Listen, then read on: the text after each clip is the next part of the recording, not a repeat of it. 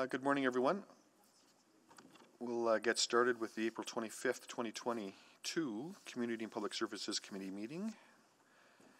I'll start the meeting by acknowledging that we meet on the land, the traditional land of Treaty 6 territory, and acknowledge the diverse Indigenous peoples whose ancestors' footsteps have marked this territory for centuries, including the Cree, the Dene, the Saulteaux, the Blackfoot, the Nakota Sioux, as well as the Métis Inuit, and now settlers from around the world.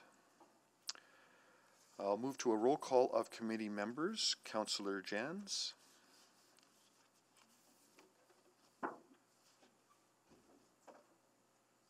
Councillor Janz?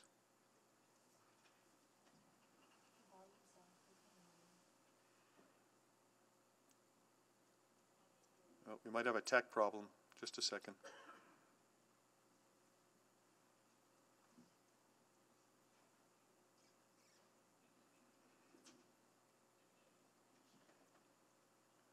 Okay, just a sec. We've got a technology concern here. Just hang in there.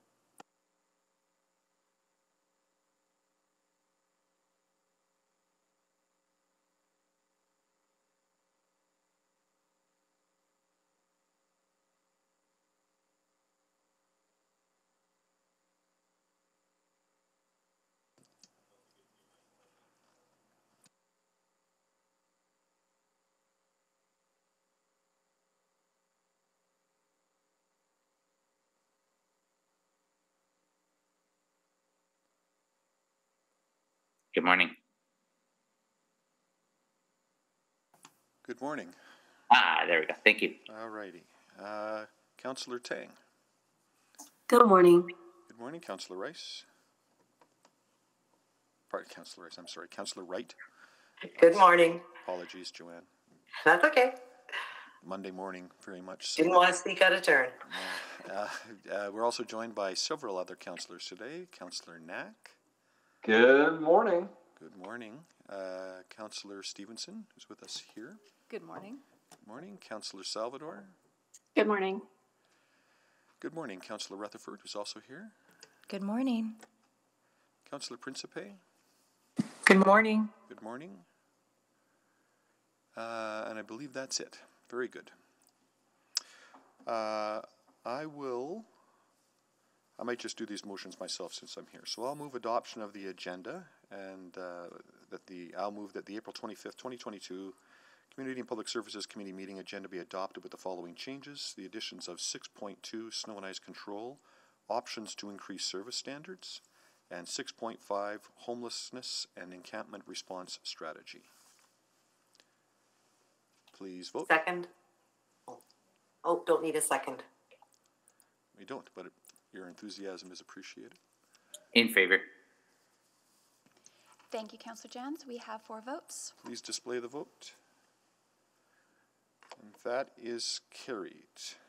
Uh, Approval of the minutes, I'll move approval of the minutes of the April 7th uh, Community and Public Services Committee non-regular meeting and the April 11th Community and Public Services Committee meeting.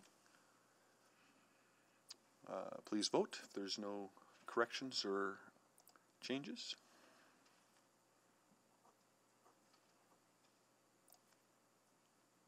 We have four votes. Please display the vote. That is carried. Protocol items, I'm not aware of any. Uh, selection of item, oh, yes, selection of items for debate. Uh, I will start by selecting uh, 5.3.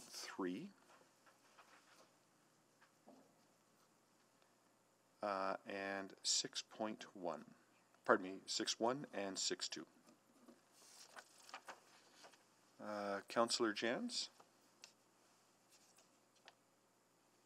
Uh, thank you, Mr. Chair. And uh, before I move them, I wanted to ask you a question. Um, I recall talking with you earlier about 5.2 that you wanted a specific due date for that item. Is that is now the opportunity to raise that, or do I need to select 5.2? Uh, well, we have another request to select 5-2, so I'll, I will select that as well on behalf of Councillor Stevenson. Okay, um, excellent. Then I just wanted to make sure that um, uh, 6.3 and 6.5 were selected. Okay, I'll mark you down for those. Uh, anyone else? I see no one else on the table.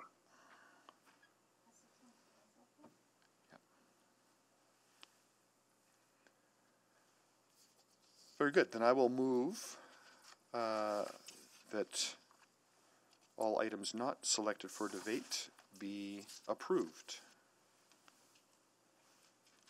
Please vote.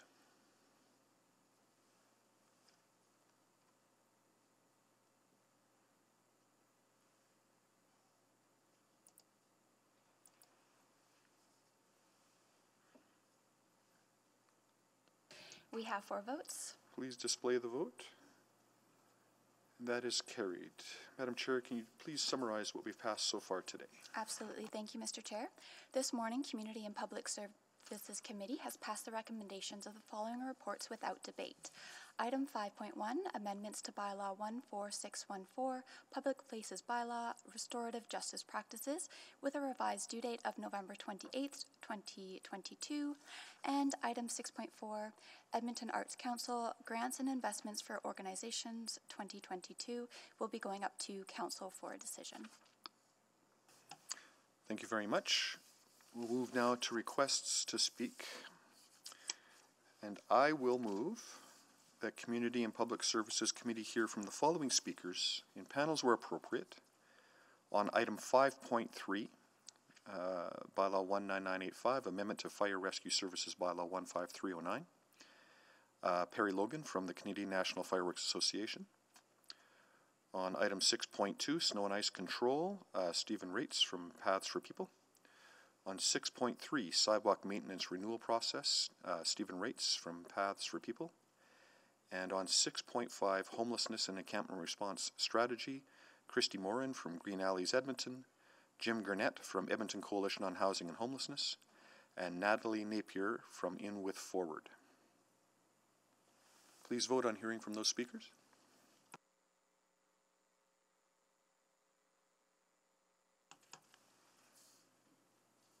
We have four votes. Please display the vote. That is carried. Uh, requests for specific times on agenda. We uh, do not have any requests, but I will note that the agenda as passed has uh, item 6.1 as first item, item 6.2 as second item. Uh, and depending on how our day goes uh, in discussions with administration, uh, 6.3 6.3 could be moved off to a future meeting if uh, we find we're running out of time today. So with that, we will move then to uh, item 5.2. Uh, now, uh, I selected this, uh, and I believe one of the concerns is that uh, there is not a specific due date for this item. And so perhaps if there's some commentary from administration about when we might see that. Yeah, Councillor Cartmell, thank you for that question. We're leading this work out of urban planning and economy, and at this time, there's no due date out um, on this because we're working on two things uh, that we don't have certainty around yet. Uh, the first is the governance review um, of the work that's happening out of the Office of the City Clerk, and we want to bring this for, uh, report forward at the same time as the Child Friendly Advisory Committee bylaw report. The second thing is that we are working with the federal and provincial governments on the child care funding agreement. And uh, we don't have the exact timing on when we'll have all those details worked out. Uh, but as soon as we have those details worked out, we've been in a better position to bring that report forward. But what I do want to um, uh, let committee know today is that we continue to advance this work. We understand the importance of childcare for um, our city and for our economic prosperity in our city as, uh, as well. And so we are working right now, excuse me, with a number of stakeholders um, to discuss and find opportunities to support early, early learning and childcare in our city. Um, this work includes the zoning bylaw renewal, district planning, and our economic action plan. So the work's underway, uh, and when we have more details, we'll be in a better position to get, put timelines on when this will come forward. All right, thank you, Ms. McCabe. Is there any other questions? Councillor Stevenson. Yes, thanks very much for that. Um, just, just feeling a sense of urgency. Um, so wondering, wondering if you could speak a little bit about any ongoing conversations with the Edmonton Council for Early Learning and Care, and and just it seems too that there is some I, I believe that some of their recommendations focused on a, a policy framework and action plan for the city of Edmonton that, that seems that it could be apart from the other considerations you were mentioning. Just wondering if that work could uh, carry forward while, while that other work is in progress. The work with the uh, ch- early learning childcare group is continuing uh, to be advanced. I'm not sure right now if we would do a policy or strategy work. My latest meeting with them, I said one of the things we discussed was that uh, there really is the importance of action in this space. And um, as much as I think policy is extremely important, um, coming out of a poly- policy intensive shop, we want to make sure that we've got the right actions for the city to carry out, uh, especially in light of uh, the provincial and federal, uh, the federal government's uh, commitment in this space. And so we want to make sure we're focused on the right things. We're very much committed to working with them, though. Yeah, thank, thank you for that. And I think, I think some of the questions were really around um, some of the land use decisions that we're making right now, the land use policies. So thinking of the zoning bylaw renewal, again, if there was sort of a city policy that, uh, you know, adequate childcare spaces had to be incorporated into new neighborhoods, and that, that helps inform uh, the zoning bylaw renewal, which I think is just that timing question. without a policy, we're making sure that we've got all of the childcare, um, all the ways that we can be a childcare friendly city in the zoning bylaw. I can absolutely assure you, there's a number of people on the team who are very committed to that on on that specific project. For things like uh, the number of spaces uh, or spaces within new neighborhood design, that's another body of work uh, that a policy could inform. But we want to make sure that we're as enabling as we can be in the zoning bylaw. Okay, so, so right now we still don't have a sense of when we might, might get an update? It's dependent on the two things. One, the governance review coming out of the Office of the City Clerk, because we want to advance um, the child-friendly advisory committee to council um, at the same time as this report. Uh, the second um, thing is dependent upon um, uh, the work that we're doing with the federal and provincial governments right now. And as soon as that's ready, I, I commit um, to committee and council that we will advance this, this report. The challenge with bringing the report forward without having um, bit more work done in that in those two spaces is that we want to be really clear about what the city can do and what the city can't do in this space and really focus on our jurisdiction and focus on some great recommendations that council can uh, help advance in this space. Okay, great, thank you very much. Thank you, Councillor Wright. Hi, thank you. I just wanted to make sure that, um, uh, like, who who are the the stakeholders or, or partners that you're um, uh, consulting with? I, I just want to make sure that sort of the unique needs of maybe um, non-traditional hours, um, those working shift work in the in the trades or healthcare and that, that their needs are also being looked after. Uh, considered? yes, uh, they are being considered through that, and we are working with Child Friendly Edmonton, I believe, is the group uh, that we've been working with. Uh, we also work with any group that it uh, comes to uh, it. Uh, that comes to administration. We've had a number of um, actually applications for our economic recovery grant um, in the child childcare space for people looking to be able to open new childcare spaces. So uh, we work with businesses that come forward as well. Council Wright. Okay, great. So if, if I do have some interested in parties, I, interested parties, I can just uh, send them your way. Yes, please do. Okay, thank you. Thank you. So that, uh, I will move then the, the, um, essentially the recommendation at item five point two, that, uh, this will return to committee once, uh, the, uh, information and the further input that, uh, Ms. McCabe, uh, outlined is received. So I will move that. Please vote.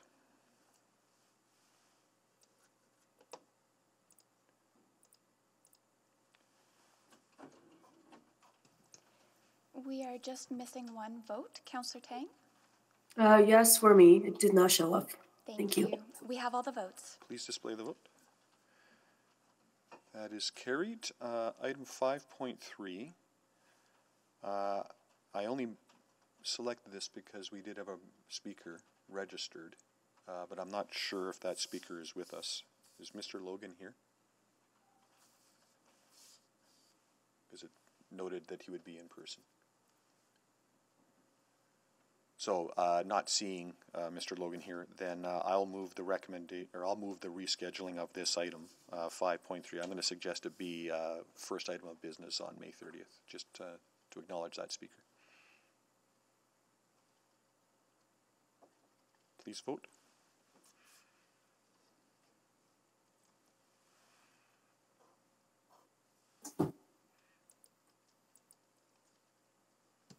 We have five votes. Please display the vote. That is carried. Uh, I'll just acknowledge before we move further that uh, Mayor Sohi has joined us this morning. So we have a full complement of five for committee today. Good morning. Uh, that takes us to item 6.1.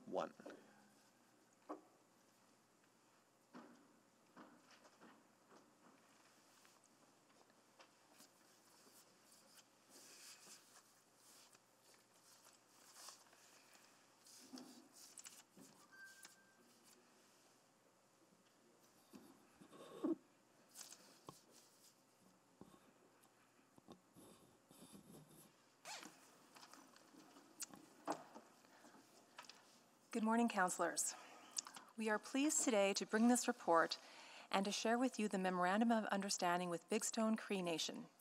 Administration is pleased to be joined today by Big Stone Cree Nation Chief Silas Yellowknee and Mr. Clayton Auger, CEO of the Big Stone Group of Companies.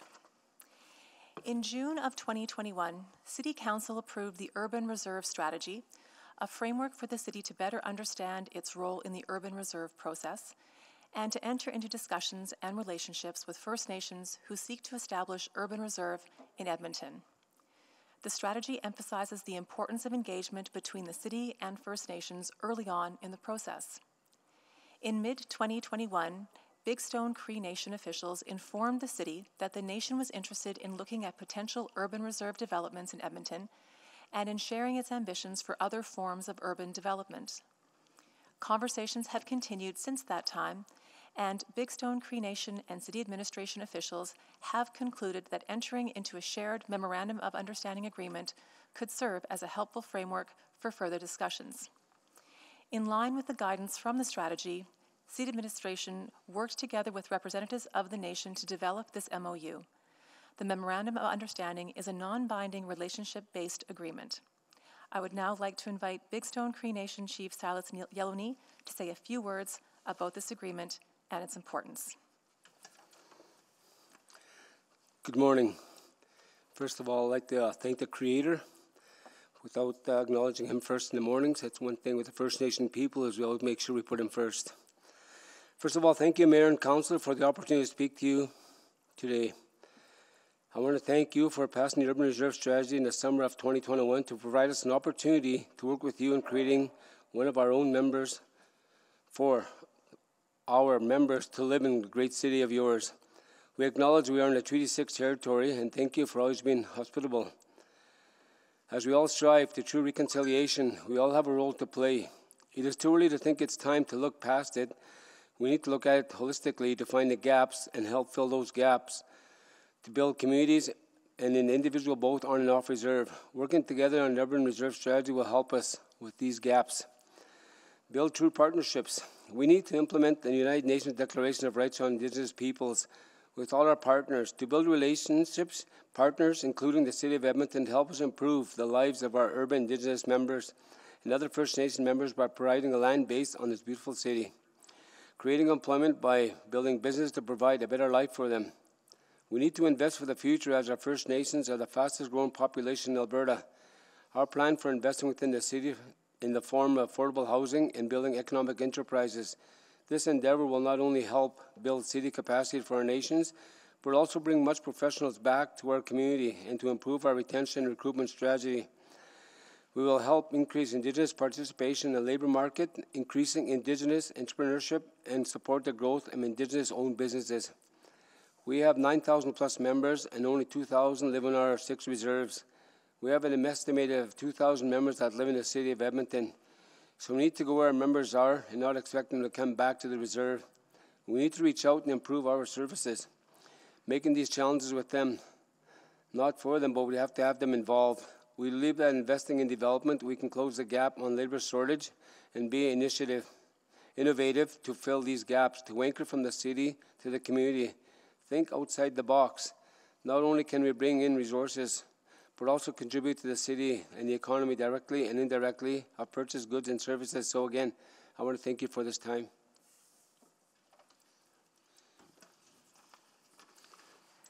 If uh, you do have any questions, my CEO for Health Holdings will be willing to answer. Thank you. Thank you very much. And as the chief has indicated, we are now pleased to answer any questions you may have.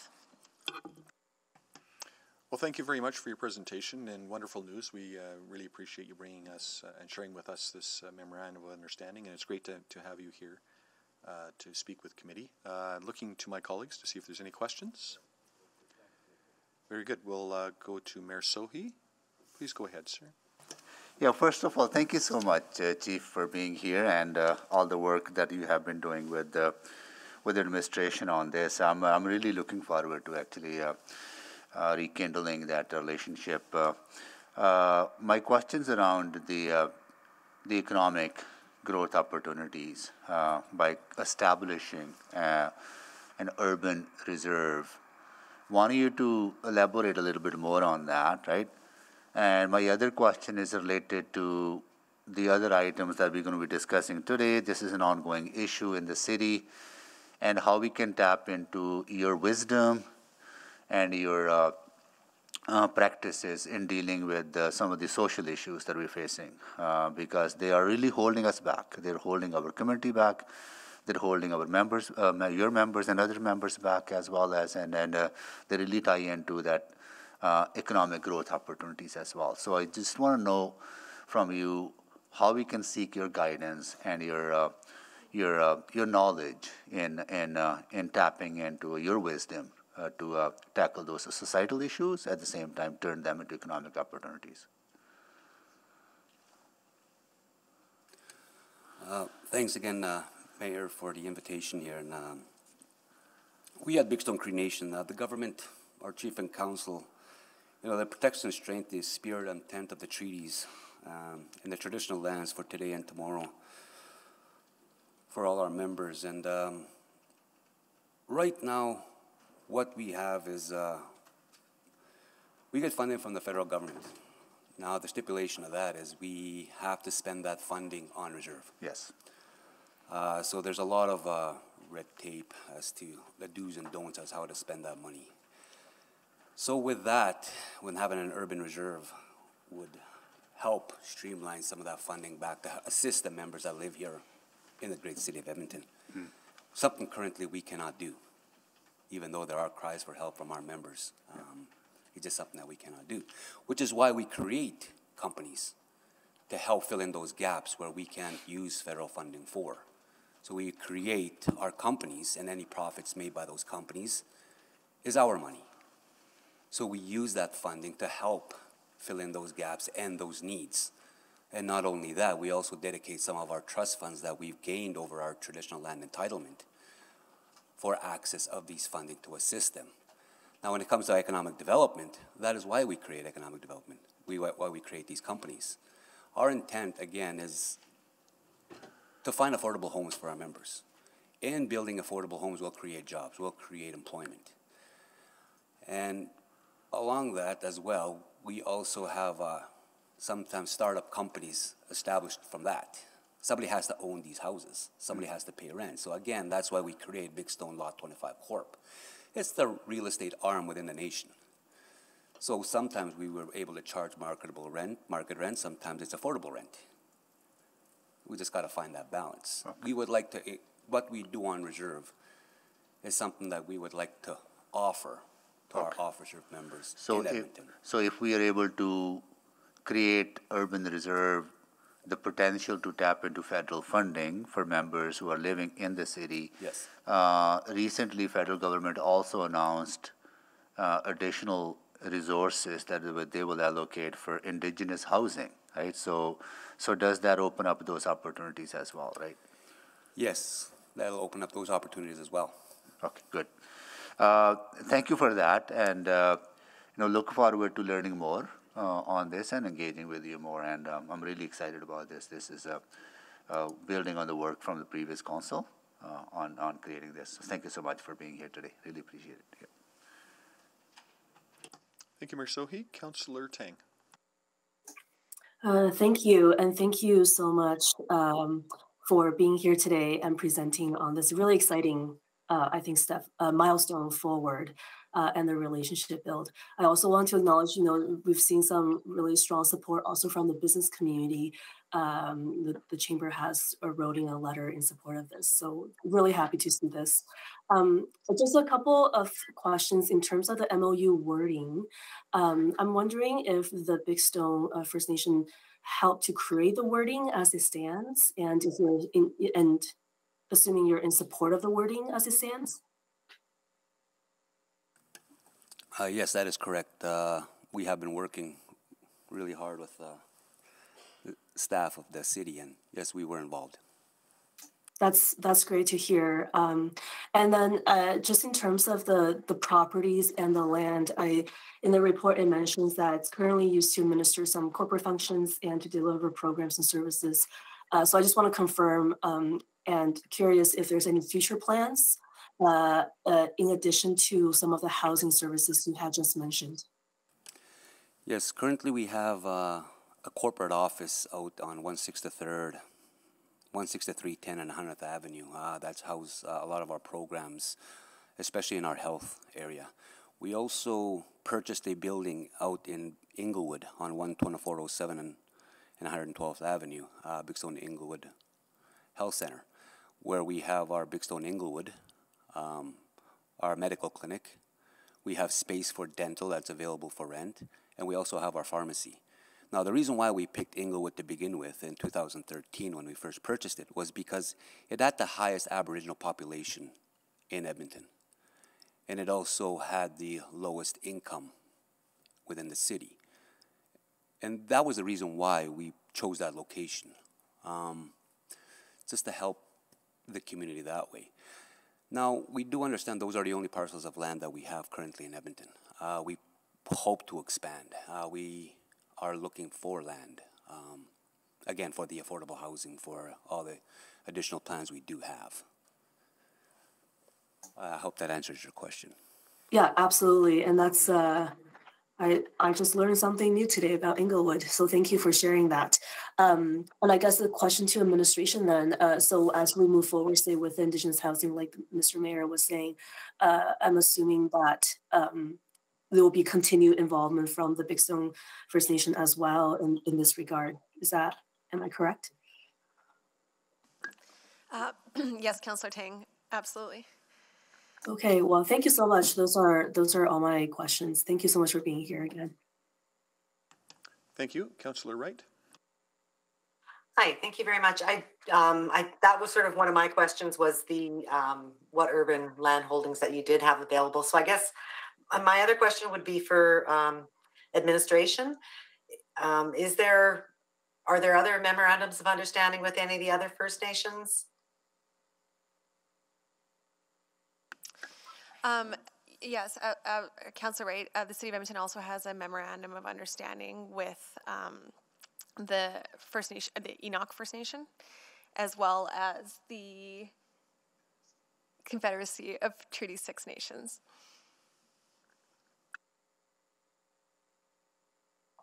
Okay, thank you. That's all the questions I had. Great, thank you. Councillor Stevens. Yes, thanks very much. Thanks for joining us today. Uh, I know uh, it sounds like you've been having a lot of good good conversations with uh, city staff, and I was just wondering, um, you know, how we as councillors can uh, can support you and, and the work that you're doing. Is there anything that you need from us that we can help with?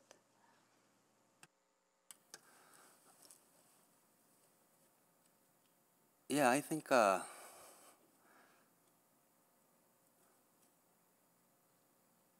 allowing us to be here today is a first good step.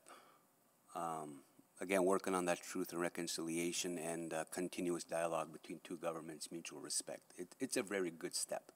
And again, I thank you all for, for the invitation. Really appreciate it. Great. Well, and hopefully just the first of many, many meetings between us. Thank you. Uh, just to, on more practical matters, I'm wondering if um, I know sometimes coming coming to a new city, uh, there can be challenges in that transition. I know that we're looking to do some of that just just helping folks who are new to Edmonton to connect to services uh, and know what resources are available. Is there there anything that would particularly help your members as they're coming into town in terms of having, I don't know, information ahead of time before they move here, or or services um, that make it easier for them to to connect into town? Yeah, and I think uh, we we uh, would definitely use some help in that regard. Uh, we do have, when we send our members to school, uh, we have our post-secondary counselor that actually sits them within their school as well as introduce them to the Aboriginal um, liaisons within every school that they, there is. And uh, but any information about the city would be greatly appreciated that we can share with our members because I know it's a big cultural shock. I know it was for me when I came to school, and uh, I'm not going to mention the year I came to school. But it was definitely a big culture shock, and it's something that I do reiterate back to our young individuals that do come to Edmonton. And again, once they leave the reserve, once they come to Edmonton, it's really hard to convince them to come back to uh, work for us. And we have, we wish them all the best. If they choose to sit and live in this great city, so be it. How can we help them? And this is the things that we're trying to do right now, because there's certain services we can't provide. And this is one of the steps we can do to fill that gap. Yeah, I, I think it's a wonderful approach, and I, I'm so excited that that uh, that can happen. But but uh, maybe just to administration, are there are there any resources under development in terms of sort of I know Bent Arrow runs the New to Town program. Uh, is the city part of developing resources with them, or do we have any of our own independent resources that can help with that with that culture shock, as you mentioned? Um, Ms. Miller is on the line and, and she can respond. Of course. Um, sorry, Counselor, can you can you repeat the question? Of, of course. Uh, just just really interested in so knowing that Bent Arrow runs their new to town program, just thinking uh, whether the city is developing any. Um, I want to say like resource mapping, so just sort of like a welcome to town information package, just to help connect people uh, into the services that the city offers and that, that other social agencies may offer as well. Um, education opportunities, employment opportunities, just any any of that information sharing or uh, you know a resource hub for folks that are new to town. Of course, yeah. No, thank you very much for the question. Um, so we do have an Indigenous relations directory um, that our office puts out every year. We try to we try to update it annually. Um, it's something that is available on the Indigenous Relations website, so edmonton.ca backslash Indigenous Relations. Um, and it really is a very comprehensive directory of all of the health, education, workforce, um, you know, all of those um, services and programs and, and things that are out there in Edmonton to support people. And um, yeah, and so we definitely look forward to updating that obviously this year. Um, if there are, of course, other programs and services that are new, we, we try to add them as we can. We also have a community bulletin that it's an e it's an e bulletin we put out daily, and it's also you can subscribe to it on our website. Um, and we really just uh, get submissions from directly from the community about job opportunities, grants, um, bursaries, you know, event and just community events going on in the city. So um, so those are kind of two resources that we we do have. Yeah, no, that sounds fantastic. Uh, and it, uh, is the Indigenous Relations Directory um, is that available in printed form to to distribute, or is it all all online at the moment? Currently, it's all online. Yeah, so it is a it is a PDF that uh, you can download. Yeah. Okay, thank you. Thank you. So I think that concludes our speakers. So uh, again, thank you very much on behalf of committee for uh, for being here today. We really appreciate you sharing your thoughts with us and having the opportunity to, to have this conversation.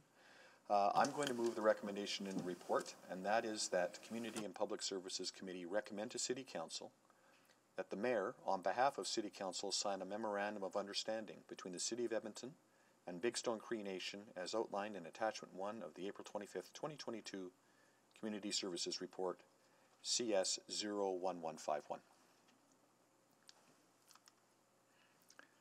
Uh, I'm not sure that anyone cares to speak to that. Um, so with that, please vote.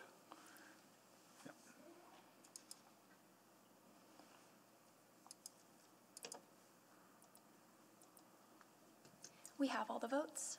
Please display the vote. And that is carried. Very good. Thanks very much. You're welcome to hang around and talk about snow clearing if you want.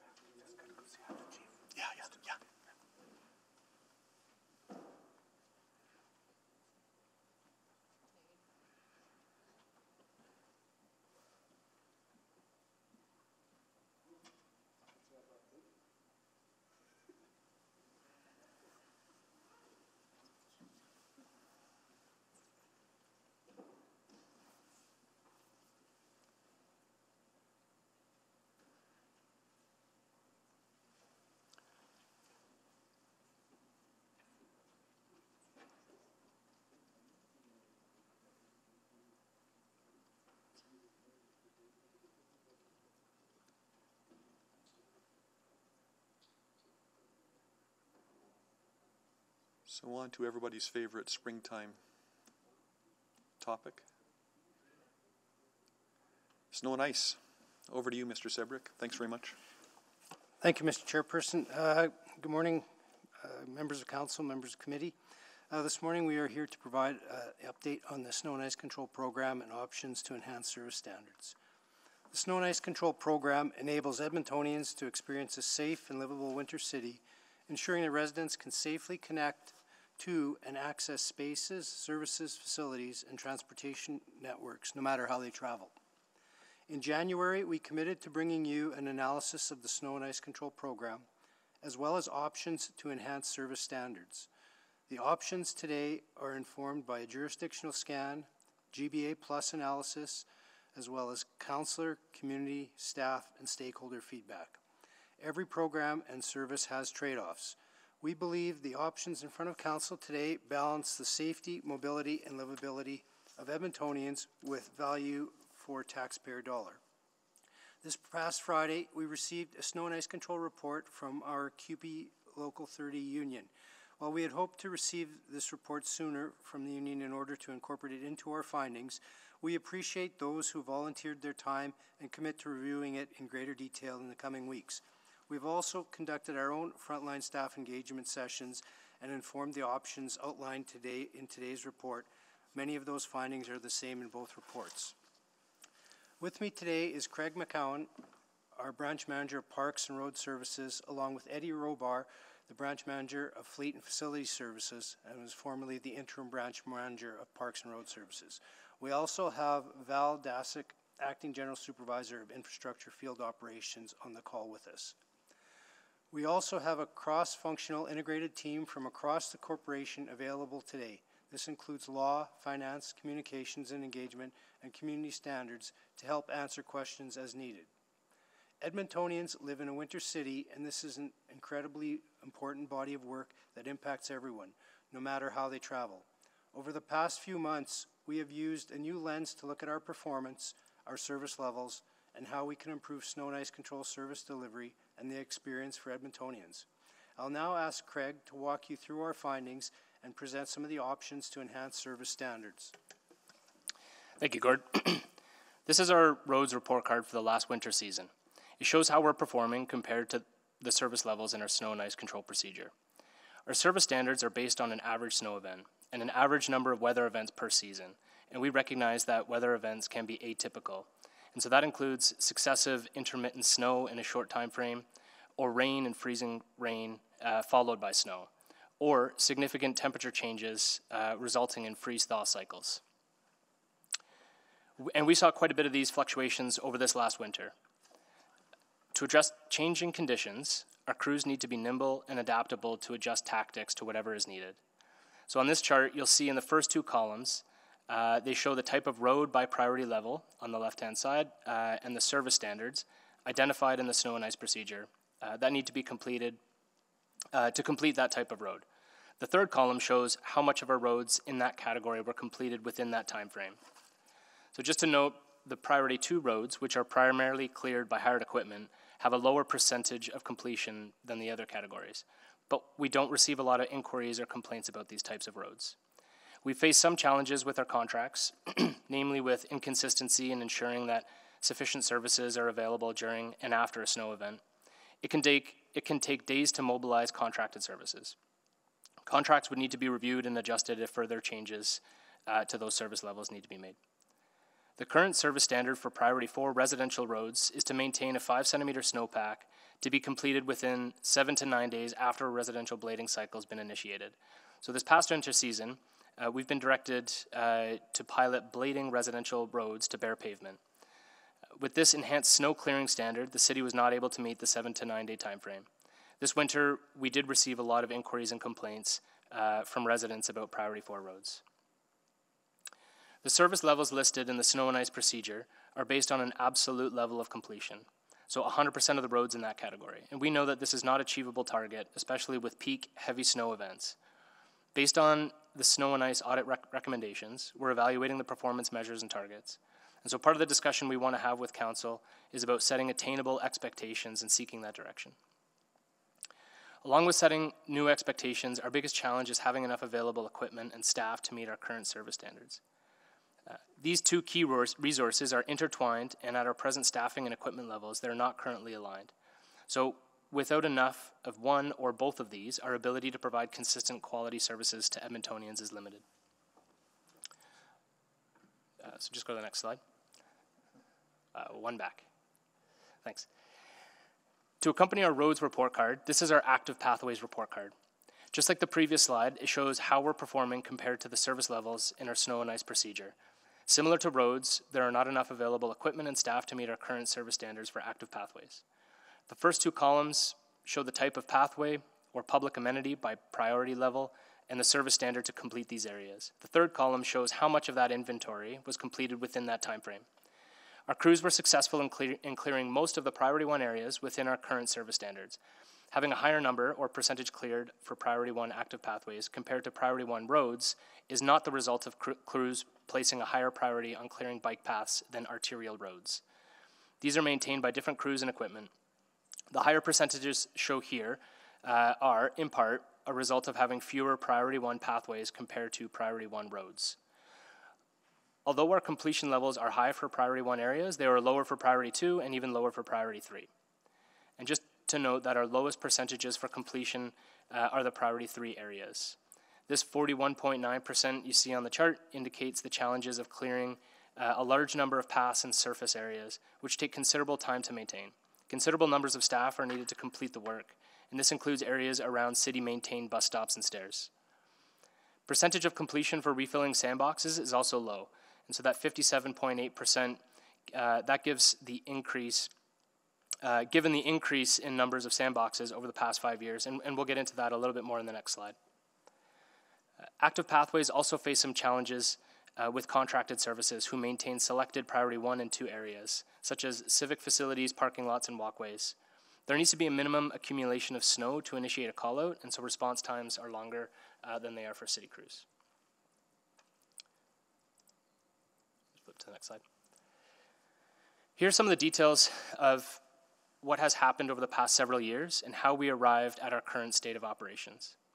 Over the last five years, there's been a lot of conversation around how we maintain Edmonton's roads in the winter months. We have worked with Council and provided follow up on questions, shifted priorities, and piloted new approaches. A combination of factors has presented us with new challenges, new changes and challenges about how to best use our finite and existing resources. And so these include multiple transitions and reorganizations across the corporation, uh, larger growth uh, in the number of Edmonton's roads and pathways, pricing inflation, budget pressures, increasing levels of service expectations, and changes in operational direction and service standards to meet those expectations. And so some of these changes and challenges occurred shortly after the formation of the Parks and Road Services branch, and the advantage we have now uh, is that we're mature enough in our reporting systems and as an organization to accurately measure our program to inform decision making to remain, to remain uh, steady through these changes. To summarize some of these changes within the last five years, our inventory of roads and active pathways and areas requiring service across Edmonton has grown by about 21%. We've also seen a 13.5% decrease in staff. And in order to keep our operations responsive and running up to 24 hours a day, our total number of staff are spread across five districts across the city and organized into a number of shifts. uh, four within roads and four within active pathways. There's currently 769 community sandboxes, and so this is an increase of over 400% in the last five years. This program is currently under review and may need to become an individually managed program if it remains uh, the same size. The snow and ice budget has decreased. Part of this was due to a reduction in revenues from the automated enforcement, uh, which resulted in a $5 million decrease. So in the report, it's also noted uh, that there has been no net growth in our equipment inventory. We currently have 130 vehicles in total for roadways, and ideally 104 of those vehicles uh, should be on the road at any given time. But due to not having enough staff, we were only able to use an average of 57 trucks after a snow event. So that's equivalent to a 43% utilization of our entire inventory of vehicles, and that's not enough to meet our current service standards. So the key takeaways are that the service expectations uh, have continued to increase, but our resources have not kept, pace with the demand in an ever growing city, that aims to provide an accessible, walkable, and connected mobility network that benefits all Edmontonians. Just flip to that side, thanks. In February of 2021, the Snow and Ice Control Audit Report was presented to Audit Committee. Administration accepted the 12 recommendations. Completing the Performance Management Framework recommendation this past fall allowed us uh, to better evaluate our performance measures under current service standards, which enabled us to bring forward uh, the report cards uh, you saw in the earlier slides. So this work has provided us with new ways of looking at our operation, evaluating our successes, and where improvements can be made. So we continue to work through the audit recommendations this year. In particular, uh, a number of projects are in progress uh, to develop cost reduction and revenue generation opportunities. Next slide. As a part of our comprehensive analysis, we conducted a thorough jurisdictional scan that included eight other Canadian municipalities as well as Stockholm, Sweden. Key findings from this scan were that every city manages snow and ice control programs a little bit different based on their unique weather, climate, density, infrastructure, service priorities, and other factors. Service standards, such as how long it takes to clear roads and pathways, and tactics to ensure accessibility are also uh, varied accordingly from city to city. Edmonton is closer to Ottawa, Montreal, and Winnipeg than it is to Calgary in terms of an average amount of snow on the ground. Uh, and Edmonton is mid-range in terms of budget and per capita spending. Based on our resources, uh, resourcing analysis of what it might cost to bring our current service performance more in line with these service levels in our administrative procedure, our budget would be uh, comparable to that of Ottawa. Next slide. Administration conducted a GBA plus analysis and significant engagement. We engage with the public, frontline snow and ice staff, stakeholder groups, partners, and counselors to gather feedback about current and potential future enhancement options for snow and ice services. Our engagement included meetings, workshops, and surveys with departments throughout the city and several external stakeholder groups such as the Accessibility Advisory Committee, Edmonton Seniors uh, Coordinating Council, Women's Advisory Committee of Edmonton, uh, and Edmonton Transit Service Advisory Board. Residents also had an opportunity to provide feedback through an open link survey. Uh, the word cloud that you see on this slide represents uh, key themes from comments received in that survey. So through our engagement process and GBA Plus analysis, we learned that the biggest concerns from stakeholders and the public were in regards to windrows and snow and ice covered sidewalks, safety and accessibility, and equity of service. Persons with disabilities, seniors, and users of public transit are most affected by barriers resulting from snow and ice. There were overall concerns about consistency of service across the mobility network, including bus stops, sidewalks, and bike routes. Results of the public survey showed that respondents were evenly divided whether the city should continue blading residential roads to bare pavement, and respondents were also split on the support of a tax increase uh, to enhance snow and ice services. Residents would like to see more real-time map updates or notifications during uh, residential road clearing. Before we delve further into the results of our comprehensive service level analysis, it's important to note that the snow and ice control operations provides a continuous level of service throughout the winter. Although our service standards have specific timelines for completion, the timer only starts when the weather event ends. So here's a visual representation of the snow and ice control operations and how this represents, or sorry, how this relates to our service standards. And just to note, our crews are always out, even before it stops snowing or raining. Roads and active pathways are categorized by priority level based on safety, and our service standards are measured by the time uh, are measured by time from the time it stops snowing or raining. There's a sequence to how these priorities are cleared. For active pathways, priority one areas are started first, followed by priority two and three. For roadways, priority one and two roads are started first. This is possible because priority two roads are completed by contractors. Uh, as city crews complete priority one, they move on to priority three and then priority four roads. Completing priority levels in sequence allows us to be more efficient with our resources, and it's important to understand that when we look at our service level performance uh, in the next two slides. So we completed a comprehensive analysis of the equipment and staff needed to service our current inventory of roads and active pathways. And so this slide shows a summary of that analysis. Roads along the top and active pathways along the bottom. The first set of columns on the left show our current service standard by priority level. And the next set of column, uh, columns show how long it takes to complete these areas with our current resources, labeled as the current state, with the base budget at the bottom for what our current resources cost. So for example, priority one roads have a service standard of 36 hours. With our current resources, it would take on average 127 hours or 5.3 days on average uh, to complete all priority one roads. So one reason for this is that we do not have we do not currently have enough staff to make uh, use of all available vehicles. For active pathways, this slide shows we're meeting our priority one service levels, but it takes much longer to complete priority two and priority three areas. This is due to a shortfall of both staff as well as equipment. The next, two, the next two sets of columns show proposed options to increase staffing and equipment resources that would bring the program closer into alignment with our current service standards.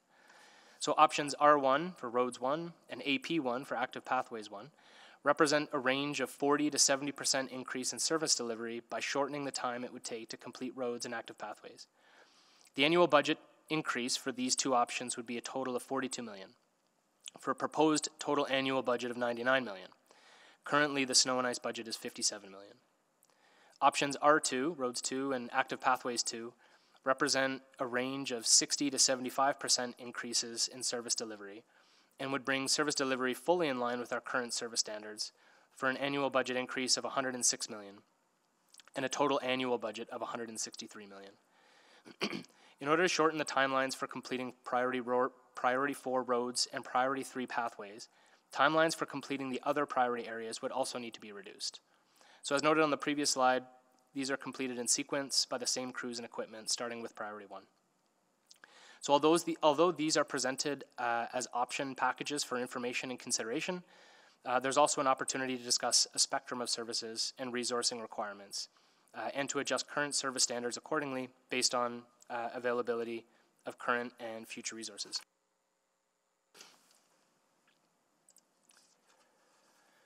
As per the council motion, administration provided a series of proposed options for new service enhancements for consideration.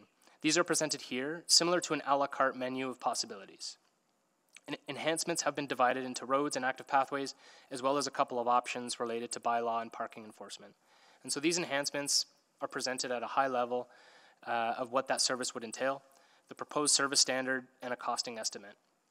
So these costs are presented for information only, uh, as they're based on standalone costs for the individual services. Most of the costs listed here uh, are operating costs only uh, um, for a single season, with the exception, uh, with some exceptions, uh, such as residential windrow pickup, which is calculated per pickup, and senior centers, uh, which is a cost per facility. Only one of the enhancements include capital cost estimates for purchasing new equipment, and this would be uh, a proposal to purchase larger uh, trailer snow plows to increase snow clearing efficiencies on priority one roads. Uh, capital costs associated with other enhancements would need to be determined depending on which ones might be selected. So in order to calculate true costs for these enhancements, uh, we would need to return with a programmed approach that would include those specific enhancements, taking into account any efficiencies to be gained um, from shared staff and equipment. And it's important to note that several other business areas, such as community standards, operationally support the snow and ice control program. So any enhancements or increases in service for the snow and ice program would also need to factor in resourcing requirements uh, from these supporting areas as part of that fully programmed approach. And so many of these uh, enhancements would result in increased accessibility and safety, such as increased clearing of areas around bus stops and sidewalks along bus routes adjacent to private property. Uh, but there's some trade-offs. And so, for example, blading to bare, Blading to bare pavement produces large windrows. These would need to be removed or managed differently, which would require additional resources. Any additional or any residential ca catch basins may need to be mapped and clearly marked, similar to fire hydrants, uh, prior to next winter season. Increased services in residential areas would lead to longer hours of work uh, and larger number larger numbers of equipment uh, noise complaints from residents. Uh, increased grooming of residential roads and cul-de-sacs mean that residents would need to move their vehicles more often. Uh, increased service for shared bike paths could result in increased seasonal parking restrictions uh, or more noise complaints. And there's, there's further details listed in attachment six. We're committed to delivering a service that will make a difference to Edmontonians, supporting a safe mobility, we're supporting safe mobility and accessibility. In order to evaluate the success of any changes to service standards and resourcing, we would need to be able to measure our program consistently over the next few years uh, before making any large-scale changes. This would also help manage the expectation of Edmontonians with clear and consistent communication. Further direction and work would, need would be needed from, for administration to return with a proposal on recommendations regarding an assisted snow program. So as we move forward, we anticipate returning to Council with a report towards the end of June that would, that would provide an operational programmed approach with costing and resourcing requirements that would incorporate specific changes to baseline service standards and service enhancements, pending today's direction from Council. This would require setting clearly defined outcomes and service standards for the next winter season, ensuring that service standards are attainable and aligned with available resources. Any funding requests that may be needed as a result of service changes and enhancements would be submitted as part of the 23 to 26 uh, budget del deliberations later this year. We'll continue to work, uh, we'll continue with work that is currently underway, uh, which will address some of the concerns we heard during engagement process and work towards continua, uh, continuous operational and service improvements. This includes improved 311 notification communications uh, and a workforce development project. So with these new ways to evaluate our work, additional resources and a clear path moving forward, we can improve the experience for Edmontonians to live, work, and play in our winter city. And just quickly to go off script before I finish, uh, I just wanted to quickly recognize a few individuals who worked tirelessly around the clock to uh, make this report, do the research analysis and investigation. Um, specifically, Jenna Frost, Aurea Siemens, Sarah Jackson, Valerie Dasick, Stuart Kehrig, Andrew Grant, under the leadership of Eddie Robar. I just want to say thank you very much.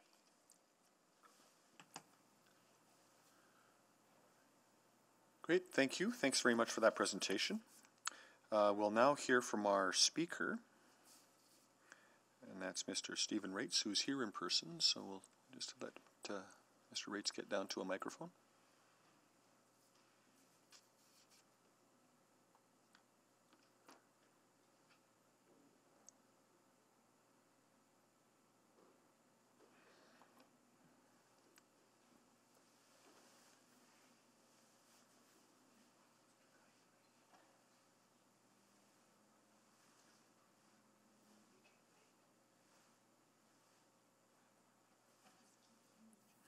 Right, so I think I'm coming through. Well, uh, Good morning, Mr. Good morning. Uh, you've been here before, but just so everybody's on the same page, you have five minutes to speak. And there's little lights on that podium in front of you, so green for four minutes, yellow for one minute, and red means your time is complete. And then we'll ask questions of you. Sweet. Please go ahead. Well, good morning, members of committee and all other members of council who are joining us today. Uh, thank you for the opportunity to speak. My name is Stephen Raitz, and I'm here on behalf of Paths for People, which is a nonprofit organization focused on safer, more livable streets in Edmonton and making Edmonton a friendlier place to get around actively. Um, snow and ice control is a really key puzzle piece in the broader picture of ensuring that Edmontonians have transportation options when it comes to commuting and being active during the winter months. In our engagement with our community members across the city, we hear a consistent desire to improve our community's approach to snow clearing to ensure that it is more equitable uh, to people with more limited mobility and also ensures that everybody has the choice to get around actively. Failing to maintain our active transportation network to a high standard means more slips and falls and more trips to the hospital. As per Statistics Canada data between 2011 and 2016, Alberta had the second highest rate of hospitalizations regarding slips and falls in wintertime out of all of the provinces. So it is clear that those with more limited mobility are more likely to slip and fall or may not choose to go out at all during the winter months. People understand that a higher level of service means increasing resourcing for this service, but many also see snow clearing as one of those key municipal responsibilities from the city. And they also understand that the connection between a more walkable city and the larger city building goals that we have um, for within the city plan regarding 15-minute communities. The potential options provided by administrations, uh, administration are excellent ways to improve moving around Edmonton in all four seasons. And uh, I'll also quickly note that we were really appreciative of being engaged early on in this process and are thankful for administration's efforts to include community voices uh, within this report. Um, I'll specifically note a couple of the features that we were quite excited about. Um, of course, the kind of central part, the options to enhance service delivery, clearing active pathways. Um, the heightened clearing or uh, shortened clearing times ensures that um, walking, rolling, and biking um, is a more accessible option and that uh, snow and ice buildup is reduced. Um, it creates more consistent connections within our communities, and I think uh, many of us have uh, likely seen that you know infrastructure like bike lanes and that kind of thing become shared use paths and the kind of only safe route through a neighborhood um, during a winter snowstorm. And so we're really excited about the potential of even ratcheting this up more. Um, we we were also quite interested to see um, the clearing of all residential sidewalks as an opportunity, and I think it's a really important one to analyze. And though it could mean really big changes for how our city clears sidewalks, it's valuable to engage with the idea and um, include it within a full spectrum of options in the decision making. Um, we were also quite excited to see the opportunity for clearing around intersections and alley crossings. Um, this is especially important as our neighborhood design standards change and um, the changes may result in unforeseen ice buildup and that kind of thing. Um, and so we're excited about that meeting, how we're building our city differently. Um, also uh, excited about the clearing of internal paved pathways. Uh, I think that really enhances livability and ensures park spaces can be used in all four seasons. And finally, um, the increase to uh, the increases to bus stop service, I'm ensuring that um, that transportation choice um, or option for transit is just as accessible um, as we would hope it to be, and that um, it feeds into the broader active transportation network. So we see that one as a really important one too. And so we understand that trade-offs may need to be made by council um, in prioritizing this funding and resourcing. Um, but like we always say, every journey starts with a walk and a roll. And so that is why we really believe it is important to prioritize active transportation in this funding. And so we look forward to continuing to engage with members of council on this topic and are open to taking any questions that you may have uh, for us today. Great, thank you, Mr. Raitz. There are some questions for you. Uh, we'll start with Councillor Wright. Thank you very much, um, and, and thank you, Stephen, for for engaging with the city too and, and providing um, your perspective there.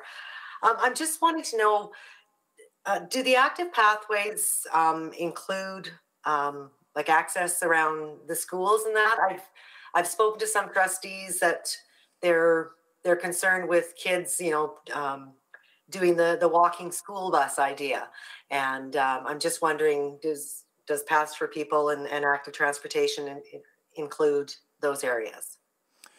Uh, so yes, certainly we would perceive that those, uh, you know, sidewalks, shared use paths in the vicinity of um, city-owned land or uh, public green spaces are part of um, that kind of heightened network um, that uh, receives, yeah, uh, snow clearing from the city, and so we see that as really valuable um, because it is that closest connection point to a lot of those community facilities where people are going to go to. So uh, we really see that as valuable, certainly. Okay, thank you very much. Um, and I think that's all I had in regards to that. Thank you very much. I'll let Councillor Rutherford go. Thank you, Councillor Rutherford. Yes, just a few quick questions. First of all, um, one thing that I've learned through through this process is that even though we do clear some active pathways, there's we don't clear all active pathways. When you were engaging with the City of Edmonton, did you look at kind of a map of where we do currently clear active pathways and where we don't and make any recommendations in that regard? So, um, in our engagement, which occurred uh, back in February when we had the opportunity to chat with the city, I'm, I'm not sure if we looked at a specific map, but I think we kind of understood that the service levels do kind of change throughout the city, and we would really like to see them enhanced and ensure it's more consistent, just so that everybody has the chance to move around, no matter where they live in the city. Yeah, okay, and then when you look at this à la carte menu, it says clearing all residential sidewalks will cost two hundred and twelve million and include, you know, really looking at challenging the city in terms of time, but also that they'd probably have to do it outside of regular hours, so there'd be noise complaints that we'd, so this is what I've learned for sure with this pilot project is the, the, the, the, to heed mm-hmm. some of the unintended consequences. But, but for sure, I can't imagine there would be an appetite for a two hundred and twelve million dollar increase just for the, just for that. So I know you're recommending that, but I guess what would be for your, um, uh, you know, from your organization's perspective, you know, if that's not feasible, what from a residential clearing sidewalk, is there anything that you think would be a, a real benefit that is on that à la carte menu from that, that sidewalk space? hmm Yeah, I, think from our perspective, we understand that there would be some pretty incredible cultural change for suddenly the city to take on all residential sidewalks. Um, and so I think, you know, from our perspective, we're excited to like engage with that idea um, because, you know, that acknowledges that there is this full spectrum of ideas available to us and that some may make more sense than others. Um, and so I think kind of the outcome that we would hope to come from this point of looking at clearing all sidewalks is that, you know, we can recognize that um, the network of uh, active pathways um, can probably be increased, like especially around some of those school sites and that kind of thing. Um, I understand there's there may be some jurisdictional questions too about whose whose responsibility is it, but um, I think especially when we look across the whole city and we want more Edmontonians to have access to safe, clear paths, Mhm. um, that you know, that likely can include um, a little bit more than what we're currently looking at, um, especially in the vicinity of a lot of those um, community facilities like schools. Um, I think that, you know, that is where we can maybe see um, the city either itself or work with partners to she- uh, ensure that that is done to a higher standard and, yeah, ensures that there is those options available to folks. Yeah, because I'm really grappling with with that because I think that often when you look at the we're just speaking speaking of residential sidewalks right now, that often the the sidewalks that are not cleared are usually either vacant, have somebody that's maybe has mobility uh, issues, or there's lots of other. So I know a lot of other you know in the jurisdictional scan it highlighted some of those other programs that because you know as a as a resident I'd say in my neighborhood I'd say you know, nine out of 10 residential sidewalks are cleared within 48 hours.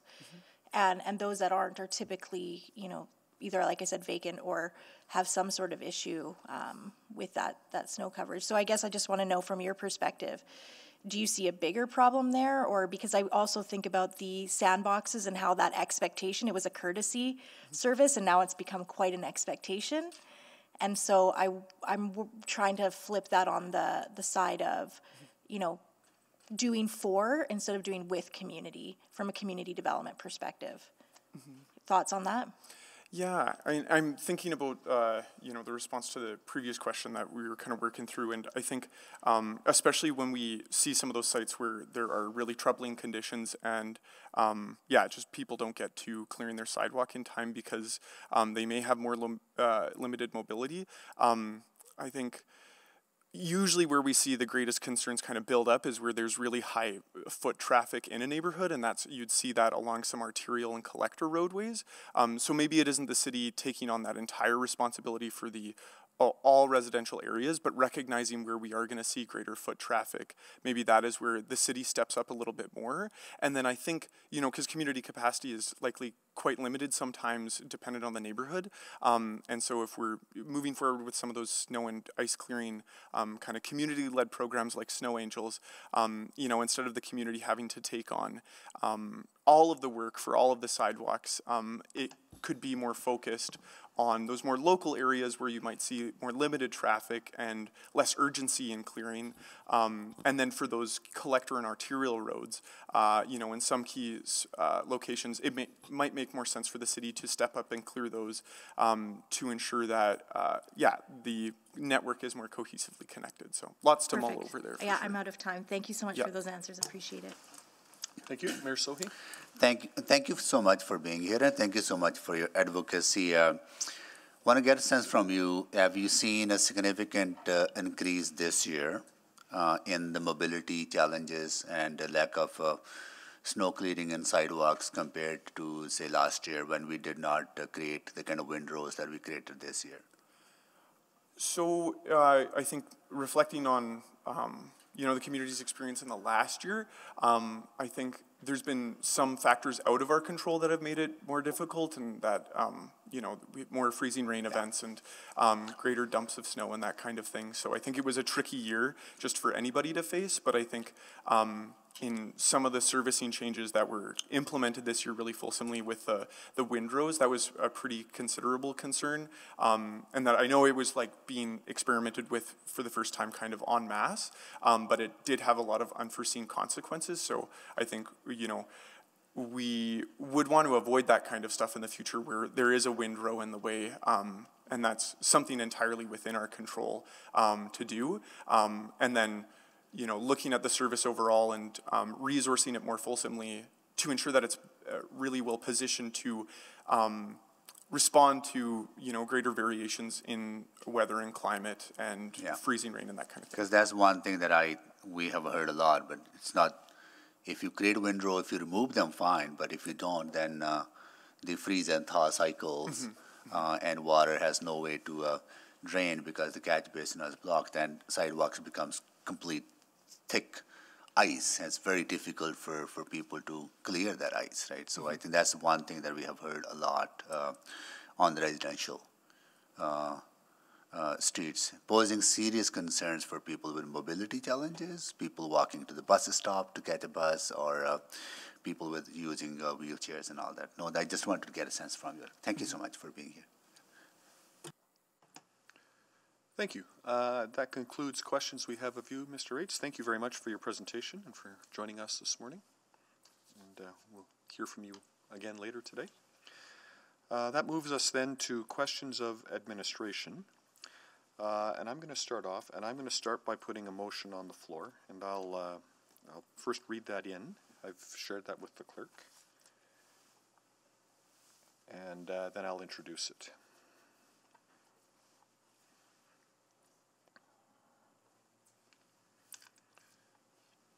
And while it's coming up, I, uh, I will move that administration uh, return to committee with a report outlining budget options to support the following.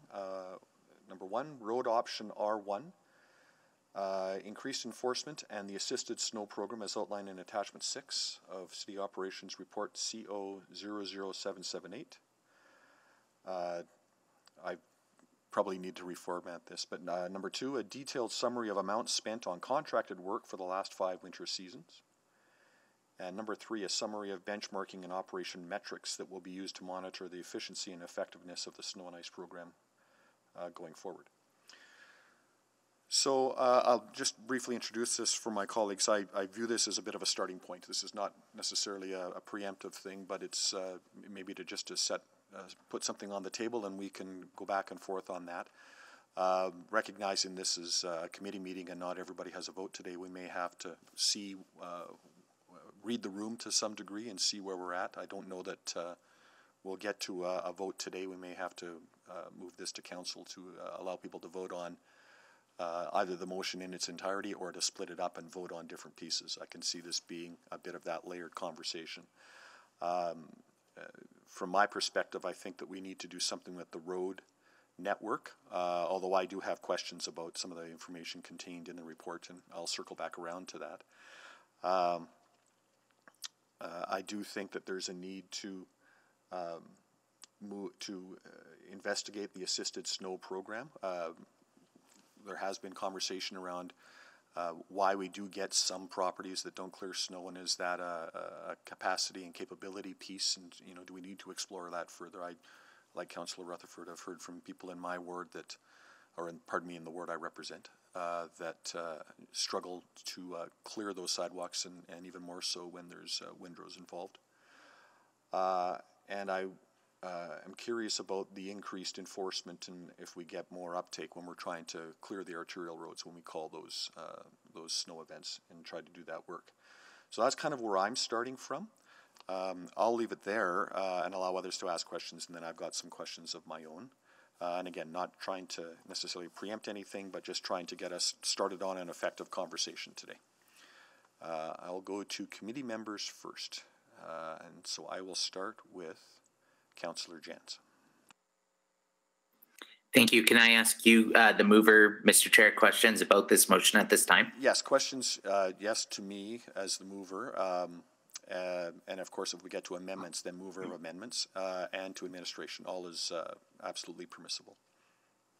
So I'm interested, um, how many years have you been a councillor, Mr. Chair? 132. No, four.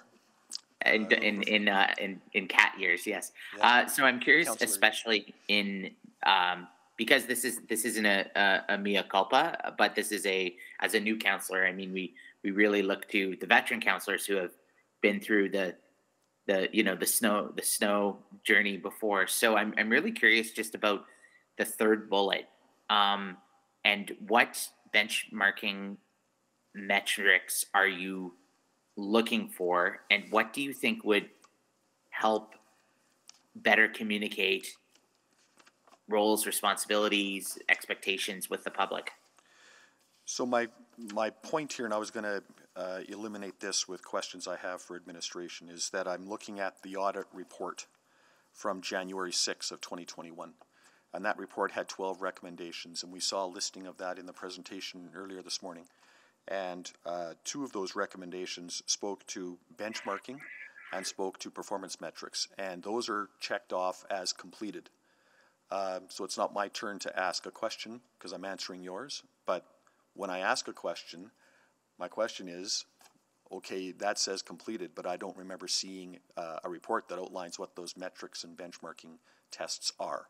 So that's my bullet, is to, uh, what is it we're measuring? What is it we're coming back to? What is it we're going to be uh, uh, testing against? So that's my answer to you, Councillor Janz, but it will also be a future question to admin. I'm wondering. So I see the second bullet about the amount spent on contracted work. Um, if if I recall, one of the main concerns raised by by frontline staff was around also the equipment itself, both the the quality, capacity, and um, durability of the equipment. I was wondering why the mover didn't include maybe a bullet or or a concern around equipment. Is the is the mover satisfied with the, the equipment we have? Uh, well, I, not necessarily. Uh, my question is around the dollars. Uh, and, I, and perhaps that's my focus. That, and again, not to preempt any other uh, amendment or any other question. Um, but we're talking, you know, primarily about how much money we spend on snow clearing, what our current budget is, uh, and how much we want to add to it. And part of my question is, uh, you know, around how much we're spending on contracted services. And I want to follow up on some of the presentation uh, material that was sent, is put here. So maybe you want to uh, let me ask those questions when it comes to my turn, and that might be helpful. Yeah, no, for sure. Um, that uh, yeah, just trying to get a better understanding of the motion there. I'll I'll I'll uh, I'll leave my time at the moment. Thank you. Thank you, Councillor Janz. Um, Councillor Wright. Thank you very much, Mr. Chair. Um, I'm just wondering, your third bullet there, the, the summary of benchmarking and, and operation metrics, are you thinking that maybe our, our standards are set, our service standards are set too, too high? And the expectation of, of residents is, is up there as well? Well, I want I want clarity on what uh, just what those. I mean, we we're talking about performance standards. I don't know that we're. I don't know that that checks the box from the audit report. That's my question. Um, you know, so um, in terms of, of effective use of personnel, effective use of equipment, what what are our metrics and what are our benchmark standards? I mean, we've this report speaks to a bit of a jurisdictional scan. Are we going to continue to circle back to those jurisdictions, for instance, and measure against them? These are my questions, and that's why you know through this motion I'm asking those questions. Uh, and again, I would, I would, you know, as I ask my own questions, I would inform that. So, uh, but I do think there is a question around um, our, our current performance standards uh, and whether those are attainable and whether they're attainable with the equipment that we have, either uh, the size of the existing fleet or the makeup of that fleet or the condition of that fleet. Um, but I also think that uh, to a certain degree, we need to figure out what it is we can do with the equipment we have before we start talking about layering on extra services. But now I'm not sure I'm answering your question anymore, so I'll stop. So now I'm not sure, do we have anything in there to, to have them look at the equipment? Well, I think Councillor Janz just asked that, and so I suppose you might direct that question and offer an amendment to the motion. Um, so could I put a friendly amendment in there to a summary of not just the benchmarking and operation metrics, um, but also of the equipment condition and utilization? Yeah, if you want to, uh, if you want to craft a fourth bullet, I think, you know, from a process perspective, uh, uh, amendments are obviously welcome. Okay, I'll, So- I'll work on that. If you have Um, a I, bullet. I just want to go into your first bullet there about increased enforcement.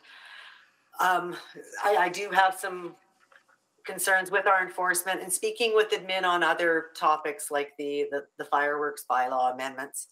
Um, it's been mentioned to me that, um, we could face, and maybe this is to administration then I guess, is, is we could, um, sort of face some liability if we put into, put into effect bylaws that we are unable to enforce. Um, and I'm, I'm just wondering, do, do we need to ramp up our enforcement to, to avoid that liability? Uh, Counselor, perhaps I'll uh, ask our law partners on the call to just provide a little bit of insight in terms of what our liability is in terms of our responsibilities, not only for enforcement, but also service delivery. Okay. Thank you.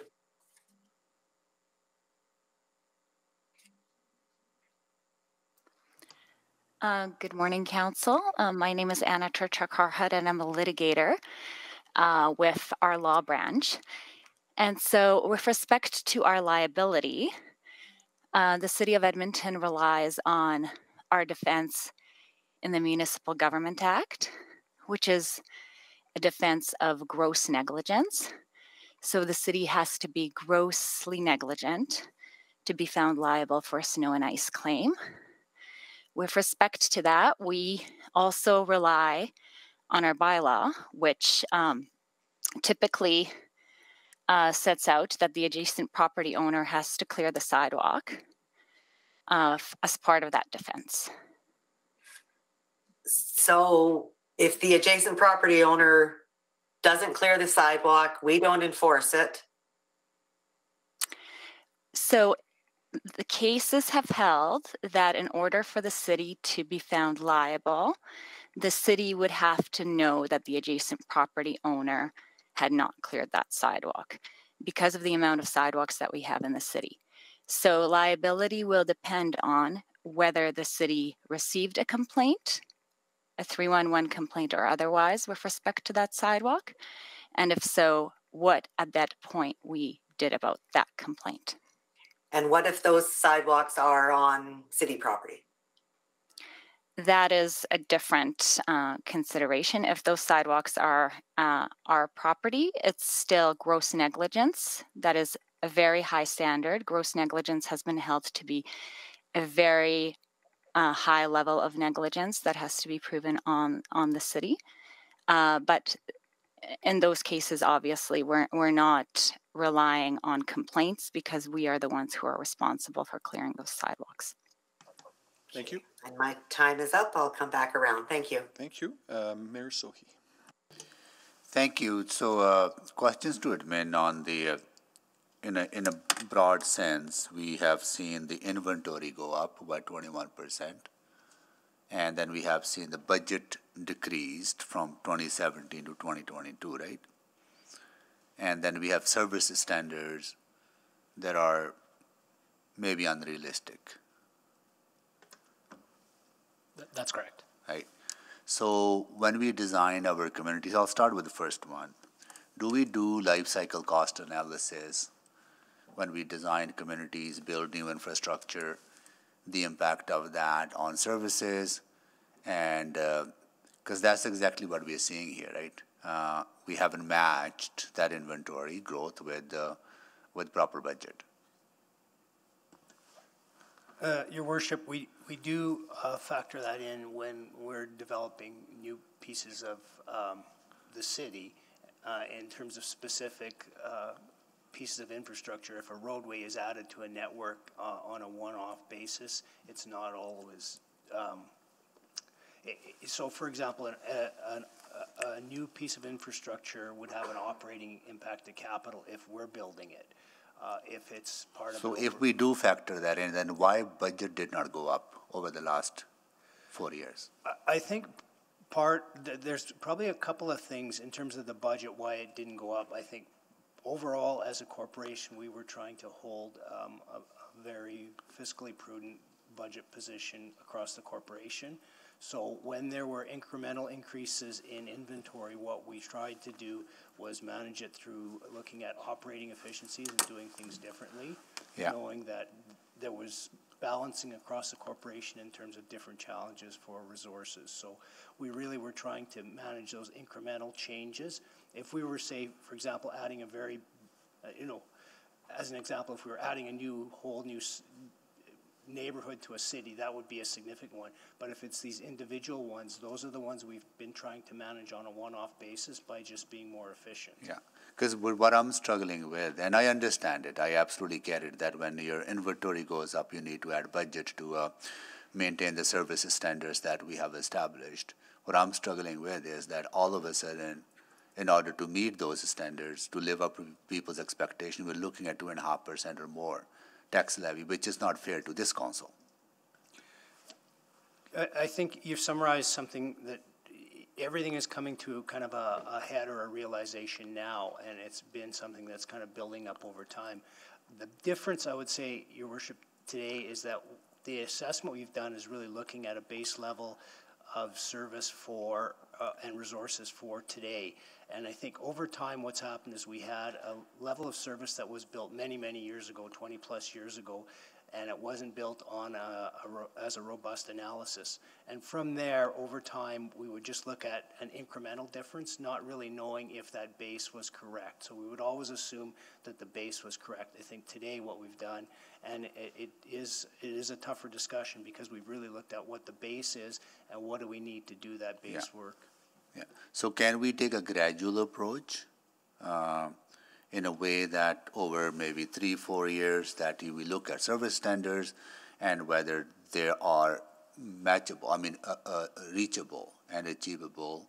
And if they're not, then be honest with Edmontonians. And if Edmontonians still want, then there has to be a price paid or a tax levy that has to go. Because I think it's, we have other priorities as well. We have uh, other uh, challenges to deal with from housing to climate change and all that, right? So if we just look at doing this all at once, increasing the levy to a level that we won't be able to do anything else.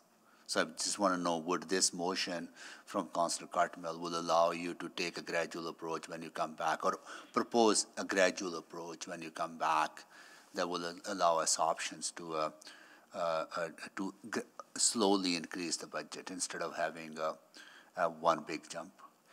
Uh, Your Worship, I, I think that the way that the motion word, is worded now certainly gives us flexibility to present a phased approach. Um, a- and, you know, the, the phased approach can be such that it's all at once or over a period of time, but we can certainly, uh, take that approach. We realize that there was certainly, you know, competing priorities for the corporation, and we know that what we presented today is a big, uh, um, big number, but we also realize that there's some flexibility depending on discussion. So that's one approach. Or another approach could be that having a very comprehensive conversation with Edmontonians, uh, really talking about the realities that we're facing, maybe having a one-time dedicated levy that we can clearly communicate that if you want your roads to be cleared in 36 hours and 48 hours and 72 hours based on the priority areas, then we say, okay, this is what it's going to cost you, and this will, be- will be one tax levy that we put in at top of what other stuff we need to do. Uh, I, I believe that is an option, but I would ask Ms. Padbury uh, just to comment on what that potential for a specific tax portion could be. You, you are at the will of council free to dedicate any portion of the levy to build a base budget gradually. I'll come back to that maybe in the second round, Councillor Cartmell. Thank you, Mayor Sohi. Uh, next will be Councillor Rutherford. Great, thank you for this. Um, so much to unpack in this in this report. A few questions I think I'll start with is um, right now this motion on the floor. This is to administration. Doesn't include anything about the active pathways option AP one, so that would need to be added if we wanted to explore that as well. Correct. Okay. And um, what I'm confused about is when we have this report, it said that you needed sort of some direction today and then you were going to come back and, and discuss service standards and budget in the June meeting. So are all, of- aren't all of these points mostly, aside from kind of giving you that direction on R1, increased enforcement or those kind of things, did the other two points, were they already planned to be discussed at that budget, at that report, or did you need that council direction? So those weren't specifically going to be discussed in that meeting? Okay, so you did need, you do need that council direction to have those all in one package again? Yes, to present them. We were Yeah. doing that work, but certainly to bring them back as part of that report, we would uh, welcome this direction. Okay, great. And then the service standards, you know, you, you made, you made a comment there about the baseline, but the, the service standards were changed, weren't they, in 2021? The policy and those sort of target service standards? Uh, There were some minor changes in 2021, not significant, though. Okay, I thought that my understanding was that that kind of, those targets of, you know, 36 hours for P1, the 48 hours for P2, et cetera, that are in the expectations, or those in that graph in the policy, was that not adjusted? Th- Those were, uh, I believe, maintained. They were uh, uh, that level prior to the amendments in 2021. So what was, what was changed in, There were some minor changes. Uh, I'd have to go back and, and look at those specifics. We could get you that uh, over okay, the course yeah, of the that would be, that would, Just to, to jump in, sorry, the, the largest change was taking the operational component and putting it into the administrative procedure, and then keeping the policy more at a, at a policy level. So that, that was the biggest split back in twenty twenty-one. Okay. But the thirty-six hours, the numbers, like the quantity of time, that's been in place for, uh, since two thousand nine. So, but that's one of the big rubs, right? Because then I get calls to my office from people saying, well, you say you're going to clear active pathways within this time, and this pathway that I rely on hasn't been cleared for six days, right? So that's the rub that we're feeling right now. Exactly, yeah. Um, okay. And another question I had is around the, the à la carte menu, specifically around uh, seniors facilities and sidewalks, because I know again, it's interesting, and, and Gord, uh, sorry, Mr. Cebryk or Mr. McEwen, if you could uh, elaborate on this, but not all seniors facilities, right, are, are have enhanced snow clearing right now? What categorizes a seniors facility that has snow clearing and one that doesn't?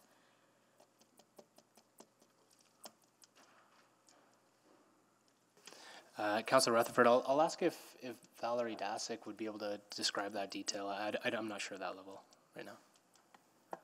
Thank you. Only city-run uh, facilities for senior centers are uh, have that extra level of snow clearing. So if you have a seniors, what about seniors residents? Most of those are not included. So they're not included right now? Correct. Okay, because that was, that was very problematic uh, in terms of, of that. So I know it was actually a nominal fee, the 2.1 million, or 2.1K it says, 2.1K, so not even million. I think that that nominal fee for those seniors because I heard so much accessibility issues and concerns with seniors. So um, again, I cannot make a motion. I cannot amend this motion.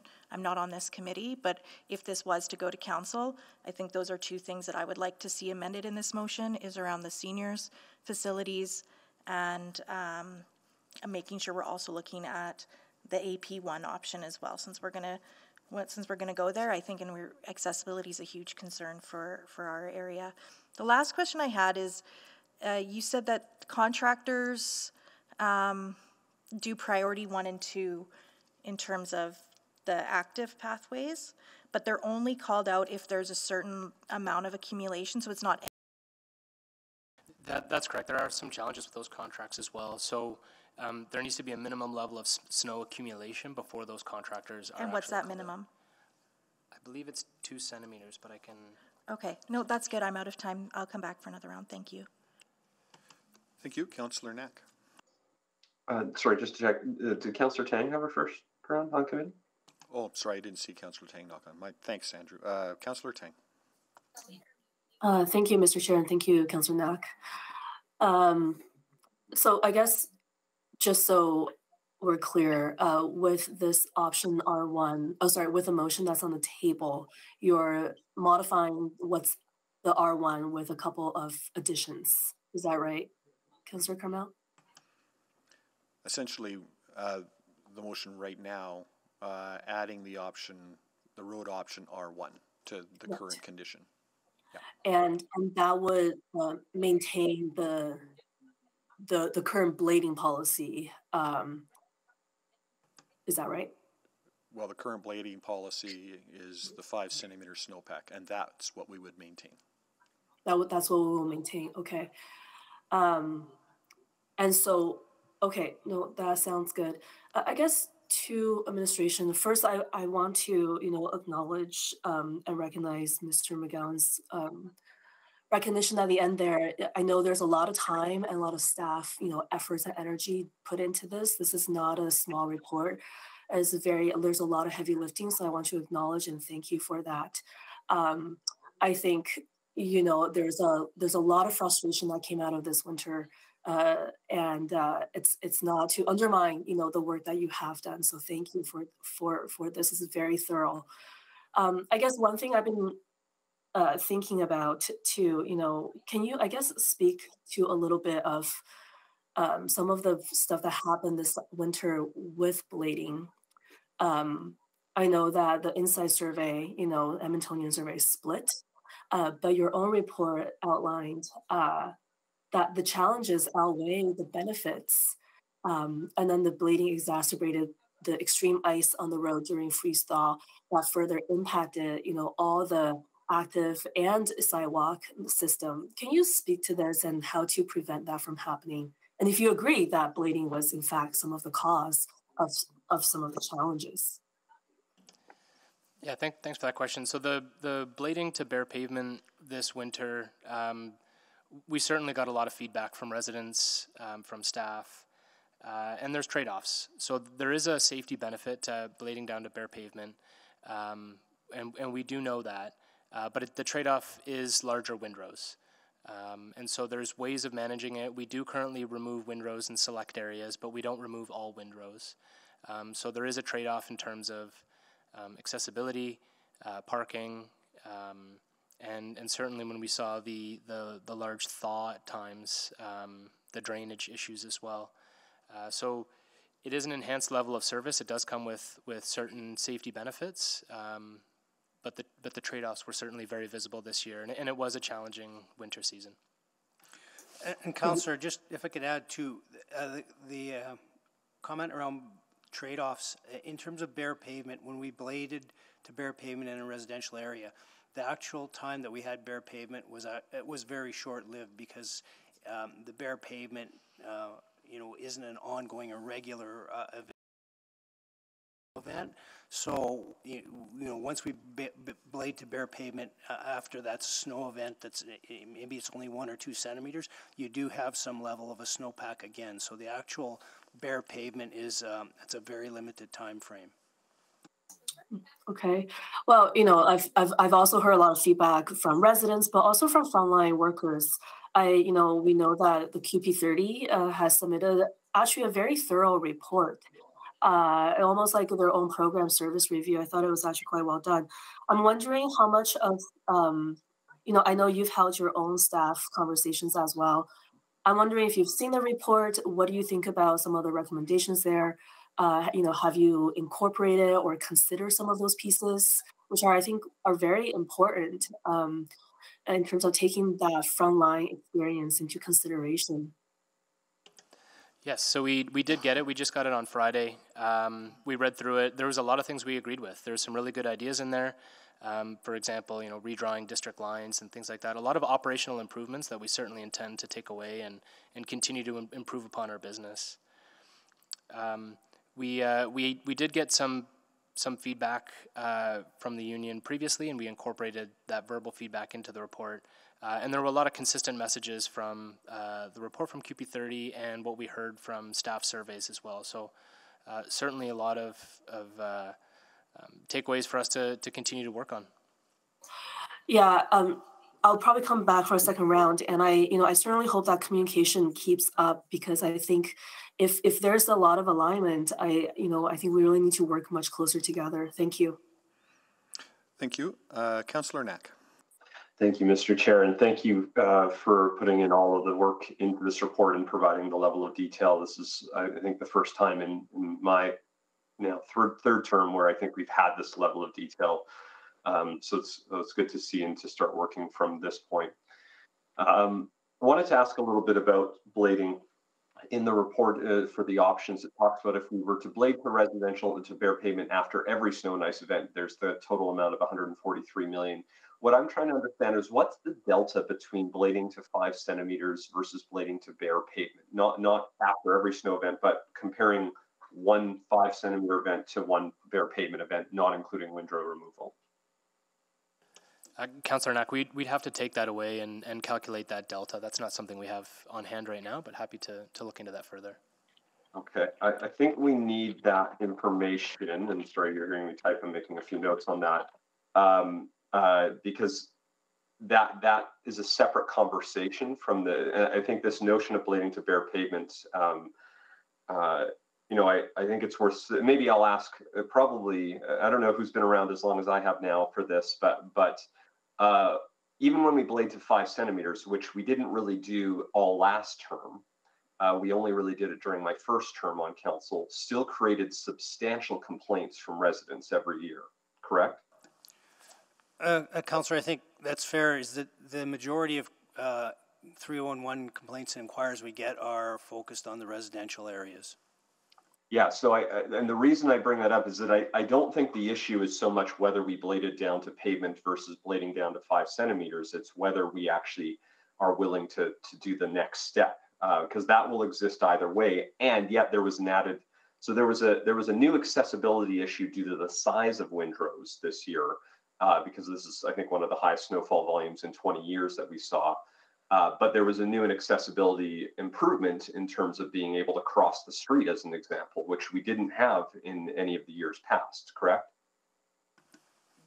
Correct. This this year, uh, as part of the pilot, we did uh, commit to blading uh, the crossing points at the intersection. So that was a change in uh, service level. Yeah. So that's the other question I want to ask here, because and I, I, was a little surprised by the numbers. So, am I correct in reading this and that the 47.6 million to remove a windrow, that is, it says up to four times per year, but the 47.6 says per pickup. So, am I correct to saying if you wanted to do that just one time, we're about 48 million dollars to remove windrows? Uh, no, it's it's um, the cost is calculated on a per pickup basis, but that 47 is four times. So per pickup is around that 12 million. So and, 12 million dollars to remove all the windrows once, which uh, I think is a really important number then because I think that's a very different conversation to be having with residents than four times a year. I think even if we had gone this year with the sheer volume of snow that we had and removed them all once, that would have made a world of a difference. And I guess I wanted to get your sense of that as well. I mean, I, I think asking to do it four times a year is way too much, but had we done this in you know, January as an example, as we started to see so much accumulation, that likely would have made a measurable difference, would it not have? Uh, it, it likely would have, yeah. I, I think the um, I think the challenge would be the scheduling uh, of equipment Sure. and people and building that into the program and what that would look like. So having the ability to, um, I guess, understand the quantity of windrow pickups per year um, would help us schedule that and be more effective. But uh, certainly something we can. Absolutely, yeah, that's something I'd like to chat about as well on that. Okay, that's really helpful, thank And, you. Uh, Counselor, if I could just add, also, if we, we were planning on doing a windrow pickup, we would change the operation slightly in the way that we blade and where we create the windrows so that uh, it would be easier to, to remove. Makes perfect sense. That's great. Um, I want to ask about the enforcement piece. Um, a number of years ago, we talked about how bylaw officers still can't use their smart device to submit all of the necessary paperwork for a bylaw infraction. They still have to go back to the office and submit it essentially manually or on a computer at an office. Um, where are we in terms of addressing that? Because I, I worry about adding more staff when I feel like if we could simply make that process improvement, the efficiency of our bylaw officers would be multiplied by a, a, just a huge amount. Uh, Councillor Knack, I'm just going to see if our, our bylaw enforcement team, we have uh, Sh- Chantel on the line. We'll just see if we can have uh, her answer that one in particular. Thank you. Yeah, good morning. Chantel Parazzolo with uh, Community Standards and Neighborhoods. So we did introduce uh, a mobile app um, last snow season, which did provide some efficiencies where officers were able to conduct some work while in the field. Um, it doesn't provide us the tool to do all of our work in the field. There is uh, still some circumstances where we have to go back to the office um, to do some research, but certainly it has created some efficiencies um, out in the field. Okay. I'll have more questions. I'm out of time. Thank you. Thank you. Uh, Counselor. Jumped around on me. Counselor Principe. Uh, Thank you, Mr. Chair. Uh, My question for administration, uh, as I recall, uh, during the fall supplemental budget, we had approved uh, snow site on the south side, is that correct? Uh, there was no additional um, r- sites created other than we have a satellite site that we were building, but that was approved prior to uh, to the budget. We had intended on moving that forward. Okay, so, uh, sorry, does that site exist now or is it being created? So that's an existing site that we were just making um, some modifications to use that for snow. It's our Ellerslie facility.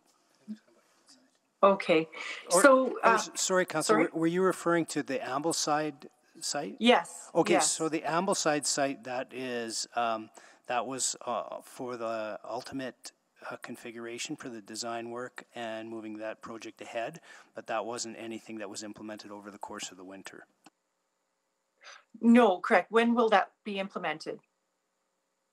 When is that So that, expected? That, that was included in the uh, 20 to 23 budget cycle. Um, The design work was scheduled to start to take place, and then the capital work in the next budget cycle. Okay, so we're still looking down the road for that. Correct. Okay, um, and then you had reported that we have one hundred and four vehicles, but only fifty-seven are being utilized at a time. Uh, and so in the, um, in the attachment six, we see, um, buying six double-wide trailer snowplows. Is it necessary if we have, um, many underutilized pieces of equipment? Yeah, so the the elevating the base level of service would be able to um, be putting people into the vehicles that we currently have. The the double wide trailer would be an addition above and beyond elevating that base level of service, and what that would do is just create. Um, uh, you would require fewer people to uh, plow or more lane kilometers on uh, on some of the um, arterial roads. Okay, I see. So it's more of an efficiency piece? Yeah, uh, Counselor, it, it would allow us to redeploy other vehicles to other places. So it, and essentially we have a 69 hour window on R1s in that option one. And if we use Mhm. the trailers, we would be able to decrease that time by deploying the, the double wide trailers on our freeway sections and then redeploying those vehicles to other places in the city. Okay, okay, I see. And uh, so with the contracted services, what are we doing to ensure uh, they're uh, doing consistent, uh, good work? I guess uh, in the um, motion that um, Councillor um, Cartmell has put forward, will that include the service that the contracted work is actually doing, not just the cost, but the actual service they're doing?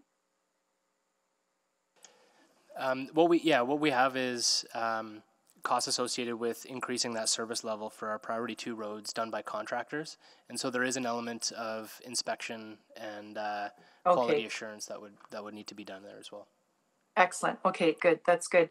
And then for staffing requirements, what what do you foresee as the need for how much staffing we would need in order to, um, if we were to go ahead with the uh, option that's in front of us here?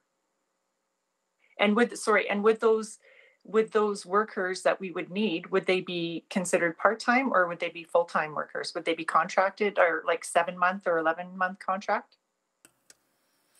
Yeah, so with the option R1, it's uh, R1 and AP1, it was somewhere around 100 to 120 people in that neighborhood. Um, so we'd have to look at the difference between what just R1 would mean for that group. So we don't, uh, we Oh. get you that number. Um, Oh, okay. And on whether it's full time or or or uh, seasonal, uh, we're working through uh, the numbers on what that looks like. We'll obviously get some direction from council on what a programmed approach might look like, and we'll be able to bring that back inside the uh, the report in June on on what the FTE count would look like from a, a full time equivalent basis. Okay, that's great. Thank you very much. Thank you, Mr. Chair. Thank you. Uh, Councillor Salvador. Yeah, thanks so much. Uh, and thank you to administration for a very thorough and comprehensive report. Um, I guess just to the mover, uh, quick question around um, not ex- or not including uh, an option for AP. Uh, I guess recognizing I'm not not on the committee, uh, is there an openness to to include that? Um, it was was this sort of a starting point to build upon? So this was a starting point to build upon. I have questions around uh, the AP, and I just haven't had a chance to ask questions yet. Okay, gotcha. Okay, um, well then I will I will ask some questions around around AP to administration, uh, and I'll start with some questions around our manually cleared areas. So it looks like we're falling quite short on our service standards for those manually cleared areas, and and my understanding is that those are areas around bus stops, uh, public amenities, and are quite important for equitable access. Um, so wondering what the limiting factor is here. Like, are there are there limitations when it comes to um, equipment itself? Is this a staffing issue? Both? Because that was one of the biggest gaps that I noticed. Yeah, the the gap is largely uh, both people and equipment for the active pathways. Okay. Okay, and and particularly for the manually cleared areas, right? That's right. And I guess are there are there capital investments that could help with that? I'm I'm assuming when I hear manually cleared areas, um, if you could just paint a very a very small picture of what that looks like, you know, around a bus stop, do we actually have individuals uh, going out? What type of equipment is that? Yeah, we, we do have um, around our bus stops. There is there are areas that need to be you know hand shoveled. Um, in particular, if we if we look at say the sandbox uh, filling, we don't have machines um, you know customized to fill those community sandboxes. So there is a level of manual filling. Um, so just certain tasks around uh, some of those priority three areas take a long time. And so the quantity of inventory we have on our active pathways for priority one is relatively small, um, which is why the numbers uh, for completion and active pathways is is quite high for for priority one for active pathways, and then drops dramatically for priority two and priority three, just based on the nature of the work. Right. Okay. Um, that makes sense. And then another question I had, um, both for for active pathways and for roads. You know, I appreciate that we've been presented with options to enhance service delivery, um, but I guess I'm wondering why there wasn't an option for simply meeting existing expectations, kind of across the board. Uh, for example, you know, looking at roads, if we look at R1, for example, uh, expectations are exceeded for P3 and P4, but um, not met for P1 or 2. So, was there an option that was contemplated that would just meet those expectations? Yeah, great question. The um, the interesting thing is, if we were to achieve the uh, the service level standards for our priority twos and priority threes, um, just the, based on using the the resources in sequence order from priority ones and then and then flowing down to priority two and priority three. Um, the way the service levels are structured right now is it's not that there isn't that great waterfall effect of being able to land on exactly the service levels. So in order to achieve the priority twos and priority threes, you would need to exceed on priority ones in order um, in order to uh, in order to tackle the priorities in that order. And so the order of the priorities are, are done out of safety. Um, so in order to keep that sequencing and to keep uh, the priority three completed on time, uh, you would exceed on that on the higher levels. It, does does that make sense? I'm not sure. Maybe I could add uh, quickly to it. Um, the linear, it's not a linear relationship between P1, P2, and P3s. Um, when we look at the way that the standards were set in the past, you know, we're looking at guidelines and approach. But when we look at the inventory levels of P1s, the amount of roads that we have to clear with the amount of equipment that we have, there's a lot more roads in P1 than there is in the residential neighborhood. So you're taking a lot more equipment and putting it onto less roads in P4. So you're not to, have a standard of 36 hours on P1s and us to attain that standard, you'd have a certain level of equipment hitting those roads. And then as you cascade down, it would be less roads at each level that we would be attacking with more equipment. So it happens a lot faster. Okay, I might I might circle back for some further questions there, but I, I just want to ask another in um, my remaining 30 seconds here. Um, so I heard a lot of concerns around drainage uh, from folks that I represent, and yeah, wondering. I, I, didn't see much commentary on drainage in the report. Wondering if um, you know there's there's opportunities to be a little more proactive in our approach. Uh, if we feel like most of the drainage concerns were caused by blading to bare pavement and the associated windrows, looking for some information there. Yeah, we certainly feel the the the windrow um, certainly contributed to uh, to the drainage issues we had, but we can certainly look at, at further um, marking and um, uh, tracking of different catch basins uh, to improve drainage um, when we return in that June timeframe. I'm out of time. Thank you. Thank you, Councillor Stevenson. Yes, thanks very much. I think just echoing Councillor Rutherford and Councillor Salvador, I'd be really interested in seeing the AP1 up there as well. Um, uh, and I think I think the enforcement um, on sidewalk clearing is another really really important one for us to explore further. I, I, suppose it's a question to the mover and then maybe also administration as well. But in terms of looking at the benchmarking, I'm just wondering about any other outcomes that we're going to use to assess the success of the investment that we're making in this program. So particularly measures uh, around outcomes. Uh, for example, do we look at accidents, emergency vehicles, travel times, traffic speeds, people using bike lanes, or even even complaints? Um, just to see again, I, I, my biggest worry is that we will continue investing in this service, uh, but it's unclear what we're trying to achieve in terms of the outcomes rather than just the the service level benchmarks. So, Councillor, I think some of the things you uh, identified as um, metrics, we've uh, begun to uh, measure those. For example, we have been measuring uh, collisions and injuries for a number of a number of years now. So those types of things also uh, environmental impacts we measure. So there's certainly opportunity to add more metrics, um, and and I think one that we've always had a, a, good lens on was the 311 inquiries, and that's a very straightforward indicator. And and and a lot of times there's there's information we can draw out not only on service but uh, programming in terms of where we need to put some resources. Great. Yeah, I think that would be that would be really helpful. I think that um, I think that often our our reactions uh, to to snow and ice come from they're sort of reactionary to those complaints. So having a sense of whether the changes we're making are actually moving that needle, uh, if there is a correlation between how much we're spending and how happy people are, I think is actually very important uh, to inform us moving forward.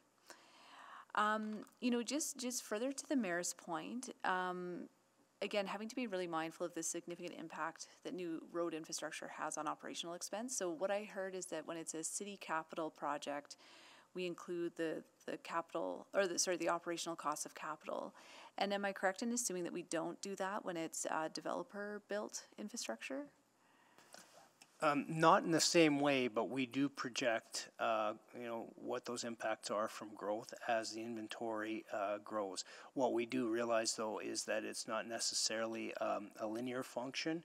It is quite often a step function. For example, if, if we were to add, you know, 10 kilometers of, of road over two years in this size of inventory we have is probably something we can manage. But over a certain period of time, if you keep doing that year after year, there's a point in time where we need to make an increase. Thanks. So that's a very clear explanation. So maybe, um, Ms. McCabe, I'll just turn to you to to ensure that this this type of consideration would be considered as part of the growth management uh, framework. It would overall, in terms of what um, the costs are to develop our city, but uh, it's very challenging to recoup the costs of operations from developers. The but the understanding of what the capital costs are and who pays those capital costs absolutely are part of growth management. Right. And I think it's just like where do we capture that operational piece? So even thinking would that ever become part of our public hearing reports, the the, the operational costs of land use decisions? I'm going to channel Mr. Johnson in law here and say that's probably not a land use consideration, but if there's someone who could speak to that from law, I'm sure they could give you a more robust answer. No, and that that's a fine that's a fine response just in terms of pegging where again it's just sort of how and when can we apply that information to inform our decision making. The the best place to do that is through the growth management framework, uh, through um, urban planning committee and annual updates that we do intend on bringing forward to uh, urban planning committee, and then uh, that will help you give the context um, as you look at public hearing uh, files. Great, thank you. Uh, and then maybe just finally around some of the climate change impacts, um, are we looking at any other design uh, fixes to to address, um, you know, again, icing on sidewalks? So have we looked at permeable sidewalk material or an upgrade to the design standards to to uh, you know prevent prevent, you know, sort of the bowls that happen with sidewalks? Is any of that sort of uh, infrastructure piece being looked at to potentially minimize uh, the challenges we see in some of our particularly active infrastructure? So I, I think at a high level, we have the city's design and construction standards, which are uh, intended to look at holistically where uh, or how we design the infrastructure in the city, and certainly the environmental changes that are happening um, you know, it, it is something that is being considered, but it's in the early days right now, so we don't specifically know what those changes in impact mean in terms of how we change our standards.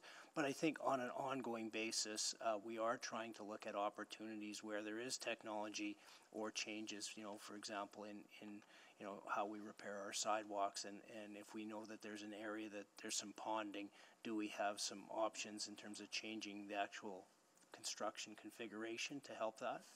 Great, thanks so much. Thank you, Councillor Paquette. Oh, thank you. And just to follow up on that, it's also related to uh, um, Councillor Salvador's questions. Uh, do we have any idea, probably not, about the uh, infrastructure um, impacts of, of pooling? Uh, you know, and and if that would mean that uh, we would have to repair or replace uh, on an accelerated timetable?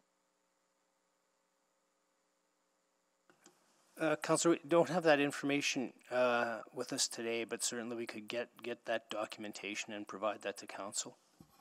Okay, sure, thanks. Now, um, uh, as to the motion on the floor, uh, I'm just, I'm assuming that we're going to get some dollar values, and I'm just wondering if we could make it a little bit standard to also have the tax implication uh, beside those dollar values.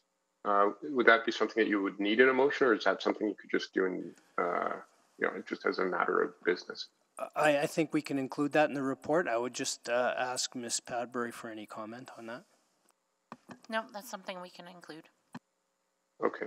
Um, so Andre, this is a little bit out of the scope, but could we do that for almost everything we do? Yes, indeed, Councillor, and uh, we're also having that uh, priorities and tax tolerance discussion soon as well. We'll certainly go forward with that. Perfect. Yeah, I think that with every decision we make, if we could see that number, I mean, I can do the mental math in my head, but it would be nice to just have it transparent and on paper. Okay. Um, so to the mover, I, I absolutely appreciate the narrowed focus of this motion. I think it's an excellent motion. I'm just wondering though, because the feedback I've gotten from residents is, uh, you know, as as I'm sure you have, there's there's two horns on that bull, and uh, one is uh, I don't want to spend a lot more money, but the other is I want R2 level of service.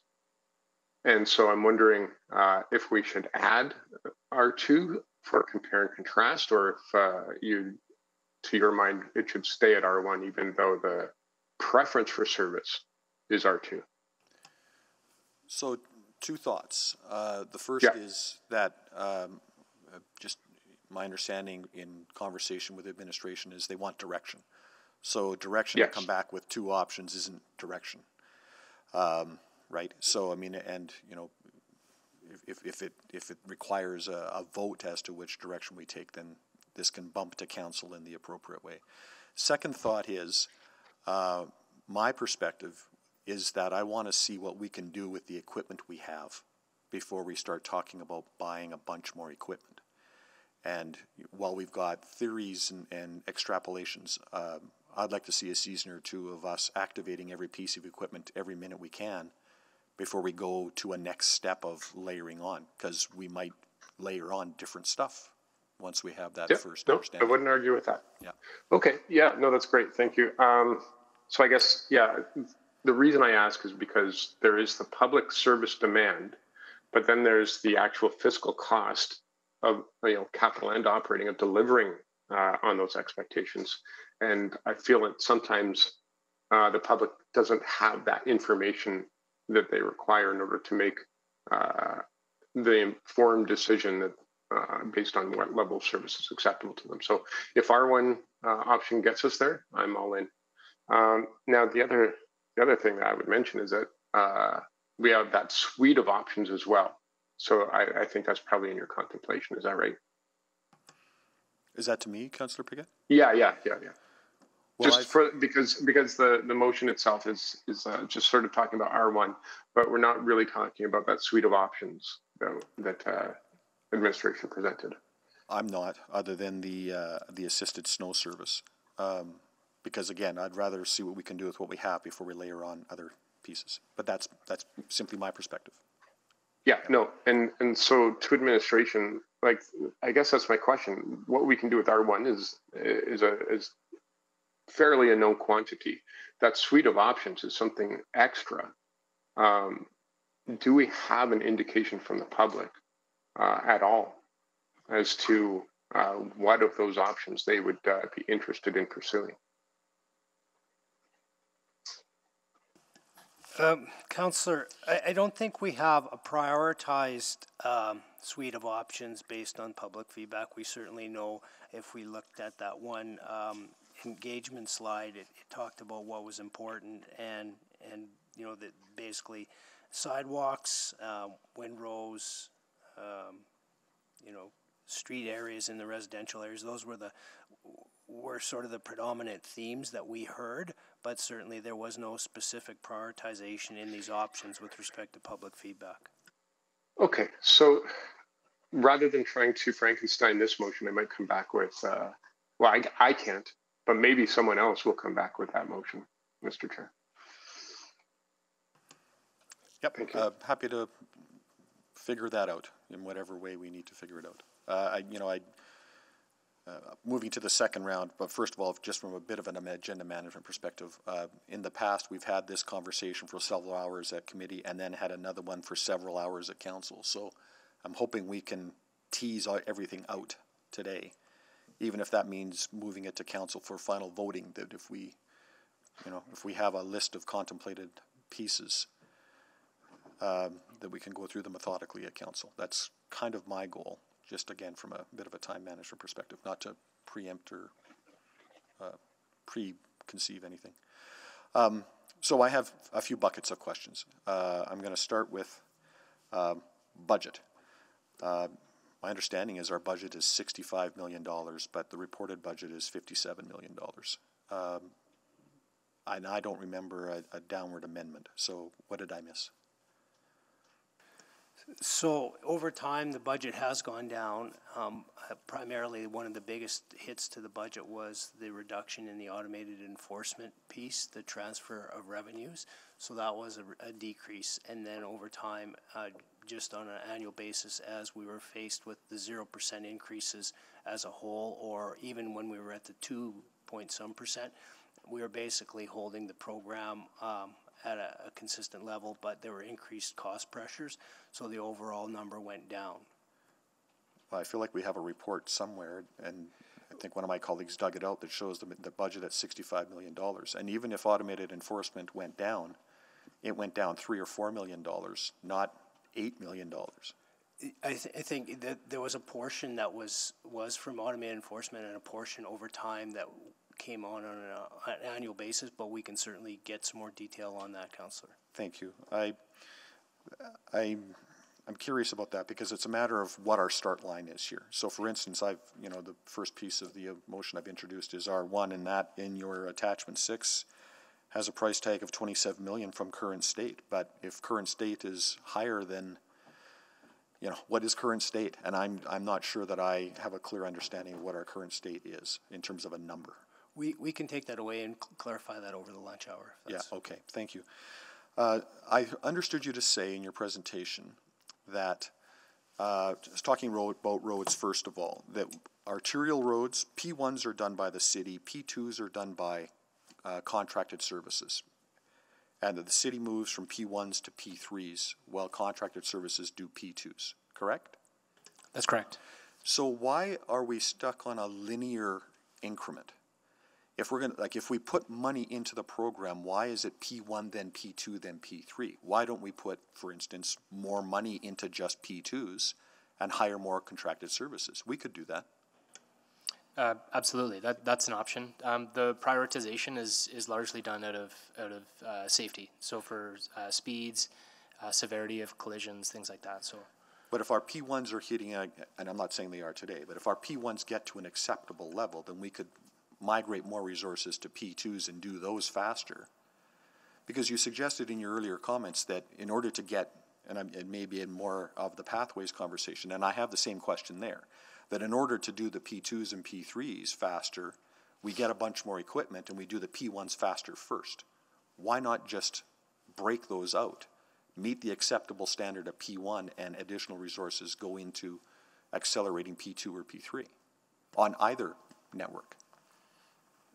So, Councillor, I think that could, could be an option. I think w- with the uh, R1 option, the concept was that we would make use of all of the equipment that we have and then cascade the um, service improvements down. Yeah, that part I know. It's the additional and, yep, I'm out of time. All right, I'll have to come back. Sorry, Councillor Janz. Thank you, Mr. Chair. Um, a couple questions here. Number one, I was hoping to hear more a bit about uh, communication. One of the areas I hear a lot of um, uh, compliments about is the communication system around waste management, having text alerts, responsiveness, apps, etc. Uh, was wondering if there was uh, contemplation on how we can better communicate around snow removal. A text blast system, other notifications, manual signage. Yeah, so part of the approach when we looked at the R1 option there is also including uh, our technology use, which is the GPS option of having live maps that are uh, showing on on a website, which uh, can look at the snow routes completion um, and, and and providing that information to the public as well. So Yeah. the intent is obviously increase the communication efforts uh, on our end to ensure that uh, they have live updates. I heard another comment about I would rather leave my car on the street, eat the cost of the ticket, and then have um, you plow around me because then I know at least in front of my house the car is still sort of like I've got a bit of a cleared space. Um, so I'll leave that with you as a comment whether our, either a our tickets are sufficient or b we need to move to some sort of a a towing um, uh, model because because of the challenges there. Uh, Councillor, I, I think there is some, some work we have to do around uh, the, the towing piece and, and the communications around the enforcement. Just back to your previous question about the app in, in waste, we do have that work under development in snow and ice, and the intent is that it is rolled out for next season, but that work is underway as well. Another question I get is about a winter tires bylaw that we should go back to the snowpack, which I agree with, and and uh, uh, having some sort of a bylaw regulation around winter tires. Is that feasible, possible? Uh, Councillor, I'll just ask uh, our law uh, group to speak to that, but uh, my understanding is because it is a provincially uh, mandated uh, regulation, we wouldn't have that ability. Okay. Um, the other question was about the asphalt plant and the ability to get sand and uh, out. Uh, maybe that's one for for free future, but um, that was also a, a, concern I wanted to interrogate a little further, as well as just the the downstream literal issues uh, from salt and salt on roads and some of those other pieces too, and just how it integrates into our our climate change plan and and everything else. So, Councillor, um, to your three questions, in terms of the asphalt plant, that really isn't directly connected to the um, the snow program. The asphalt plant was decommissioned based on a program and service review and the life uh, cycle management of that facility. In terms of the sand program, what we switched from was a process where at the start of each winter season we would uh, stockpile approximately 30,000 tons of sand in each area and use it over the course of the year and then uh, remove whatever was left at the end of the year to store it somewhere else. We switched to a model basically of just-in-time delivery that provides us with a sand salt mix uh, and it is refilled as we require it. So we haven't had a situation where we've run out of uh, sand. We do get low, but that is part of the uh, overall supply model that we're using. So um, that is there. In terms of monitoring and impacts on environment, uh, I believe it was three or four years ago now, we did start uh, a pretty in-depth uh, uh, monitoring process working with EPCOR and monitoring drainage outfalls in terms of what we see from the impacts to our um, the materials we're putting down on the roads. So that program is underway and it continues on an annual basis. Thank you. Thank you. Mayor Sohi. Thank you, uh, Mr. Chair. On the uh, on the R1 under the roads, the cost estimate changes from 27 to 65 million, right? Uh, that's correct. And for uh, API, it's from 15 million to going to 33 million, 33.6, right? Also correct. I got it. Okay, so because I would like to uh, add the, because uh, because we want to avoid a big conversation at council, so I would uh, like to add API somewhere either it's as part of after R, R1, Constable uh, Cartmell, if that is okay with you, right? Uh, Yeah, if it's friendly to all of committee, then. Yeah, right. Allow AP, AP1 into that, and as, as well as uh, the, uh, the seniors facilities, is that additional in, uh, or is that included in, in um, uh, AP1? Uh, so the, um, in AP1, there would see um, an increase in service levels across all the different sidewalks um, that also run in front of senior centers. But if we were to specifically look at clearing the sidewalks in front of seniors facilities, facilities. within 24 hours. So center and facilities, that's the difference, right? Uh, it would it would actually it would be the um, uh, dedicating specific resources or or dedicating a certain uh, standard to clear sidewalks within seniors facilities within 24 hours would be that a la carte menu. Okay, Or it. specifically on AP1, increasing the base service level uh, for all active pathways. Well, I would like to add that seniors facility, that additional part as well, just uh, for the, uh, so we can have a deb- good debate back when we're back in September, uh, in June. And I also needed to know about the sandboxes. Is that additional or, or is included in the API? Oh, sorry, AP, AP1? Uh, the staff that are, are used to fill those boxes would be, um, actually, just let me check.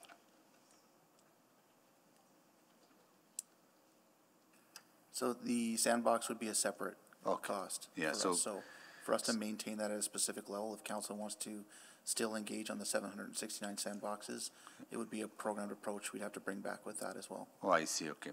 So if you could bring those three back along with this, uh, I want to focus on to uh, consultation with Edmontonians. I know June is not going to give you enough time, but this is a significant change in the uh, in the cost, right? They're having that conversation with Edmontonians, like what is their comfort level on cost, and what kind of service do they want, right? When was the last time we had that kind of comprehensive uh, engagement with Edmontonians? That's uh, that's a, uh, a comment for me, I think, because this isn't specifically about snow and ice. We engage with Edmontonians annually to discuss their uh, tolerance for tax increase and their budget priorities. And we'll be doing that again in advance of the 2023 26 four year submission. Yeah, but I want to want to know did we have focused conversation with Edmontonians about are they willing to pay another $50 million or so in additional cost to snow removal, or would they be okay with having lesser standards? Right? I think that's kind of thing I'm looking for because this is kind of this is a big ticket item. So the engagement that was carried out as part of this uh, report didn't go into specific dollar values or what their tolerance was. It was more of a generic type question, do you support a tax increase to support um, a level, a higher level of service, but not to a detailed level of tax tolerance. Oh, ran out of time. Yes, three minutes on subsequent Oh, yes, rounds. of course, I totally Yes, sir. forgot about that. Uh, Thank you, Mayor Sohi. So just for clarity, I heard Mayor Sohi talk about active pathways, seniors centers, and sandboxes. Um, I'm looking for those items here. Seniors item, senior centers though is a per senior center thing. So does that give you enough understanding to add that? I think the, the understanding we would just need is that it is all senior centers, so we would. All senior, yeah. okay, fair enough. And then same with uh, sandboxes. Correct. So if, uh, okay, so to, is that friendly to committee? I, I'm looking at, of course, it's friendly to you, Mayor, so yeah, I'm just looking at, looking for nodding faces, and I see a couple. All right, so those would be friendly amendments, and maybe to the clerk, uh, maybe we should break out number one into A, B, C, D, E for after lunch. Yes, we will work on something for Okay, that. thank you. Uh, Councillor Wright. Hi, thank you. So just going with the, um, following up on the seniors facilities, um, i- isn't the sidewalk, um, adjacent to the facility? Isn't that the responsibility of the facility? Uh, under the current format, it would be, but I think what this uh, option is in, in uh, contemplating is that the city would do that. Okay. Okay, um, so then, okay, I'm just, if we go to option, um, R one, as indicated in the motion here, um, that estimated cost of sixty-five point seven, is that the full cost or is that added on to the current budget? So the, the fifty-seven million is our current budget for both roads and active pathways.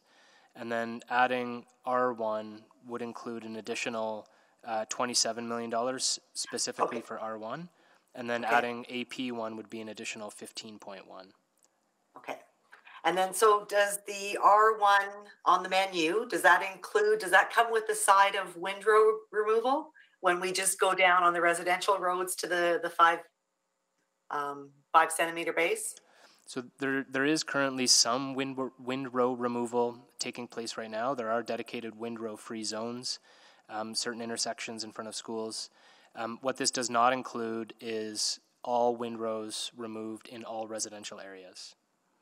Okay, so if I wanted a side of windrow removal, then I would have to take the, um, the clearing of the, the removal at a cost of about twelve million a pickup, right? Correct.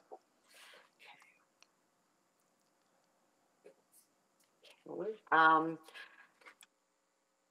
oh, there's just so much That- here. that- that- Um, Just to, just to the other- just to clarify, that uh, twelve million per pickup, Counselor, was I'm for. sorry? The twelve million per pickup was, was related to blading to bare pavement. So that would be the cost to remove all the windrows at, at, um, at 12 million if, if we were to blade a bare pavement. So it would be, Okay, so anticipating that the windrows would be smaller, we'd have if not blading to bare pavement, the cost would be less than yeah, and I guess the direction that we get from council, we'd come back with that programmed approach and, and incorporate that if council so chooses to do that. Okay, so that might just include an amendment.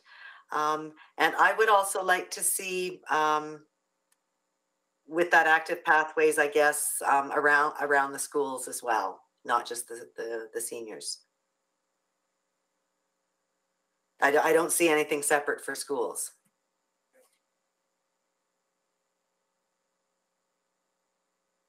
No, the school, the schools are already designated windrow free. So we pick up windrows in front of schools. All schools and at, at what, what timeframe? Val? Val can answer that. Because, Currently, all it school, sorry. wasn't being done. Currently, directly in front of schools are windrow-free areas, and I would have to return with the time frame that we pick it up in. But it's only directly in front of the schools that are the windrow-free areas. Okay, and not across the street where many parents drive to pick up, right? Correct. All right, thank you. My time is up. Apologies. Thank you, Councillor Tang. Okay, great, thank you. Um, I guess, I, I guess I'm just, um, I'm curious in, in all of this analysis, uh, recognizing that we have six point three sidewalk maintenance report, how much of that is cross-referenced with the work out of this report? Because this is coming up a lot, you know, in that six point three report, you know, senior centers, schools are, are, are priority one. Uh, and I'm just wondering how much of that is being cross-referenced here. So, Councillor, in terms of cross-referencing, really the the six point three report really s- speaks to more of the uh, infrastructure condition, not the sort of ongoing cleaning type maintenance.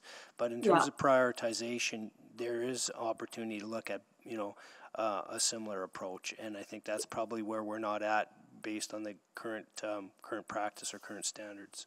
Right. I mean, I do think snow removal, you know, factors into the physical conditions of some of these sidewalk conditions, and it just it's coming up so frequently, uh, you know, all morning, and uh, you know, I, I am curious. You know, one thing on the communication front, so this is some of the suggestions that I've heard from the accessibility committee.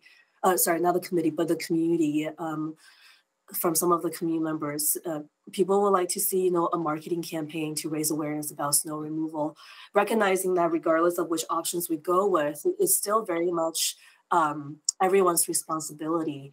Um, you know, whether it's um, public or private, and whether it's residential or commercial property owners. And some community members even offer to lend some of their time to help develop this. I feel like this is such a low hanging fruit. Has there any been any conversation on this front? Um, Councillor, it's Catrin. Um, we are working actively with our colleagues in City Ops to ensure that for the coming snow season, our communication is more robust and that we explain the why of communication to Edmontonians. The other thing too is we've been Edmontonians have been clear that they like push notifications better than pull notifications. They like information being sent to them. What we're trying to do is rationalize all of those notification systems across the city so Yeah. that it isn't a patchwork quilt, but one elegant way of getting information on everything from waste to snow. so that would be let out of the, that would be led by the communication department. Then, my understanding. In partnership with City Ops. Okay, sounds good. Um, you know, I think I think part of my frustration with this is that you know there have been so many revisions to the policy. There's been so many. There's a long history with the snow and ice, um, and we're continuing to, I guess, rejig a broken status quo system. Um, so I'm wondering if the in the team has uh, ever done any analysis. Like, have we ever contemplated if we were to design a snow removal system from scratch, based on climate trend, based on promising practices elsewhere? Based on Edmontonians' feedback and lived experience and frontline experience, what would that look like? Have we ever contemplated that?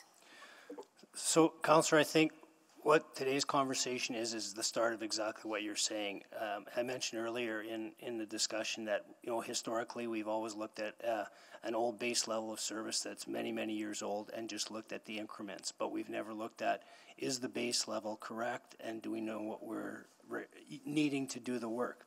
And I think that's the point we're at right now. And then designing the program in a way that makes sense with all the different um, opportunities as well as as um, outcomes that are uh, desired. And I think that's kind of where we're going at now. And, and one of the things we really want to get at is that we have a programmed approach for the next winter season and that we execute it uh, and then make revisions um, next next spring, a year from now. Uh, because I think the challenge has been in many cases is we start out in one direction and and n- not for bad reasons. We try to improve things, but sometimes we change things and we change expectations of citizens, and then we also change our ability to provide the service. So I think this is kind of the first step in what you're uh, referencing. All right, I'm out of time. Thank you. Thank you. We've reached our lunch break, so we will uh, reconvene at 1.30 and pick up questions there. Thanks, everyone.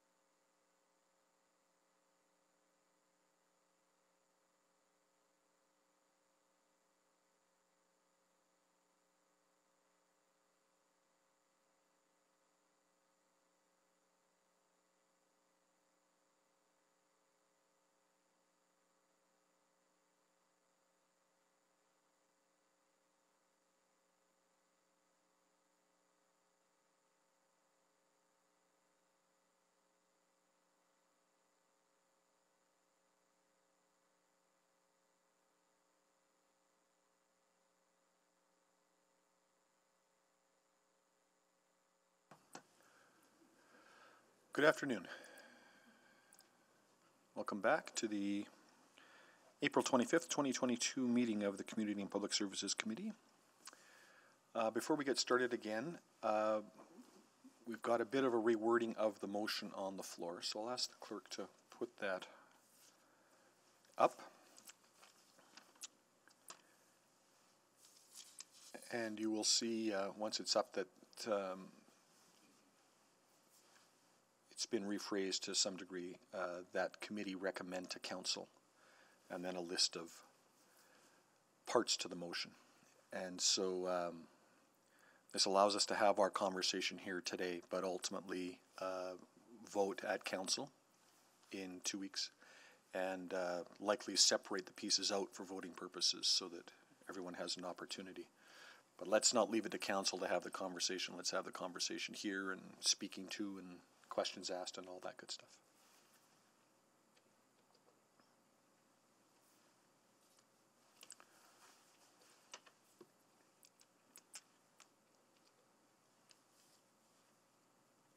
We're just getting the wording up.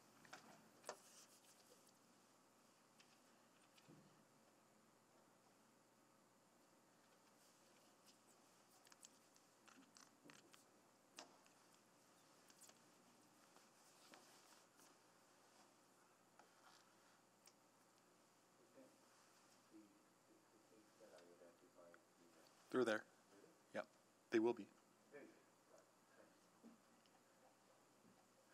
So that's a, it doesn't all fit on the screen, so what we'll maybe do is put that into the chat as well. Okay, so next up is uh, Councillor Tang. Uh, sorry, I have my second round. I believe others were. I'm on my third. That was my. That's my third. Oh, have you? All right. Yep. I, I'm sorry about that. Uh, then Councillor Rutherford.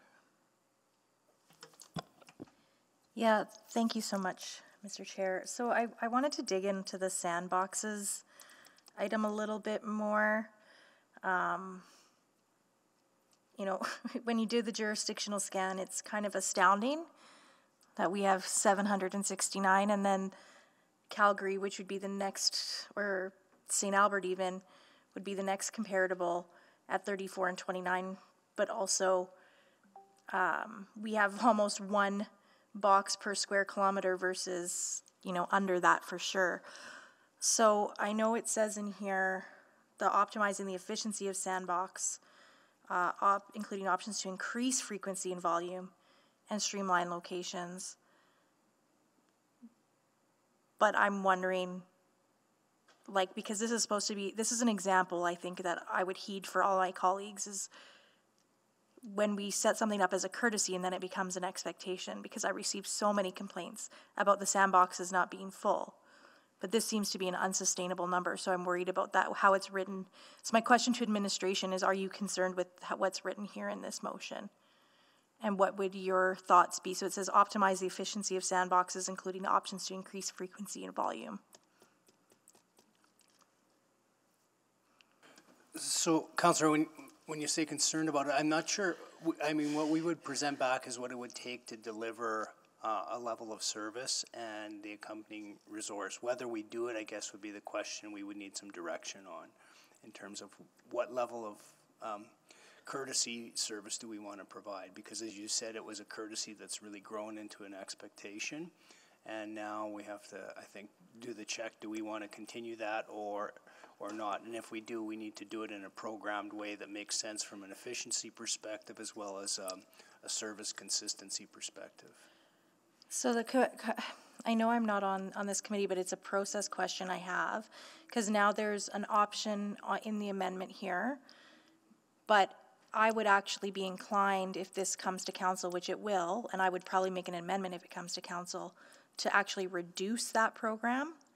So how, how does city clerk, I'm just looking to you, like, how would that look in terms of this is coming to council? I, I, A, wouldn't support C, 2C, but I would actually like the reverse. I actually think we should be reducing the number of community sandboxes to be more in line with other municipalities. How, how do, from a process perspective, how does that work? Do I just wait for it to come to council and amend that? Or can I even amend it, or do we have to vote on this one?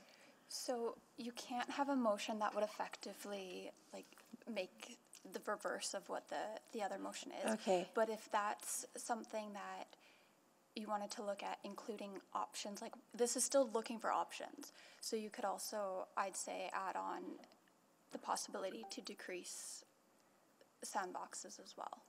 Because we're still just looking for options at this point instead of actually actioning what's going to happen with Okay. the sandboxes. Okay, thank you. That helps. So perhaps um, a rephrasing the, of that item that says increase or decrease. Frequency and volume. So you could look at it in both directions. And I think that's friendly, so we can make that fix. Uh, Councillor Knack? Thank you, Mr. Chair. When it comes to active pathways and going to AP1, what I want to double check is does that does that include the addition of the the active pathways that are currently untouched by the city of Edmonton? Uh, no, it's it's in, it's increasing the service levels on the existing active pathways that we currently maintain.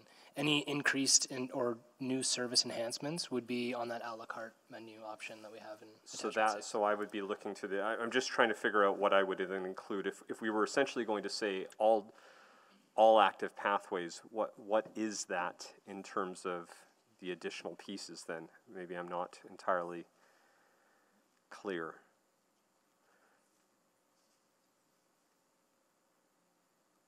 Because some of it's increasing service. I didn't necessarily see something that talked about addressing our current inventory, unless I'm misreading any of these. The AP1 and AP2s are, are strictly to address the, the current inventory. I, I guess what I'm trying to figure out is is on the on the options for the enhancements, which which option is adding existing city-owned trails, but maintaining them, that uh, for ones that currently aren't maintained. Yeah, the, the public squares and the, in the park internals add the remaining pathways. Public squares and, okay, so that's the four point three million one, is what you're talking about. Okay, so that would include every other trail currently in city inventory that is not currently being maintained. That's correct. Okay, that's helpful, uh, cause I would be adding that when the time comes. Um, great. The other question I have on active pathways, and I know I don't have five minutes, I have a minute and a half left, um, is is there, in some of the answers to earlier questions, what I was unclear about is that, let's say you didn't want to do six hours for priority one active pathway, but maybe we wanted to do 12. Does that allow you to then maybe do a bit more, uh, you know, so instead of six and then 40, can you do 12 and then 24? Or is, is there a, an option that allows us to look at something like that? Is there an option 1.5 that's, that's not on the table? Obviously, it's a, it's a spectrum in which, you know, we're looking at the, the snow and ice clearing, so how much we want to spend is, is directly implicates how, how quickly we move through the inventory. We still move through the inventory in priority one, two, three, but because of whatever we di- dictate priority one at, that same level of equipment then gets put on priority twos, threes, and fours. So depending on the level of inventory, we may move faster or slower through it. So increasing or trying to push the the equipment from from one to the other and slowing down one is not necessarily going to speed up the other. So the equipment that we put on our priority ones, and we move to the next priority twos, which is a less less inventory, will actually move through it quicker because we have that that uh, that equipment level on priority ones themselves. So what I'm hearing is, is that there isn't really a way for us to go, say, twelve hours for priority one, 24 for priority two, because it's, it, the, the sequencing would not uh, permit that, is what you're suggesting. Technically, you want to go through the sequencing in P one, P two, P three. Yeah. But, I mean, we could deviate parts of that, that, uh, equipment to start more on P two than P one. Okay. Um, to kind of address some of that if, I'm out of time, but I'm gonna come back to that, because I think we need to talk about that as an option. Thank you. Thank you. Uh, Councillor Principe. Uh, thank you. My question to administration is, uh, is it possible or even like practical or possible to have the, uh, um, residential roads to uh, bladed to bare pavement, say twice a year as opposed to after every snow ice event? Uh, yeah, that that would be an option. Um, it would come with trade-offs, but uh, but that that direction we're certainly open to um, to looking at. Okay, and then if if that was an option we did choose, then we could also include the windrow uh, pickup, say like twice a year, with the um, bare pavement. Correct? That's correct. Those yeah. are the options. Okay. Another question. Um, what what is our training? How do we train our staff? Is there are they are they licensed are they is there a course that they take how do we train our staff and how do we uh, retain our staff as well i'll just defer that question to valerie Dacyk Thanks. So currently staff are trained dependent on the tasks that they're completing. So our equipment operators have both an in-core class course as well as on in the field evaluation as well as in-seat time evaluation. Um, all of the City of Edmonton staff in snow and ice go through the orientation, which they are trained on the day to day operations. So it's really dependent on what tasks they're doing and what they're expected to do out in the field. Okay, and then what is the retention rate for uh, this the staffing? Do you you may not have that information? We'll we'll see if we can pull that information up um, during this meeting, Councillor. But okay, thank you. Those just, are my only questions. Uh, just oh. quickly, Councillor, I think in, in terms of the turnover rate we see uh, in in this area, it would probably be consistent uh, with other level uh, areas of the corporation. But uh, okay, we, we, can provide more a little bit more detail as follow up. No, that's okay. That's that's good enough for me. Thank you very much. Thanks. Mm, that's it, Mr. Chair. Thank you. Thank you, Councillor Salvador. Uh, thank you, Mr. Chair, and just want to ask some questions around the, I, guess, the ambiguity of our current snow clearing bylaw for sidewalks. Um, so I noticed that we're the only jurisdiction in the jurisdictional scan that doesn't have a time limit on our bylaw. Um, why is that? Uh, Councillor, I'll uh, just defer to our law team to just provide uh, some insight into the bylaw Yeah, Councillor, this is Tracy Esch from Legal Services, um, and I see Ms. Perzolo is also here to answer any questions about that. We don't have a timeline, um, and that's to allow for a lot of discretion and flexibility in how the bylaw is enforced. Um, we can we can see that as a positive thing. Um, maybe I'll just ask Ms. Perzolo to also add any context to how that's dealt with by the officers. Sure, yeah. So it adds a little bit, as Tracy had mentioned, some flexibility to our enforcement response. The other issue that we have is we don't have access to snow data as it relates to snowfall across the city.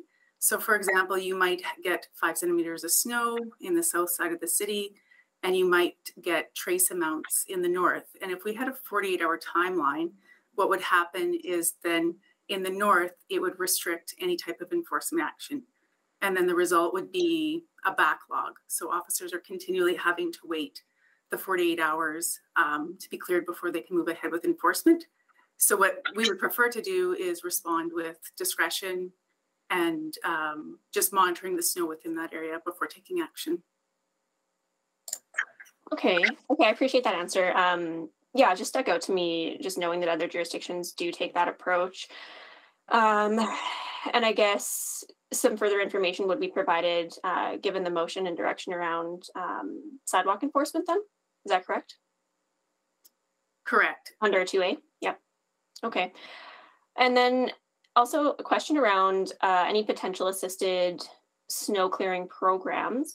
My understanding is that we did have a Snow Angels program I, think it was canceled maybe 2018. I'm not sure. Uh, what was the reason? And I guess how do we ensure that this program, uh, if we if we do go ahead with it, is sustainable and more viable? So I can answer that. Uh, in 2018, the Snow Angels program was discontinued. Um, that was a recognition program. So what that did is it recognized neighbors for shoveling um, walks, and it was just really a thank you for their contributions. And what we found was that there was really low participation rates in that program. And so the following year, um, community standards and neighborhoods did move forward with a pilot with a snow to go, where we did offer grant money to um, community leagues to help support seniors and people with uh, mobility issues uh, to remove the snow and walk in those neighborhoods, or again, or I guess it, to their properties. Okay, thank you. I'm out of time. Thank you. Uh, so starting the third round then, um, uh, I'm going to leave the pathways questions I have to Councillor Knack because he's on the same track I am there. Uh, earlier today, I asked about uh, budget reductions and uh, how we got to this budget reduction. Uh, do you have more information to present on that, Mr. Sever? Uh, yes, we do.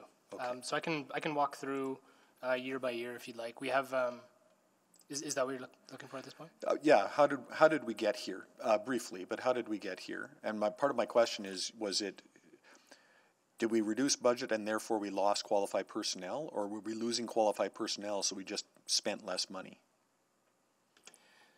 So I'd, I'd start by saying that there isn't one one reason. There's there's essentially a number of different reasons that happened uh, since 2018. So in 2018, the budget was uh, just over 65 million, and then over that last those five years to 2022, it reduced down to 56. Um, 4.4 million of that was due to the Taser reserve, um, but there's also a number of other factors. There's um, fleet replacement reserve reduction. Um, there was transfer from operating to capital due to Ellerslie interim. Um, there's there's a host of reasons over the past five years, but it's gone from 65 to 63, 59, 58, 56 uh, since 2018.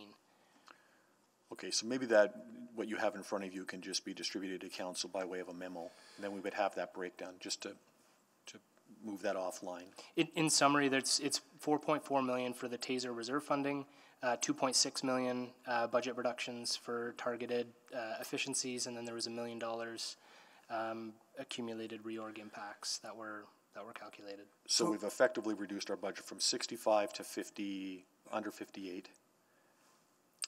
Uh, that's right. Yep. And in roughly the same time period that the we've increased the lane, the number of road lanes by 21 percent Correct. fair to say? Okay. So we can put that in a memo that summarizes sure. that as well as a couple of the other questions that have been raised today. Sure, okay. Uh, earlier, uh, Councillor Knack was asking about the cost per for windrow pickup on residential, and the number thrown out was $12 million to pick up residential windrows. But I don't think that's the whole answer. So, do you have a number of what it would cost to blade residential roads to bare pavement, blade cul-de-sacs to bare pavement, and pick all that up and take it to the dump.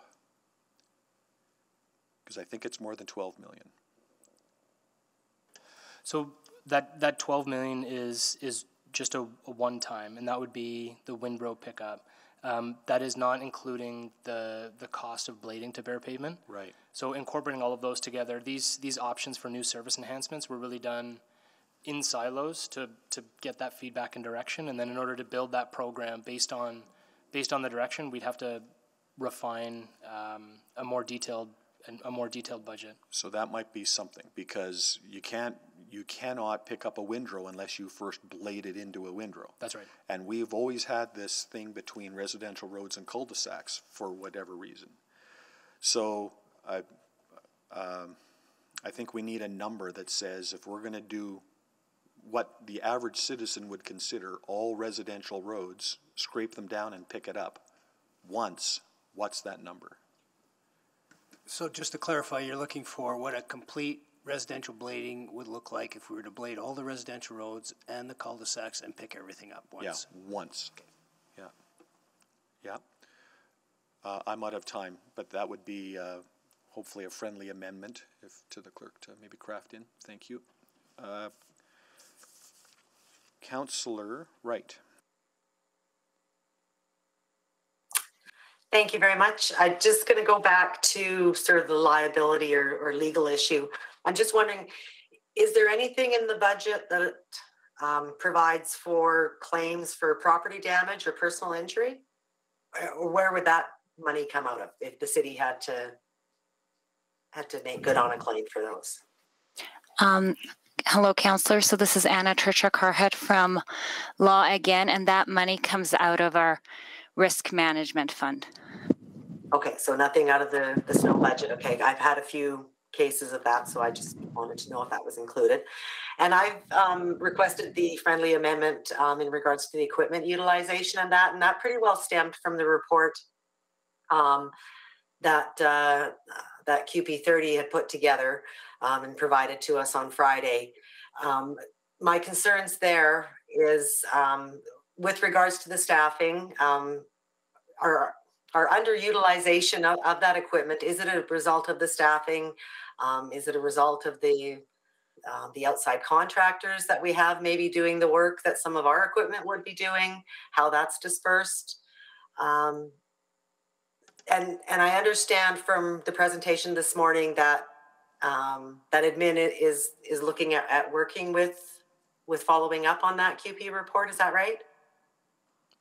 Yeah, Councilor, to, to answer the first question, it was um, it's largely due to personnel.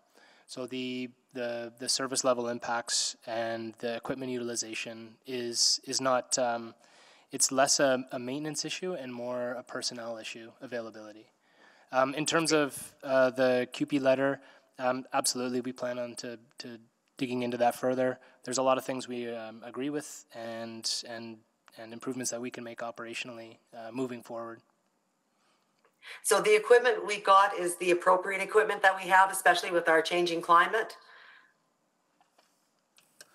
I think there's always options for increasing our efficiency and getting new equipment. Some of those uh, suggested changes are in the a la carte menu as well, but uh, certainly there's always opportunity for us to look at our equipment and, and uh, we, we review that each year as we go forward. Okay. Um, just my last comment is I agree with Councillor Rutherford as far as the the sandbox program. Um, I'd like to see it canceled. Oh, but on that on that note as well is the the piles of sand that we have accumulated now in the snow dumps, and one of them is just off 17th Street in Whitemud here. Um, what happens? What's the cost of of getting rid of that sand? Um, can we recycle it, reuse it? So, Councillor, I'll just provide a little context on the sand uh, program. So, following the sand recycling audit, there was direction provided to uh, um, cease the sand recycling. And there was uh, sand that was picked up and had not been processed or recycled and required disposal. At that time, we were provided direction to look at alternatives uh, as well as um, the uh, uh, hauling to landfill. So over a period of time, we looked at what alternatives could be uh, used for the sand, including use in berms or landfill cover. At the end of the day, the best option was to process that sand through uh, returning it to landfill, so basically uh, to, to waste. And that was uh, commenced last year. I believe we were about two thirds of the way through disposal of that sand and the remaining uh, sand that was outstanding was to be processed over the course of uh, the first half of this year. That budget dollars were carried forward to accommodate that work, so that is in place. So any of the uh, outstanding sand that had been stockpiled uh, for processing uh, will be taken care of by the beginning of, I believe, beginning of July. And, and when you say processed, you mean returning it to waste? To, to waste, to landfill, correct, yes. Okay. Okay, thank you. My time is long gone. Okay. Thank you. Councillor Tang? Yeah, great. Thank you so much. I think uh, many of my colleagues have asked lots of uh, great detail-oriented questions that um, I'm not that I had in mind as well. Um, I guess just a final two, and I think I maybe just validate my thinking. Um, when we plan for snow and ice, how how has the city plan and the growth to another million people factor into our snow and ice approach? Do we keep that in mind?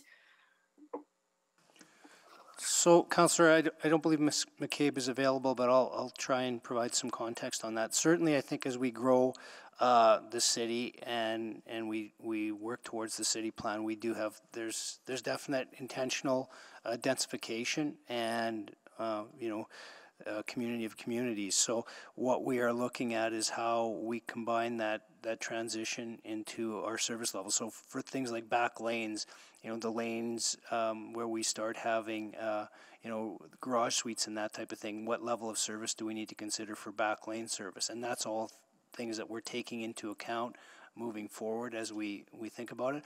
As well, uh, you know, the the team works closely with, with the development industry in terms of what we see as a, the best way to manage snow in some of the new neighborhoods. We know that, for example, areas that have boulevards have uh, a little bit more flexibility in where you can put the snow. So those are considerations uh, as we look forward uh, to building, you know, building that next uh, million people.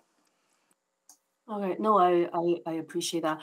And also, when you do come back in June and you're providing um, the options for the service enhancements, would you also prioritize that based on public feedback through three on one or, you know, through the counselor's office and other means? So between now and then, I don't think there would be significant uh, engagement time. So we would look at what we found in the previous round of engagement in terms of prioritization. I would just say though, looking at, at this motion right now, so right now what we're seeing is um, a, large list of, of items to consider, but I don't know if that gives us um, the time to action all of those. So say council chose to go ahead with all of these items. I don't know if we'd be able to action them all uh, for next winter. Um, because right now it's a bit of a, a, a, list and we would need to build a programmed approach and integrate them. So we would have to look at, um, you know, some substantial, uh, I would say, integration going forward after that date. Just to augment uh, uh Mr. Cebryk's answer, we will be able to do some quantitative analysis, but there wouldn't be time, as he indicates, for qualitative engagement, but we feel we could do some additional survey work to, to get you closer to that menu of choices for Edmontonians. That's prioritized by Edmontonians. Yeah, and, and I'm not necessarily talking about brand new engagement, but certainly there has been a ton of feedback, uh, you know, even just this season. Thank you. Thank you. Councillor Knack. Thank you, Mr. Chair. So uh, active pathway, one of the reasons I'm looking at this other option is, and you can correct me if I'm wrong, but when crews are clearing the active pathways under priority one, because they're out so early, the equipment that we need is different and it allows them to maintain it maybe to that higher standard. So when you go have those brushes and going out, whereas if you've got a trail that's been packed down with snow in five days, the equipment you need is quite different. So there might be value in saying priority one and two get done within 24 hours, 12 and 24, whatever it is, but get it done within 24 hours because the equipment needs would be different than if we waited for priority two to 40 hours. Is that is that a correct statement? Uh, yeah, not only equipment changes, but uh, or sorry, not only equipment, but um, just the time it takes to clear that snowpack is is different uh, when you can address the snow um, earlier. So that's why I think we need to the committee a different option for active pathways because in my mind, AP1 still makes your life really challenging for priority twos. I don't think there's any way to get priority threes quicker unless we really change the equipment levels. But if we look at a, maybe you just define it as both within 24 hours, the equipment you might need and the staffing you might need looks different than if we go with AP1. Is that correct?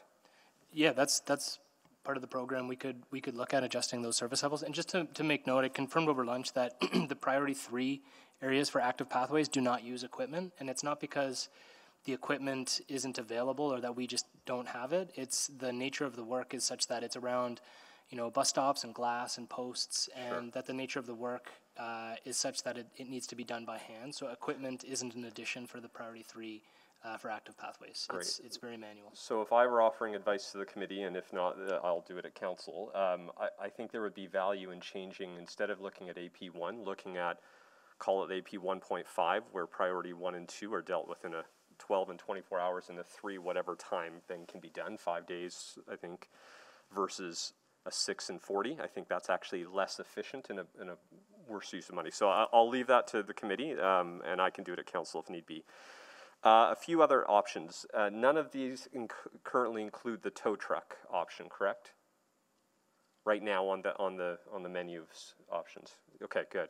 So I guess the question is, it's great to have enforcement, but what I've heard from the crews time and time again is unless the cars are off the road, they can't be as fast and as efficient as they would like. So I'm just wondering, unless there's any reason why we shouldn't have the tow truck option, I'd like to make sure that's there. Th- There is a tow truck option. It's labeled in, I, I know it's there, it's just not on the motion right now. Ah, sorry. Is that correct? That's, so I, I think we need to make that as an option, because I, what I've heard from the crews is that when the cars are on the street, it is hard for them to have to go in between. Is that correct? You're That's nodding. correct. Yeah, Yes. sorry, I see a vigorous nodding, yes. Okay, I'm out of time. I'll have a few more, sorry. I just, it's a lot. Thank you. Don't be sorry, I got some too. Uh, Councillor Salvador. Yeah, thank you so much. Um, so just want to ask a question about some of the quotes that were included in the staff survey. Um, yeah, so just I guess general concerns around uh, kind of chronic understaffing and, and the reliance on shifting those hours to existing staff as overtime. Uh, so I wanted to ask about our policy around 11 month contracts. Um, and I guess I'm wondering, is it possible that we could be better served by having a more skillful and experienced um, permanent staff? Uh, are there efficiencies to be gained there by moving away from 11 month contracts? Um, and, and I guess, is our labor force management being contemplated and considered as part of the options in front of us today? So, Councillor, very quickly, uh, it, it's not necessarily part of this, but that work is actually underway on a much bigger project in terms of looking at our seasonal workforce, both our provisional and temporary. So we have a project underway where we are doing the assessment to see where it makes sense to convert seasonal uh, workers into permanent. We just completed uh, the first phase of that with waste services and converted, I believe it was either 46 or 48 positions to permanent. The work in this branch uh, started last year with a piece of work called a foundational assessment to really understand what resources it took for each program area because there are at least half a dozen different programs within the Parks and Road Services branch that have seasonals, so there is opportunity to connect those those programs and convert seasonals in one area and another area into a permanent. So the work is underway. And that is part of what we are under, undertaking. We're also looking at opportunities, for example, in transit with our bus and LRT cleaning. So there's a number of different opportunities across the corporation to look at uh, moving from a seasonal workforce to a more permanent, stabilized workforce. Yeah, Counselor, I wouldn't mind just adding to this, Andre, here, just because this is a huge body of work. We we absolutely want to want to do it, and uh, as we did recently in waste with the 46 positions transferred to, to full-time FTEs, it makes sense. It makes good economic sense too. So I just want to make it clear that when we do this, there is actually increased efficiency because we're not offboarding and onboarding staff and training them and retraining them. But where I, I strongly believe we'll need help from council on this is when Edmontonians start to see the rise of FTE numbers in our budget lines. So when we come this fall, you're you, you're going to see larger numbers of FTEs because we're adding FTEs to the to the and I'm I'm committed to doing this, but that's where I could use council's help going forward so that people understand why we're adding FTEs, we're not adding cost.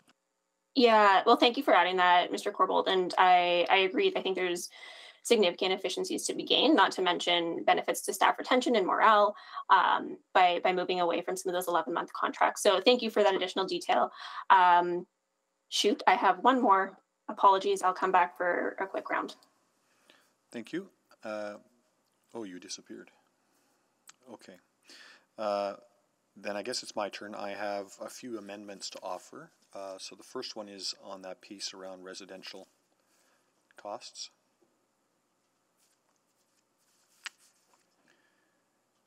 Think the clerk will just be bringing that up. So I'm hoping that's friendly, and that's just, as I was alluding to earlier, just a, a total cost one time to blade down to pavement, residential roads and cul-de-sac, and uh, pick up pick up that snow. Uh, my question to you uh, is, if we did that, do we have capacity in our snow dumps to take on that snow? And my guess is no. You are correct. Okay, so I'll have a subsequent on that count uh, that I'll introduce later. Uh, I've got a second um, amendment that would add an item 2D that would be introduce a courtesy tow during parking bans program. Sorry, Madam Clerk, I know I'm making you scramble.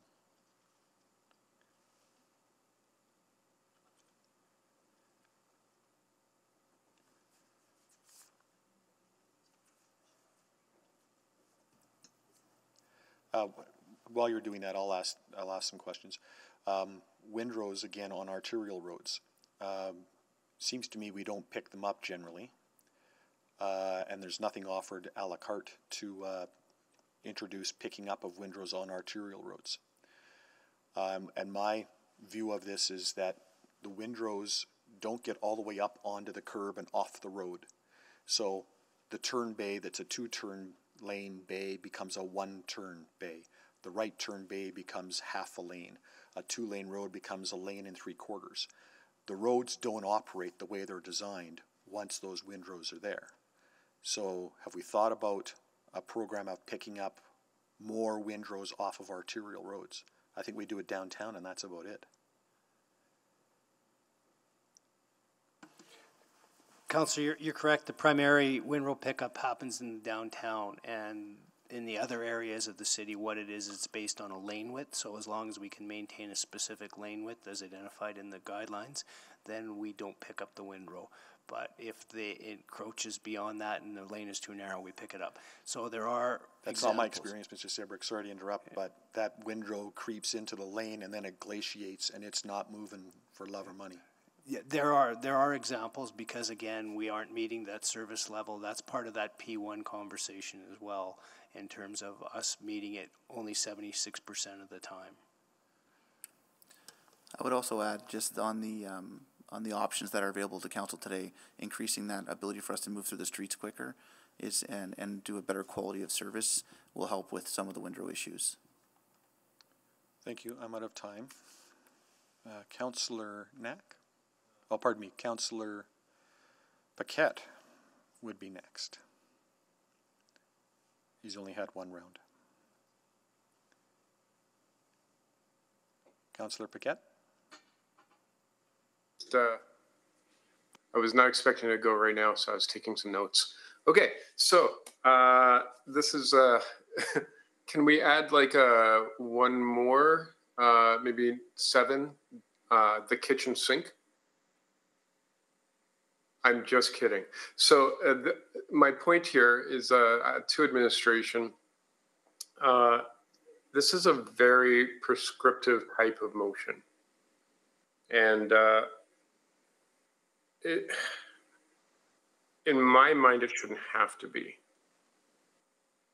But this is where we're at. So I would just like to get some feedback from administration on this. So, Councillor, it does provide a lot of granularity in, in terms of some of the items, but I, I think one of the key key things we want to get out uh, of today, and, and ultimately, if it's at council in two weeks, is some clear direction on what we want to want to do. So, if if we want to spend a little bit more time on it now, um, that would be as long as it comes out with some clear direction at the end of the day. Uh, we're we're okay with that. But I think Mr. Corbould wants to add a bit. Yeah, I would just add that yeah, it's certainly not the ideal motion from a normal operating perspective for us, but we understand where we are and we understand uh, how important this is to Edmontonians and therefore to the council. And so I agree with Mr. Cebryk that um, this is one of those exceptions where this kind of clarity will really help us going forward uh, as we come back to council to make these detailed decisions. And and clearly, uh, Edmontonians want councils to dig into this. We've heard that, so let's do it, and we'll move forward. And but okay. certainly so, not so, day to day operating kind of. We, we don't want to get into this all the time, but we're happy to move forward on this one. Yeah, let me be clear. I support the motion. I think it's necessary. My frustration is that it is necessary, and I think that's shared by the mover. Um, I don't want to get into a situation uh, of being critical. But I understand that there has been some changes to uh, maybe the oversight on this. And my question is, um, you know, first of all, we need this motion for the for the surety of council and for the public. But I guess what I'm looking for is surety going forward that um, a lot of things that seem to be common sense and should be anticipated will be as we move into th- this next winter and successive winters.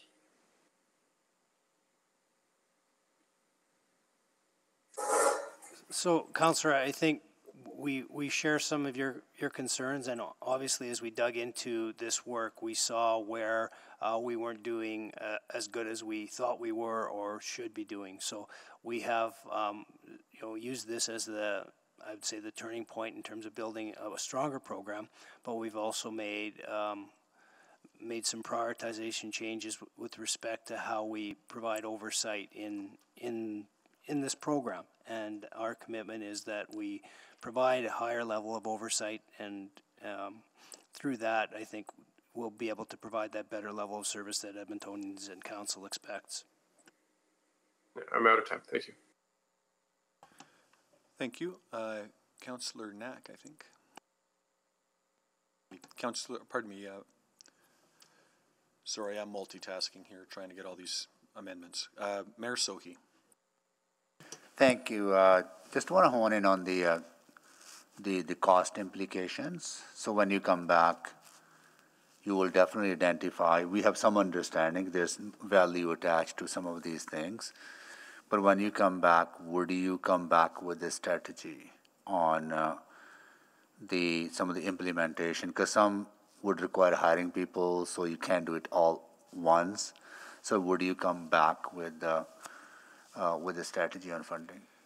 Yes, uh, Your Worship, we would provide uh, a- strategy that would likely have some form, some form of phasing as well as, as what that timing would look like over this winter and potentially next winter, depending on how much we actually add to the program. Okay. And, uh, and I, I share Councillor uh, Paquette's concerns about uh, some of the too much detail going into this, and I, I, I also understand Councillor's uh, desire that too, right? So I just trying to understand the that if you if you had say forty million dollars extra, right?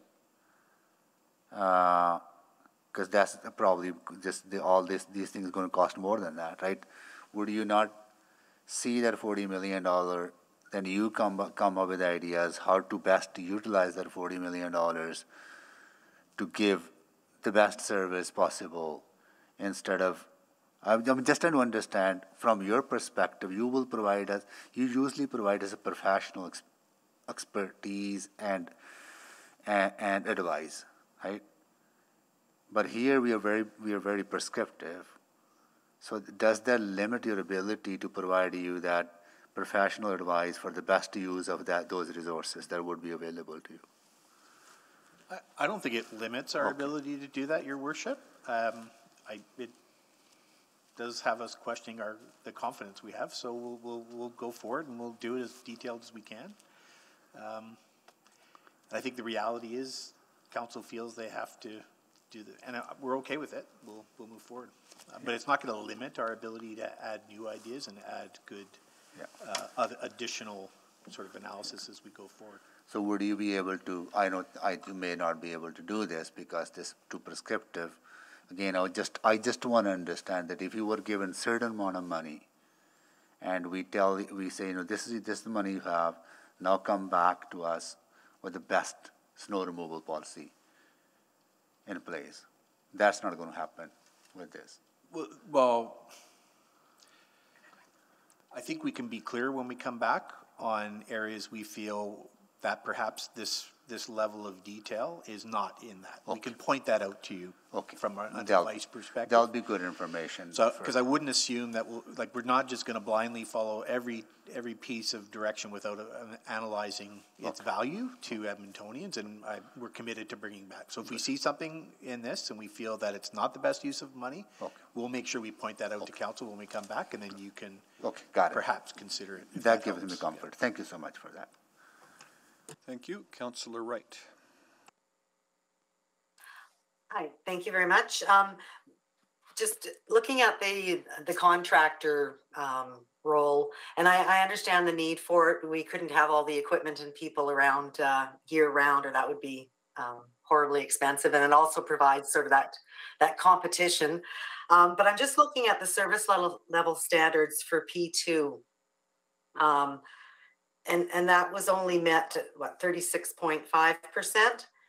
Is is there a way that um, I guess the, the the city work and the contractor work could be spread out between um, the different priority levels? so that it does create sort of that that competition um, and that it's not all just concentrated um, in one area for the contractor work versus the the city work I, I think with the, the contractor work, um, there's there's a couple issues. One is we do need to revisit the contracts and what's in there in terms of the um, response times. Um, but there's also different equipment that's used, and, and so in the P2 areas, graders are used. Um, so shifting some of that work to the city um, would complicate some of the um, how we go about doing it based on certain piece of equipment that we do have. Uh, so in order to take over some of that work, uh, there there likely have to be some um, capital investments made, uh, or we'd be using the wrong equipment for for those um, collector type roadways.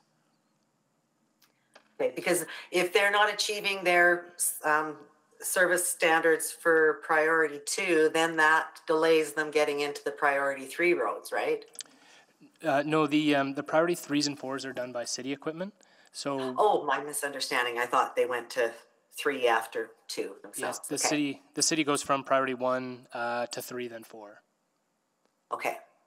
So all residential roads then, that's priority four and that's done by the city? That's right. Okay, except for the, what is it, the skid steers that clear the, the driveways of the windrows? That, that's correct, Counselor. We, we uh, don't have a lot of skid steer uh, work in, in other seasons, so uh, when we do that residential blading, and we do need uh, windrow clearing at driveways, for example, we would use skid steers through contracted services. Okay, okay, thanks for the clarification. That's all I have. Uh, thank you, Councillor Knack. Thank you, Mr. Chair. I want to ask about the double wide trailer uh, plows. Is that one of those expenses that um, essentially can get us more bang for buck? So, so is it worth us doing that capital investment, appreciating Councillor Cartmell's regular caution about not wanting to acquire a lot more equipment?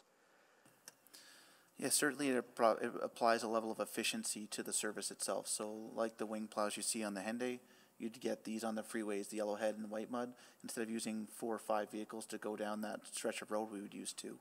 So, at which point the other staff members can then be on other priority That's roads. correct. So, so that one particularly feels like value where I, I might not want to buy other equipment for roads yet until we see how that goes. I, I would be interested in that, so um, I'll just explore that when the appropriate time is.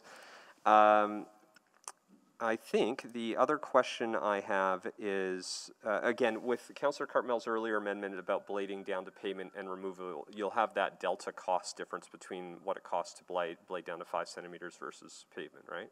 Uh, we did pull that together over the Oh, lunch hour. Even easier, okay. Um, sorry, I'll I'll, uh, I'll just defer to to Valerie, who sure just trying to get the right chat up here. Uh, so the delta between the blading to bare pavement once or four times and a season-long blading with uh, trucks, which would leave the five centimeter snowpack, the delta is about eighty-three point three million dollars. But that's doing multiple times, sorry, I'm just trying to, so uh, we're dividing that by, so what I'm trying to figure out is if we did once blading down to five centimeters versus once blading down to pavement, am I taking that number and dividing it by four, because you just said that was on average four times? So because the um, blading to bare pavement is contracted out due to the type of equipment, um, that was for four times of blading to bare pavement, Oh, and then okay. the internal vehicles are the ones that do the fi- five centimeter pack. I so get that it. would be season long. So that'll be included in Councillor Cartmell's motion, we'll have a bit of an understanding of that, okay, great, or that, se- that additional amendment. Um, I've sent Councillor Cartmel wording for an active pathways, sort of option three, if you will, that looks at a twelve hour, twenty-four hour, and then, and then five day, uh, option. Um, as well as I think the, I think we do need to at least talk about clearing the remainder of our inventory, because I think we are expecting uh, Edmontonians to clear their sidewalks in a certain amount of time, we need to clear all of ours. Um, maybe the last question is, just with regards to enforcement a bit earlier, is there anything else you need from council to be able to be even more efficient with the enforcement so that you don't, I mean, I don't want everyone to be solely out in the field 24 hours a day, seven days a week, but at the same time, we don't want people have to come back to do certain things. I think that we would um, look at the programmed approach and then maybe make a recommendation on what type of enforcement would be required after that. Okay. And if I could just add to that as well, as I had alluded to earlier, we did implement a, a mobile app, which would allow us to be a little more present in the field. It did fall a little bit short in that um, it allows us to ga- gather evidence so we can take photos, um, download pho- uh, photos, notes, uh, and do the inspection work. But when it comes to issuing tickets and submitting the work orders, that is where our technology perhaps falls a little bit short. Um, and then it creates uh, more administrative work, which then takes officers off the road from doing the actual enforcement okay. of the snow bylaw. I'm out of time, but I, I need to close the loop on that, so I'll come back. Sorry, Mr. Chair. Okay. Councillor Salvador. Thank you. Um, yeah, I, I should just say would be excited about sort of a, an AP 1.5 as well. Um, I, I guess I have some questions just around around P3 for active pathways. Uh, have we ever contemplated kind of a complementary program partnership with EFCL, almost like I don't know, an adopt a stop type program, um, recognizing that P3 is is essentially all manual. There's no specialized equipment required. Um, and then same thing for catch basins, any sort of partnership available there for adopt a catch basin, I think was one of the, the things that was mentioned in the stakeholder feedback. So, Councillor, I think there are opportunities for partnerships. Uh, we haven't specifically looked at adopt a stop. We did work with EFCL, I believe it was three uh, winters ago, and and came up with a sidewalk symposium where we looked at options for supporting some of that type of um, community partnership. One of the things we did do was provide some surplus equipment to community leagues to use that um, to support some of the snow clearing on sidewalks in and around a community. So we have taken some, you know, initial work in that area, but we haven't gone to um, the extent that you're talking about in terms of a formal program for adopt a stop or um, similar to what we talk about with partners in parks. Okay. Okay, interesting. I might contemplate that. And I guess that would not be considered under assisted snow programs. Uh, it, it, it, could be. Um, again, something along that line, I, I, uh, I think it has potential, but I don't know if that that would probably be something as part of a phased approach because I don't think yeah. something like that could be activated for next winter, but certainly a lot of opportunity in the future. Okay, great. Um, yeah, that's that's it from me. Thanks so much for uh, dealing with all the questions. I appreciate it. Thank you, Councillor Rutherford.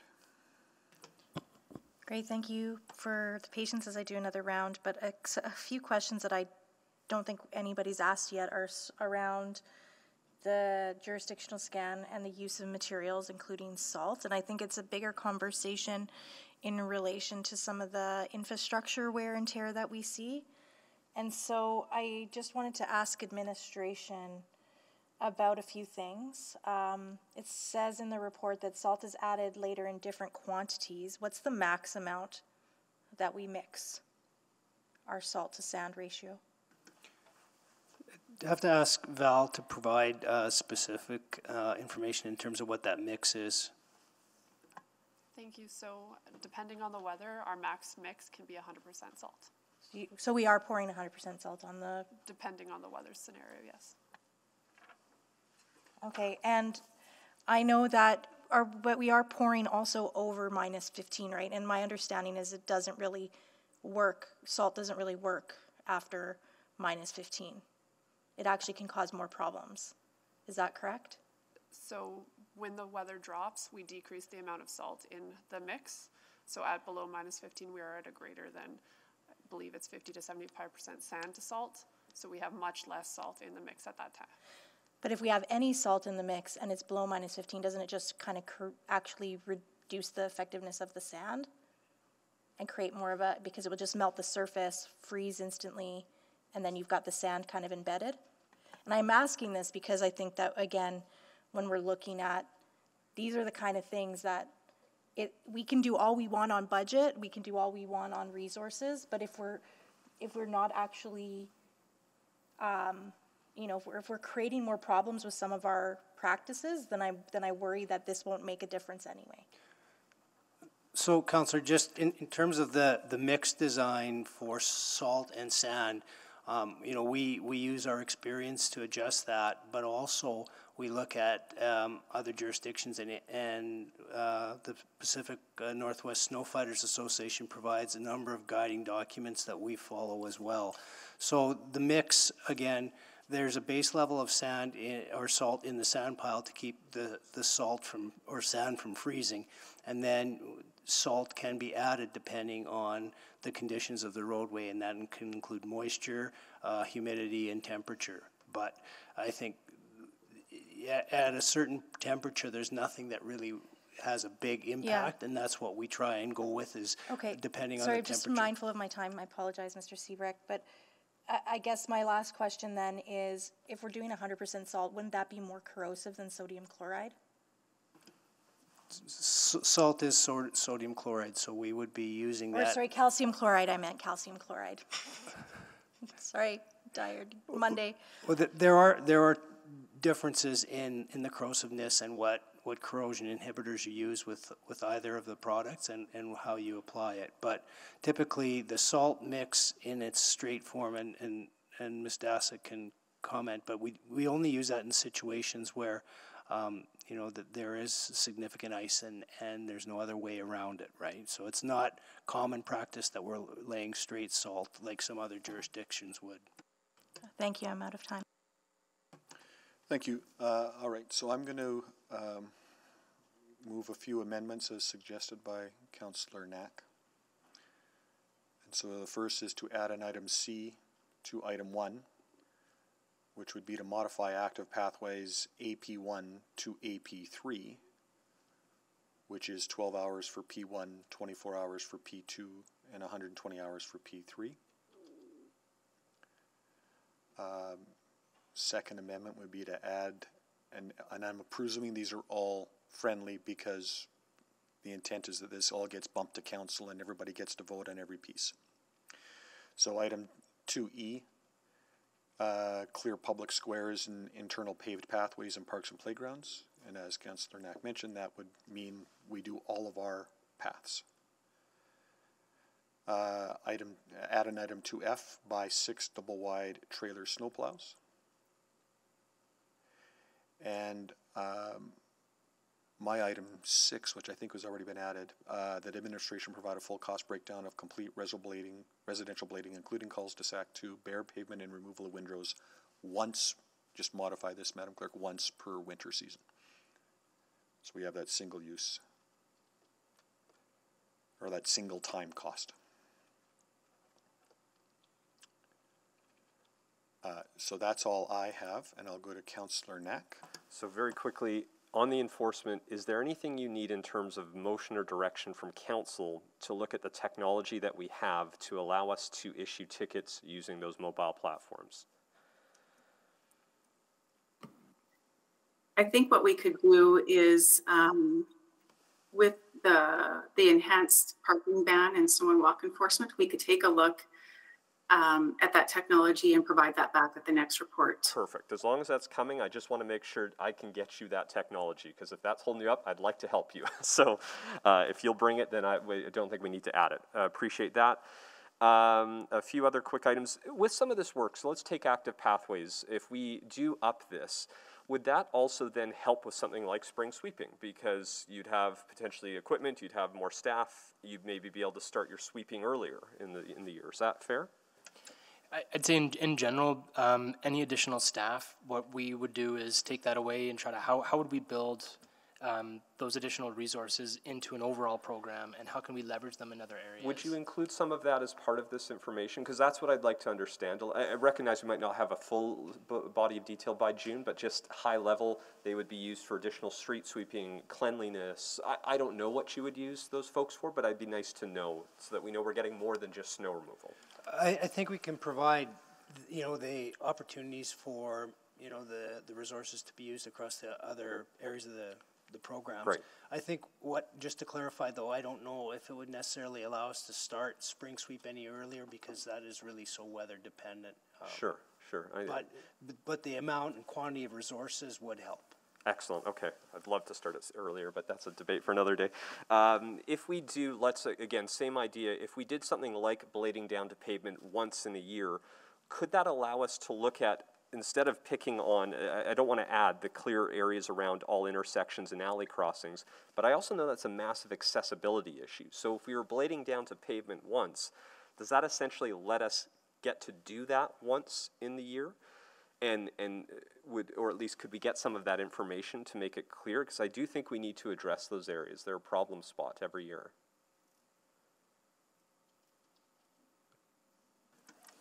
So I'm just trying to understand, you, you were, So if we're blading down to pavement as an example, that includes all intersections. It might not include all alley crossings, but I'm wondering if there's uh, you know, economies of scale that we get that allow us to fill some of these other gaps by, by funding another area. So I, I think earlier when, when Mr. Robar um, re- referenced a programmed approach, I think that's what he's, he's Right. referencing. Okay. Uh, real-time tracking, did I hear right? We, we are moving toward, or is there some, do you, so that's happening regardless of any motion today? Th- that's right. There's there's work underway for that. Fantastic. Last question, uh, Mr. Corbould, uh, or anyone, but uh, maybe to you directly on this. Um, having this level of data, data was really helpful to understanding the scope and scale of the problems. Are we taking this type of approach and applying it to other areas across the organization to be able to have this level of data, not for council, but for you to, to help decide how you're deploying resources, hitting targets, et cetera? Yeah, short answer is yes, uh, particularly in areas where we need to fix things and adjust things. Uh, and I think that really speaks to, you know, what's happened in the last three months. There's been a body of work that has not been done in 10 years, I believe, in the city on this particular issue. And that, you know, sometimes it comes to a head and we've, we've had to do that. But we've proven that it can really get to the bottom of, of things. And so, yes, I will be encouraged to use this method for other things as well. Fantastic. I'm out of time and I think I'm done. Thank you. Thank you. Councillor Wright. Hi, no more questions for admin. I just want to clarify on um, the motion, uh, point 2D. Are we talking a courtesy toll or a courtesy tow? I think that changes the intent. Oh, okay. Apparently there's a spelling mistake. Okay. Thank you. Okay, and that's it. Thank you. Thank you. Okay, anything else? So, again, just for absolute clarity, this uh, goes, this is a recommendation to council, so this will be discussed again at council in two weeks. Um, at which time presumably someone will ask uh, for the, each option to be separated for voting purposes, and council can decide as a group which of these go forward and which don't. Any other questions, comments, speaking to? Uh, So we have a motion on the floor. Councillor Knack speaking to the motion. Thank you, uh, Mr. Chair. I wanted to just offer a, a closing thought um, when this comes to council. Uh, and I won't say the same at council unless we enter in a really long debate again. But I would really encourage all members of council to not ask for any of this to be broken up at that council meeting because all this is doing is getting us the detail to then decide if we want to actually budget for it. It's not asking for us to approve any of those when this comes back to council. It's just saying, let's go get that next level of detail properly costed out and then use that to inform the final decision. So even if you hate certain parts from this, I think it's worth getting that data for all of it because uh, at least uh, one or more members of council have sort of identified these as some important pieces. Uh, a couple of other thoughts. Um, I uh, really appreciate point six, and I, and I just want to highlight point six, uh, the blading down the pavement, and why I think we desperately need that. Because um, I, I think I'm now the only counselor who's been around when we, most of last term, we didn't do residential blading. We went almost every year during the last term without blading because there wasn't enough snow accumulated. So we don't have that um, experience. And I can tell you, uh, having that experience is that the amount of complaints you got on windrows this year pretty much match what I got in my entire first term on council. So that if we don't think about that option, uh, and so I just want to stress the importance of not breaking that one out, um, we'll get the same level of complaints about windrows, even if you keep a five centimeter snowpack. So that's something I found each of my first four years, and I think it's really important that we get that, that information going forward. Um, I appreciate that. The, the, other thing I want to highlight is that I, I do think, and I heard some of the conversation today around uh, what administration would do in terms of how they're prioritizing. I do think we have that direction now as well. We approved a new policy that I do think provides very clear direction about if you were to suddenly increase the budget of this file by 40 million or 50 million or 100 million, uh, that that prioritization is outlined in what is identified in a new policy, which focuses on things like access accessibility and efficiency of movement. And so I think there is a way to help do that so that uh, while this is very much in the weeds, and I appreciate that, um, there is a guiding body of work that we have that I think was really well done and developed with the public um, with this. Um, so, so this is something that we will never get perfect no matter what, and, and I'm quoting Ben Henderson, who quoted former Councillor Ron Hayter of saying that they'll never get it right, you'll never have a perfect year. Uh, but this is a pretty significant change. This body of work, this level of detail in this report is something I've never seen in my time on council. So I actually think it's really helpful to get us to a much, much better place than we were before. I don't think I took five minutes. I think I took three, but I'll just stop now anyways at three, uh, although I could offer some additional wisdom for two minutes, but I'll leave it for budget time. Thank you. Councillor Tang. Yeah, thank you very much, Mr. Chair. Um, just speaking to this uh, motion, which I think is actually quite overwhelming, uh, you know, but I think it's been a team effort to, between council members, with administration, with feedback from so many Edmontonians and from the labor union. Um, you know, I there's a lot there's a lot here, and um, but I think we need to understand the options from that budget standpoint, of course. Uh, and you know, if this conversation is a start of that, and if this is what it takes, uh, then I think so be it. We need to lay it out. Um, and I think at that time, you know, we are going to talk about trade-offs, and I don't think we'll, we will be able to, you know, achieve all of this. And you know, I think I just want to maybe share some perspective from from from what you know my my office has seen and heard, um, and what of my ultimate hope for this program will be. Um, we've really uh, our office has collated our residents every single email every single telephone call with so much detail and shared it with the team directly working on the policy uh, in hopes that we can center on edmontonians experiences. The blading down to the payment as much as you know councillor Knack i you know i hear you uh, but what we've seen this winter has been vastly unhelpful with so much challenges that outweigh the benefits it is expensive and it's not conducive to accessibility, but not only on roads, but also sidewalks, with particular impact on seniors, for folks with accessibility needs, for young parents, for emergencies, etc. And I hope we can, you know, not necessarily always prioritize this as an option. And ultimately, you know, what do I want to see? I, I want to see resident feedback be more positive. I think this should be seen as a key indicator for success. We want to see our frontline workers' input be taken in with serious considerations in shaping the program forward. You know, a lot of what we're discussing here has been brought up, you know, and well in, in advance. I want, you know, the workers to feel empowered to make some real-time decisions and not feel like they're locked in by top-down directions. You know, I heard this quite frequently this winter. I want to see our equipment be fully maximized before even considering new equipment and that we have the full staff available to use those equipment. I want to see healthier relationship with our contractors, which, as the labor union had acknowledged, are necessary to working together with our city workers to achieve the services we aim for. And all of these feed into a cycle that contributes to workforce and public morale. And we need a positive one to make sure the service standards are achieved, in addition to you know many of the pieces laid out here today. So you know, I think my my council colleagues asked some great questions. You know, really dove into the details, and I really hope that this will provide a bit of a blueprint um, to achieving that service standards we need. Thank you. Thank you. Um, I'll take a turn. I um, first of all really appreciate this report from administration. Um, I frankly, uh, and I think this echoes what Councillor Knack said. This is the first time I feel like we've received a forthright report of what we're actually doing with snow and ice. Uh, you know, that is a, effectively a data driven report that is transparent and honest and open about what we've been able to do and what it would take to, to do what we thought we could achieve. I think that that's uh, extremely valuable. I appreciate that ethic, and I really hope that ethic takes hold not just in this department, but in the other departments, uh, you know, that make up city administration.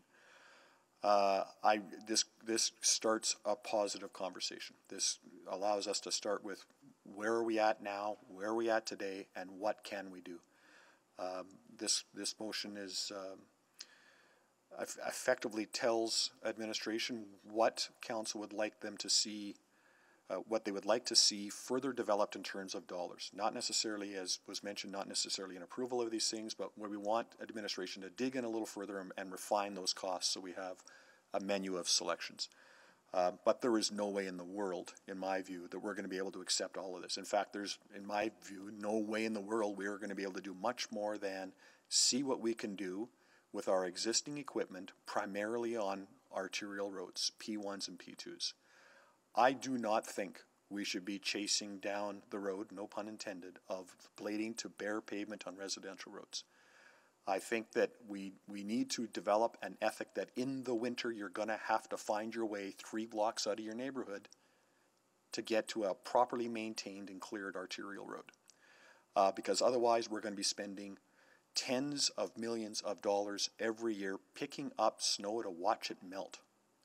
And I just really struggle with that. I, there may be some bleeding that needs to be done in the spring thaw or in those breakups, but uh, and I think there's probably something to do with, with uh, improving the walkability of some of our neighborhoods with some more focused work on pathways.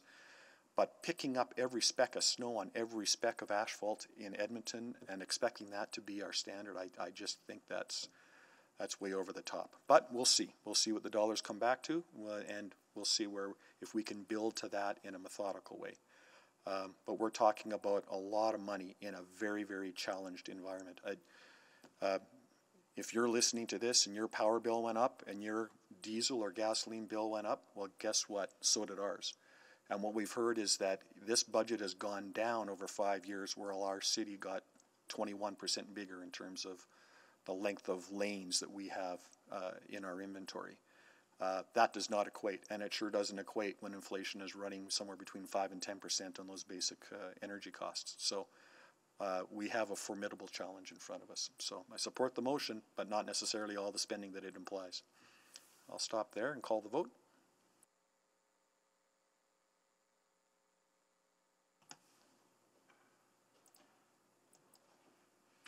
I'm in favor. Janz. Thank you, Councillor Janz. We have four votes. Please display the vote.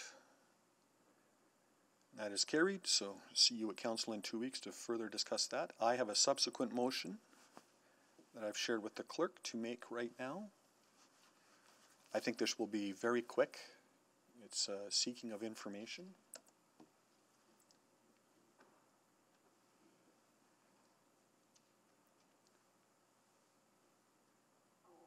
For that to pop up. We're just getting it up right now.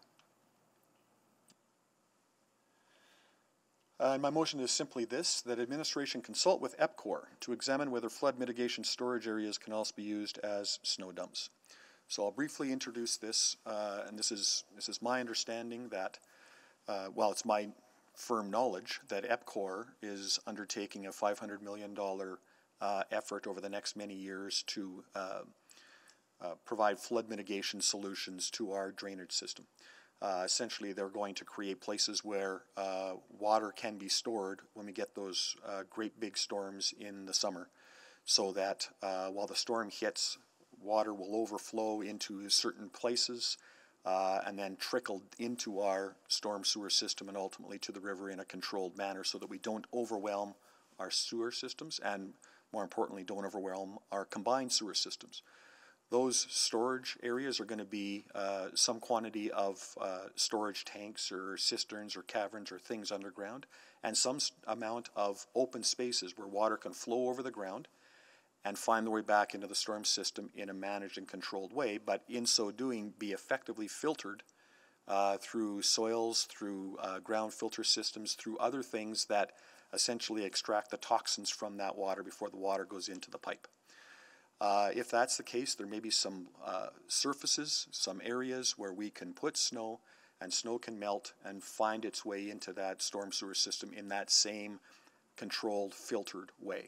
So it's an idea worth exploring. I don't know that it works for uh, snow that comes off of arterial roads that would have a lot of sand and salt and grit and other stuff in it, but it might be a way for us to do uh, a bit of more localized windrow removal, school zones, for instance, uh, that uh, you know can be managed in a more controlled way and save us a the cost of making more and building more snow dumps, and b the cost of trucks deadheading back and forth to essentially haul snow uh, partway across the city to one of the few dumps that we do have. So, not sure if this will go anywhere, but it seems like we have a confluence of uh, purposes here that we might be able to double down on the work that EPCOR is doing with their flood mitigation work. So, leave it there. Happy to take any questions.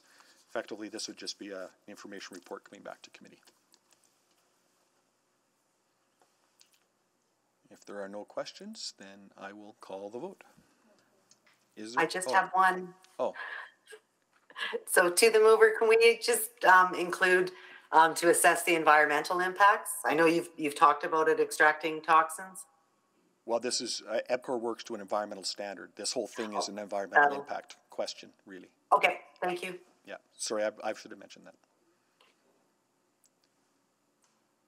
No other questions? Very good. I'll call the vote.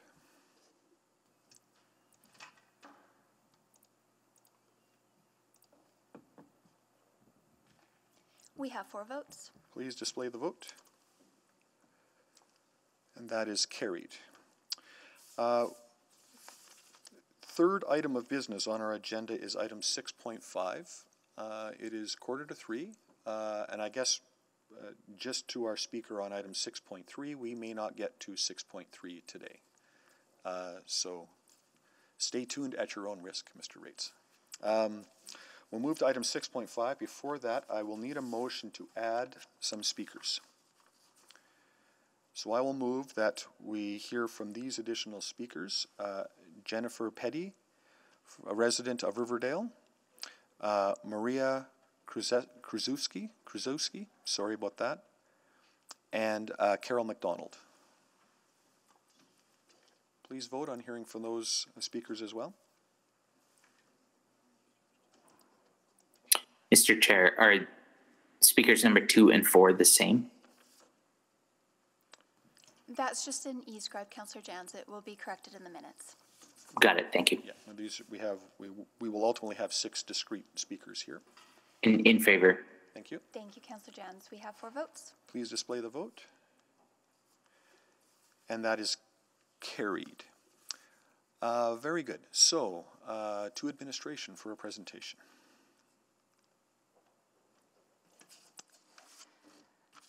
Thank you. Good afternoon, councillors. The report before you today provides an overview of the current situation for people experiencing homelessness in Edmonton and provides detailed information on how the city will support Edmontonians this summer, including our encampment response approach. Next slide, please. Edmonton has made significant progress toward ending homelessness over the past decade. Over 13,000 people have been housed since 2009, and prior to the pandemic, the number of people experiencing homelessness has fallen to 1,300, levels not seen since the late 1990s. Edmonton has been considered a leader among Canadian municipalities in addressing homelessness through Housing First programs, which help people experiencing homelessness access housing and provide them with the wraparound supports needed to maintain it. But over the last 24 months, the COVID 19 pandemic has led to increased numbers of people falling into homelessness and widened gaps in services required to support them. The number of people experiencing homelessness in Edmonton has more than doubled since 2019 December. This has led to an overall level of homelessness that matches our historical peak experienced last when the Alberta economy entered recession in 2008. In addition to overall increased levels of homelessness, we have also seen a dramatic increase in the number of encampment related complaints. In 2016, we saw 790 complaints submitted to 311, while 2021 saw 6,204 complaints submitted. This trend is expected to continue this year. There are also signs that the number of people experiencing poverty and economic hardship have increased over the course of the pandemic. For example, food bank usage is up over 11% from 2020. Increases in poverty and economic hardship will increase the number of people at risk of or experiencing homelessness, which in turn will increase the number of people living in encampments. As the number of Edmontonians falling into homelessness increases, the gap in services widens, affecting service levels for housing supports, mental health supports, addiction services, and emergency shelters. Furthermore, emergency shelters will find it increasingly difficult to meet the complex needs of people experiencing concurrent challenges such as severe mental health, physical health, or substance abuse, so sorry, substance use disorders. Finally, emergency shelter conditions themselves can impact shelter usage, as some will avoid shelter for fear of theft, threats to physical safety, a lack of personal space or privacy, and a lack of Indigenous focused services, among other factors. This is the context that we are currently facing, and with that, I'll ask Christel Kjenner to provide us with information about how the city supports vulnerable Edmontonians experiencing homelessness. Thank you, thank you Ms. Flaman. Historically, between 2013 and 2018, encampments were mostly managed by the City of Edmonton through the Homeless on Public Lands Committee, and City of Edmonton efforts focused primarily on encampments in natural areas below the riverbank or in parks, where parks rangers would work directly with street outreach and city operations to coordinate cleanups and try to ensure street outreach had a chance to visit each camp before closure. Since then, administration has formalized and expanded its approach to focus on two outcomes. One, to coordinate the closure of low risk encampments with clear and consistent connections to shelter and housing options and two, to prevent the establishment of large scale encampments that have negative health and safety impacts both below and above bank. When a complaint is received regarding an encampment, a combined team of peace officers and EPS members investigate the site and assign a risk level. The subsequent response is then driven by the risk level assessed. There are three potential responses. First, the housing focused response focuses on connections to housing through the multi agency encampment response team.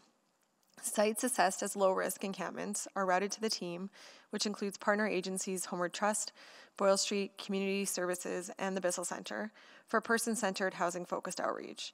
Additional efforts are made to connect individuals in these camps to housing prior to resolution to their resolution. Two, an accelerated response to encampments that pose high health and safety risks to both individuals and communities is led by the city peace officers and EPS timely um, and the timely resolution of these encampments is the priority. And the third prong is a coordinated approach led by the city and EPS to respond to large scale encampments should they occur with a corresponding governance structure. In all cases, cleanup crews are assigned to follow up after encampment closures to ensure the sites are restored.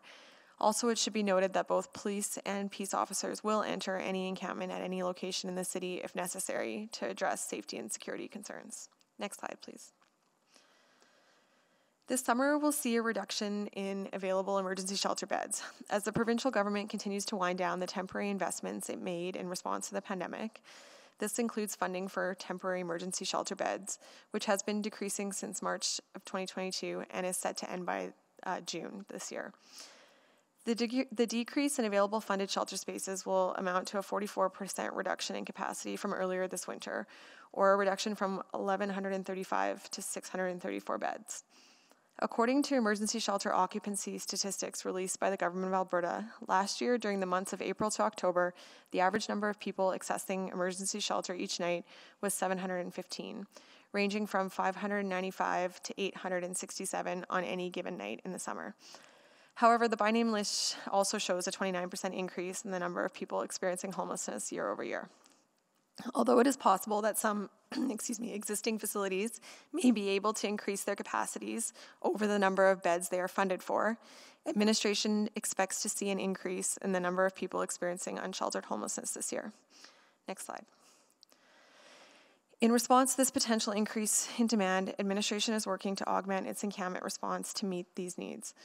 In 2022, the staffing resources dedicated to support individuals in encampments will include approximately 58 FTEs, broken down as follows nine street outreach workers, nine housing workers, six parks rangers, six EPS members, 14 laborers dedicated to cleanup, and 14 staff with the special downtown waste collection team.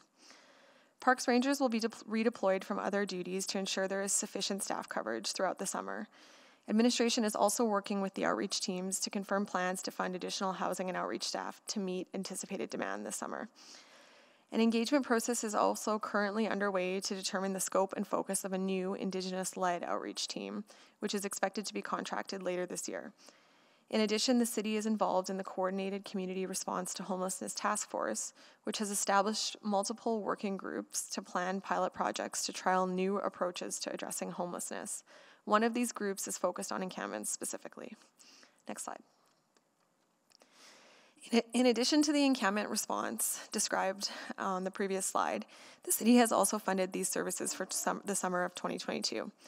Expa expanded day service hours and services, drug poisoning response services, increased access to public washrooms, thank you, and bridge housing spaces at three sites, which is in addition to the existing jockey dorms and plan for expanded extreme weather activities, including ensuring that vulnerable Edmontonians have safe access to city facilities to get respite from extreme heat and poor air quality, as well as 15 water bottle filling stations, building on the successful pilot last year that transformed five fire hydrants into water bottle filling stations. Next slide, please. The city's efforts to support people experiencing homelessness are in tandem with work being done by numerous other organizations, including the provincial government, Homeward Trust, and a wide range of social service agencies. Together, all of these partners work to ensure that the safety and basic needs of vulnerable Edmontonians are met, as well as ensuring that people have connections to other critical resources that support um, them, including housing, addiction and mental health supports, employment, income, and wellness services.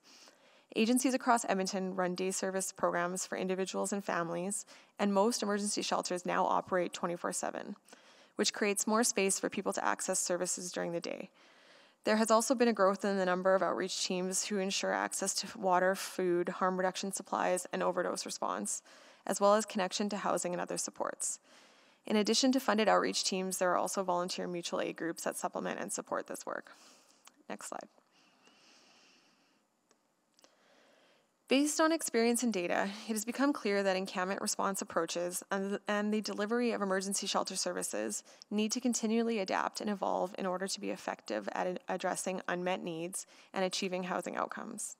To this end, administration has completed an evaluation of the 2021 encampment response from last summer and found that while we succeeded in enhancing collaboration between all parties and in preventing encampments from becoming large scale, Nonetheless, these efforts often simply displaced encampment occupants. This led to more small scale encampments and higher cleanup costs. Encampment closures that frequently displace individuals could impede the goal of providing services and housing by reducing trust and making people less likely to engage with frontline staff. Encampment response teams are not adequately resourced to address the volume of encampments or the complexity of health and security challenges encampment residents face, and there are challenges with data management that impact assessment, coordination, and performance measurement. Next slide. Administration recognizes that more work needs to be done to improve the response to unsheltered homelessness in our city. Administration is already working on a number of improvements to enhance our response over the short, medium, and long term. These actions are a direct result of the evaluation findings uh, and is in alignment with the community safety and well-being strategy that will be presented to council next month. Some examples of steps we are taking in the short term include increasing our engagement effort, efforts with stakeholders, including uh, people with lived experience who are sleeping outside currently, improving our assessment tools, exploring improved and new processes, and continuing to encourage the adoption of minimum emergency shelter standards to help shelter, shelter operators better meet the needs of the people they serve. Next slide. Over the medium term, administration is exploring additional improvements, including enhanced coordination of multidisciplinary efforts, which could see an improved dispatch model, additional supports for neighborhoods, more outreach, and more health services integrated into the encampment response. Funding for an Indigenous led shelter that would provide additional shelter capacity in a manner that aligns with the City of Edmonton's minimum emergency shelter standards and deliver culturally appropriate services for those who identify as Indigenous which represent more than 60% of people experiencing homelessness in Edmonton, as well as improved proactive planning for winter emergency shelter for as long as the number of people experiencing homelessness in Edmonton remains high. These improvements will be brought to City Council for their consideration next month through the Safety, Community Safety and Wellbeing Strategy Framework Report and through the 2023 to 2027 proposed budget process. Next slide. While emergency shelters, day services, and encampment response strategies are crucial shorter term tools for addressing social disorder related to homelessness, the longer term strategy involves increasing safe, adequate, and affordable housing with appropriate supports in all areas of the city. This work is crucial for preventing housing insecurity and transitioning people out of homelessness. The city recently completed a fourth round of its Affordable Housing Investment Grant Program intake, um, or, and is an intake for a fifth round of applications is set to open this summer. To date, the city has approved or committed to a total of 2,304 units and is on track to meet its five year goal of creating 2,500 new units of affordable housing by the end of this year, including 600 supportive housing units. Administration is also currently undertaking engagement working with an advisory committee formed of representatives from key Indigenous organizations to draft recommendations for the city to help increase Indigenous led affordable housing supply. A dedicated funding stream will be required to help Indigenous organizations that want to become more involved in affordable housing overcome barriers to participation. The city has initiated conversations with the Canada Mortgage and Housing Corporation to understand how the strategy how, the, how our strategy can align with the recent budget announcement of 300 million over 5 years starting in 2022 to 2023 of the federal urban rural and northern indigenous housing strategy and how other recent federal budget announcements can be leveraged to meet the city's goals. To ensure the city and its partners are able to reach city plan goals and the collective effort to end poverty and homelessness in Edmonton, administration is also preparing a four year investment plan to create and reach new targets. Next slide. Before we close, an additional tactic that has been previously discussed and considered is the use of the managed or, or a sanctioned encampment. This type of intervention tends to be understood as an interim solution to address the immediate conditions of people experiencing unsheltered homelessness. In 2019, administration and Homeward Trust retained Org Code Consulting to make recommendations around encampments. The ensuing report strongly advised against tent based sanctioned encampment areas. In general, large scale encampments are seen as unadvisable due to their difficulty to manage, safety risks, including the weather, legal implications, cost, and their potential to undermine housing efforts. In addition, administration conducted a jurisdictional review that confirmed that there is little evidence to suggest that sanctioning encampments would keep people from establishing encampments in other areas, improve service delivery to unsheltered individuals, or provide sustainable and safe options for groups of vulnerable people with complex needs. Administration does not recommend pursuing a sanctioned encampment at this time due to its limited potential as an effective response to homelessness. Next slide. In terms of next steps, Council can expect to see a number of housing and homelessness reports coming forward this June, in addition to the related work in the Community Safety and Wellbeing Strategy Framework next month. These reports will cover a wide range of topics from minimum emergency shelter standards to an affordable housing investment plan update. Administration can also return to council will also return to council at the end of the summer with an update on the homelessness response plan for this winter and beyond. We've reached uh, the end of the presentation, and we're happy to take any questions that you have about this work after you hear from speakers. Just might add just a couple of points if I could. Uh, the first is that um, we don't have the details yet, but we're working closely with uh, members of the province and um, uh, down the Chinatown BIA on some uh, innovative pilots for some of the acute areas that we could also apply in other areas downtown. And we're also working, uh, again, don't have the details yet, but on, on some initial work on how we could discharge to supports rather than discharged into, into homelessness for um, emergency uh, facilities at hospitals and things. And we're working on a couple of early pilots that we might be able to provide more details in a few weeks to Council on. So I just wanted to indicate there's still other work going on as well. Great, thank you. Thank you for that presentation. We'll now move to speakers. Um, before we get started, just a reminder to our speakers, I think everyone is remote, uh, that you'll each have five minutes to speak in a panel, and after everyone's had their opportunity to speak, counselors will be able to ask questions of anyone in the panel, so you may want to stay with the meeting and at least until all of the questions have been asked and answered of those on the panel. Uh, each person gets five minutes, so if you can keep a timer, we don't have a way of indicating otherwise, there'll be a timer on the screen. Uh, but you might want to keep your own timer, and uh, with that, I will go to uh, Christy Morin, followed by Jim Gurnett. Uh, Ms. Morin, over to you. Hi, good morning, everyone. Thanks, thanks for uh, letting me come speak. I definitely am supportive of uh, continuing to support houselessness and homelessness in our city, as we know that there is just so major, so many major issues and uh, gaps in what's happening right now. So I appreciate the the team that's putting this together and uh, sharing what's happening in our city. As far as uh, whether or not I support it, yes, I do support the um, the non-managed or sanctioned encampments. Um, we we in our neighborhood call it the Indigo Mile um, from uh, from the Yellowhead down to 111th Avenue, which is 12 blocks. We have now five uh, five ho- new housing components, whether that's um, the Sands Hotel, the Came Inn, Jockey's Quarters, a whole bunch of other great places um, that are wonderful and support a lot of people in need.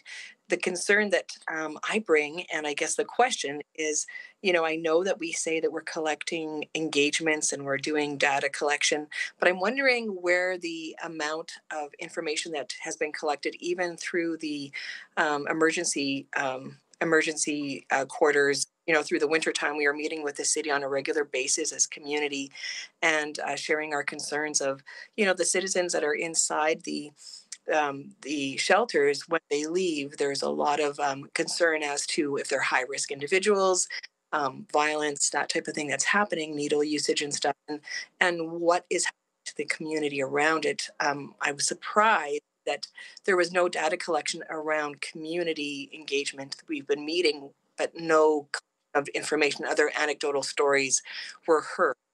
And when asked what kind of, you know, why we did these engagements, it was so that we could be heard. And that's lovely. Heard. Um, just wondering about what action around that for the community that is surrounding these areas on an ongoing basis. And also wondering and I know that in the study it, or in the um, presentation, it was talking about, um, you know, not spreading this out across the city, but keeping them sort of closer together. And I have to say, um, a bit of a concern about what happens to community when we put too much of one type of individual in in a community that could be across the whole city and whatever type of uh, individual we're talking about. So, um, really looking at being able to um, give an opportunity for health for the people that are going to be in a shelter so they're not walking out the door to a trigger area and community. And um, same thing with uh, you know when it comes to encampments and and these extraordinary um, pieces that we're putting together for housing during hot days and that kind of stuff. What kind of supports are around in community because we um, really care, but we are over capacity with how to care. And um, to call in all the time, it would be great to actually have a 24 7 team that is actually riding bikes and calling stuff so it's not uh, weighted on the community to make always those calls. Um, so thank you again for your care um, upon the uh, vulnerable in the city is just some areas that I think um, are some, some, some more gaps that just need to be addressed. Thank you. Thank you, Ms. Morin. We'll now go to Jim Gurnett, followed by Natalie Napier. Uh, Mr. Gurnett?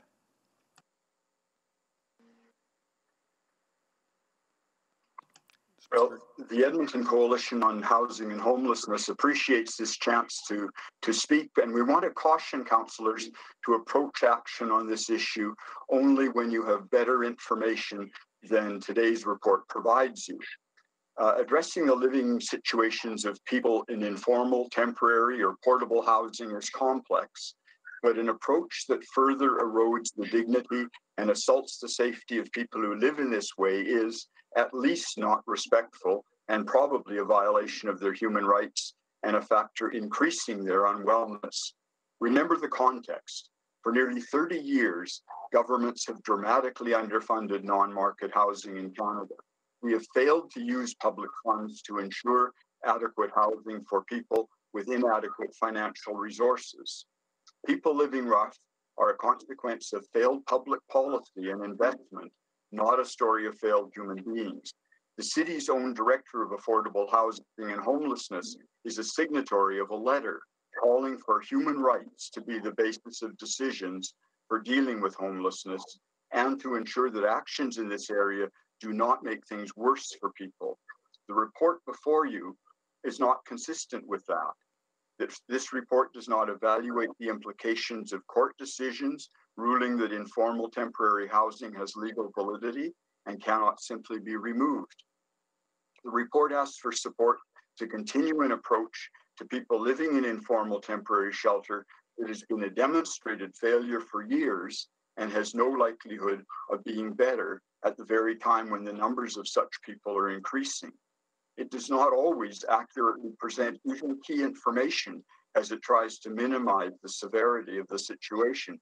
For example, the report states, and I quote, the city of Edmonton is making investments in the following additional services, expanded day shelter services and hours of operation at Bissell Center, end quote. When in fact, the hours of day service at Bissell Center will decline from the current 91 hours per week to 42 hours on May 1. The report does not provide you with vital information. Our written submission lists some questions that need to be answered. The report does not offer an adequate review of the rich variety of possibilities that sanctioned approaches may offer. A few months ago, ECHO hosted a presentation about one such possibility. It does not adequately identify the significant problems with the current removal approach that have been well described by research.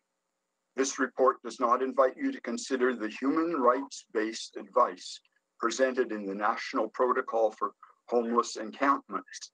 That document basically describes how failure by government to provide adequate services and facilities leads to people making their own solutions. And then when they do this, they are criminalized or further disrupted by public authorities for doing that. This report offers no perspective from people who are living in these situations with their voices about what the current way they are treated means to them and what they think might be a better approach. Before members of City Council use this report to arrive at conclusions about how to approach the issue, ECHO encourages you to go to any location in the urban core and observe as the removal forces arrive. Watch an already inadequate temporary shelter that is home for a family being taken apart as the people living there sit in shock, having everything removed around them and tossed in the back of a dump truck. Watch the frightened or angry faces of people rushing to pack as much as they can into a rickety go- grocery cart before the truck reaches their location. Watch city and EPS personnel standing about chatting while this desperate flight is happening. Watch the people who have just had their homes torn away from around them trudge a block or two and begin setting up a new shelter an hour later. We appreciate the knowledge and commitment about the right of all people to adequate housing that city councillors have clearly expressed. We encourage you to make a brave, exciting commitment to finding a better way to address the reality of people living in informal and temporary shelter. Doing more of a terribly failed saying, hinting that somehow it will now be done better, is not good enough. Thank you very much. Thank you. Next, we have Natalie Napier, followed by Jennifer Peedy. Uh, Ms. Napier? Thank you. I have a slide presentation coming up.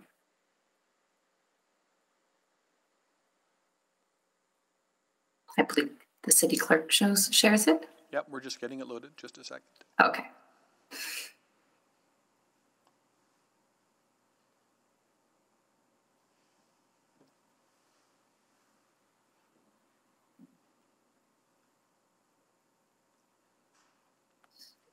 There we go. Good morning. Or good afternoon now. Thank you for the opportunity to speak. My name is Natalie Napier, and I am here on behalf of In With Forward, a social design team that has been working with Recover at the City of Edmonton for the last five years. We also do cross Canada research with people experiencing homelessness. We think it's important to bring the perspectives of some of the many campers we've spent time with to the conversation today. Our work with the city's Recover Urban Wellness Initiative began with ethnographic research to understand how unhoused Edmontonians understood and experience well-being. I think that research, as well as more recent research in Toronto's shelter hotels, can illuminate some opportunities for Edmonton in this moment. Slide. In With Forward has partnered with Recover as an organization with a mission. It's our ambition to transition Canada's social welfare state from safety nets to trampolines, meaning to redesign supports that help people bounce up and move forward to lead flourishing lives according to their values. Slide. When it comes to housing, we've had the real privilege to speak uh, to spend time with individuals like Jen, who can help us understand why some people reject housing supports. This is Jen singing her heart out at karaoke in the Mustard Seeds Church Street location at the end of 2017. She spent much of that evening visiting and caring for people in her extensive network. That included mediating a dispute at a couple's request, before closing, she led the women in a cleanup of the washroom, as was her routine. She had a new job cleaning office buildings at night, which she said was filling her with a sense of purpose. In the wee hours of the morning, she made it back to her urban camp. And the next day, the camp was removed, and Jen started looking for her next spot. When asked about housing, Jen was frank quote, I don't think I'm quite ready to have a home yet. I don't utilize the services available to me because I'm not ready to respect the rules they have, end quote. For Jen, her role in community came first, and staying housed meant making a break from the street community. Slide. I met Renee in Strathcona in January 2019. Renee had been camping for two years in the River Valley with her adult son after two unsuccessful attempts at housing. Renee spoke nostalgically about when she was housed, um, and but her hosting of her son and his friends had twice led to eviction. Renee described her experience with shelters as one of always being sick and feeling unable to sleep. So Renee camped while dreaming of housing where she would feel less surveilled. Slide. More recently, I had the opportunity to spend time in one of the shelter hotels the city of Toronto has used to empty camps and bridge to housing. Meet Richie, one of many hotel residents who were struggling with their new environment. For Richie, his preference for the encampments was all about relationships, agency, and autonomy. In the camps, he built trusting relationships that gave him a sense of safety and security. He felt empowered to solve his own problems, and he quite successfully held down a job uh, on an eviction prevention team, perhaps ironically. In the hotel, he was censured for taking initiative and expected to let staff handle things for him and to wait for a response, which he had trouble with, and he was eventually evicted. Slide. When we looked at the stories of 60 Street involved Edmontonians in the round, clear priorities emerged. While housing, meals, clothing, and money were real stressors in people's lives, they were at best a means to an end. And the ends people were after were non material slide. And too often, they experience services and supports as interfering with these outcomes that they value for themselves. Slide. Recover has taken this learning on board and called for a few rebalancing acts. They that looks like a shift away from framing problems solely in terms of material lack, for example, lack of housing, to taking a yes and approach yes, people have material needs and they have non material needs, like a sense of purpose, that need to be met concurrently. Recover has also identified, we can say on there, Recover has also identified more powerful levers of change that can expand our thinking from infrastructure and programs to the roles, interactions, and experiences that happen in those buildings and programs. Slide. Because it's what happens inside encampments shelters, and housing that determines outcomes. Slide. The opportunity here is to experiment alongside campers, shelter users, and people on a housing journey. We can experiment with new kinds of roles, interactions, and experiences to find out what might work for whom, when, and under what conditions. Slide. Thank you. Luckily, the city of Edmonton, sorry, I've got two slides left. I'm sorry, I'll have to cut you off there. We just, we've got a few more speakers yet, so, uh, but I'm sure there'll be some questions for you. Uh, we'll go next to uh, Jennifer Petty, followed by uh, Maria Kruz Kruzewski. Thank you. Um, if you can, I think my slide deck looks like it's right after um, after Natalie's. If you can pull up that slide deck.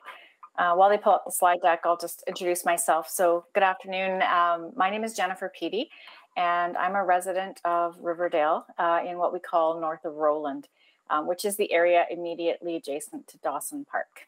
Uh, I was born and raised in St. Albert, but I have chosen to raise my young family in Riverdale and Edmonton because uh, I love the proximity to downtown and the River Valley. But there's a it has a whole other side uh, to that that I think it's important for City Council and particularly this committee to appreciate when they're making important decisions in respect of our homeless strategy.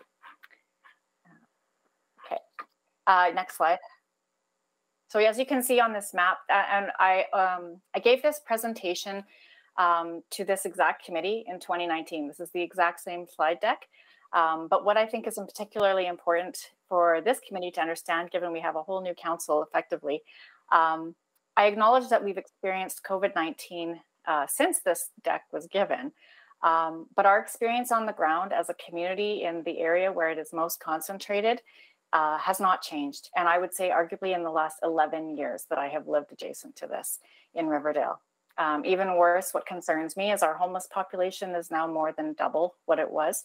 And the emergency housing that was in place during the pandemic is no longer. So if the city doesn't address this issue, we are going to have a massive crisis on our hands this year. Um, Anne shared with me the administration's report that was shared.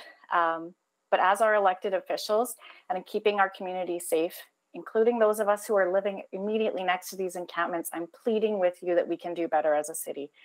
Um, please challenge the status quo because it it's not proven to work. And I would be happy to join and I invite all of you to come and we will walk the trails with you um, and show you what we can see. These pictures uh, that I've got in this deck, I'll, you can flip to the next slide.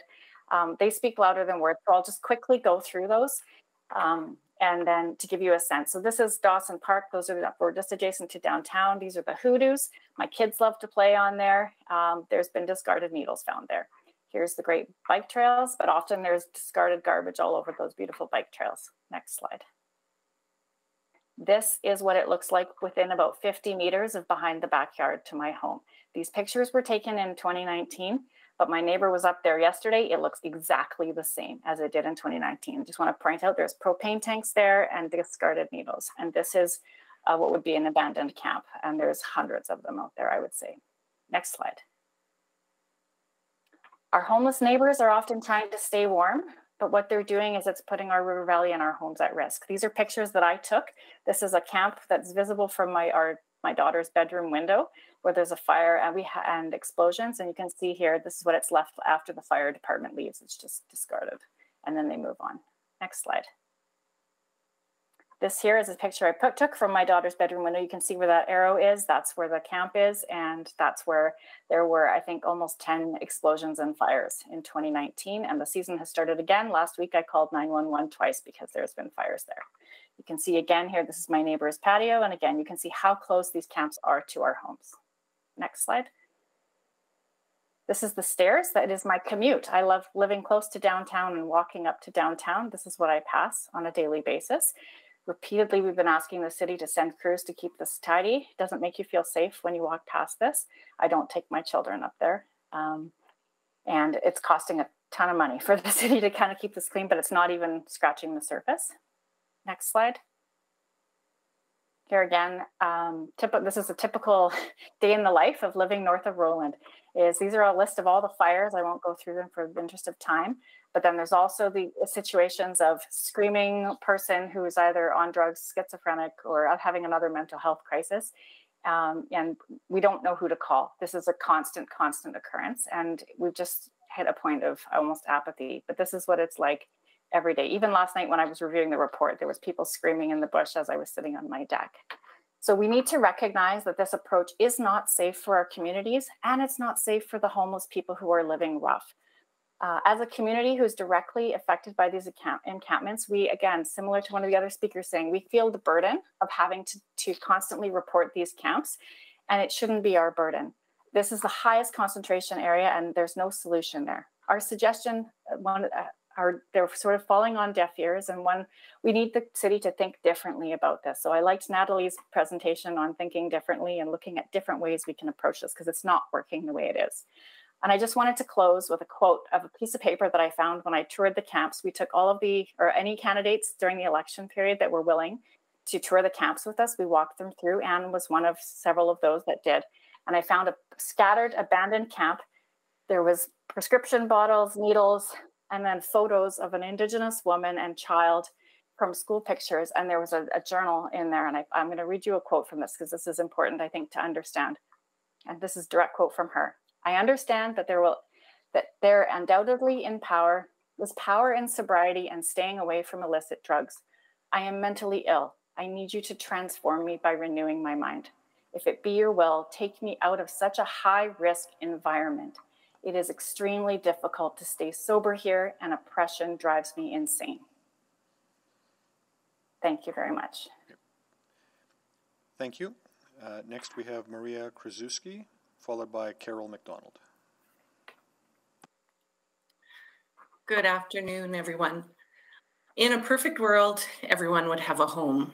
As a regular volunteer with Inner City Pastoral Ministry, I meet people who live in encampments that spring up in the area around 96th Street and 105 Avenue, and in ravines and parkland of our river valley. Now that spring is here and shelters have closed, I see the tents, tarps, and lean tos that house folks who have no choice but to sleep rough because they can't afford rent or are otherwise unable to be housed. I also notice how these areas are frequently removed by EPS and city cleanup crews only to spring up against the next fence or further down the river valley. The suggestions of the current city strategy for homeless encampments before you looks just like a continuation of what has been a proven failure. Many homeless people form loose communities that look out for each other and share resources in our inner city streets. In dismantling their living spaces and disposing of their possessions every couple of weeks, the current city response to the homeless crisis only increases homelessness and mental health concerns and moves them around.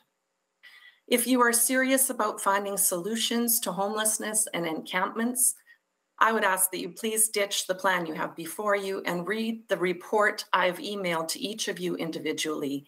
It's called A National Protocol for Homeless Encampments in Canada.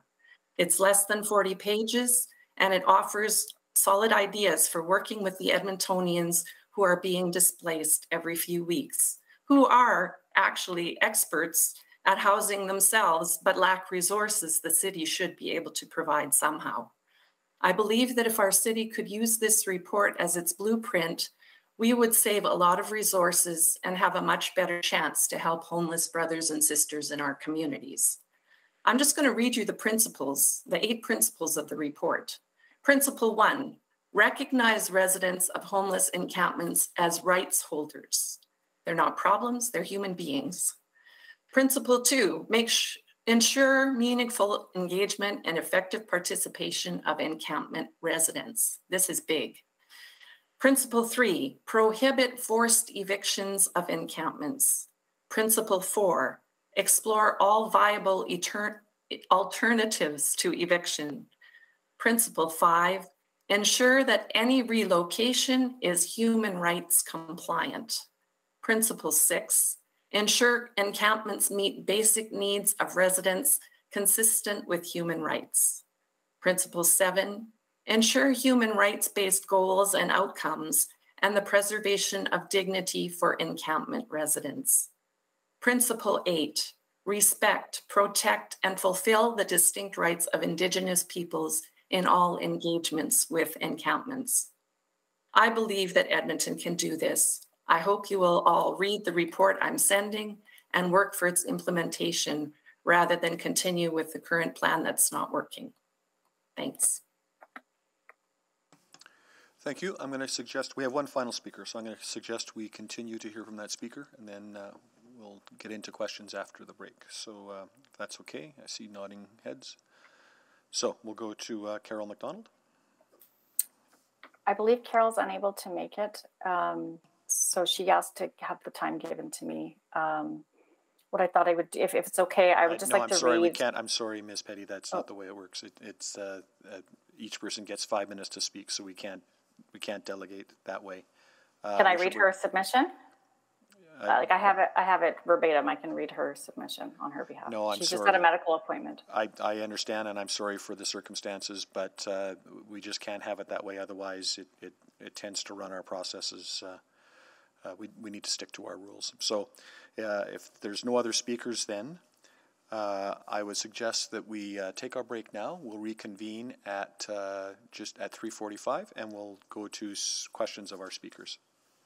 Okay, thank you. We're in recess.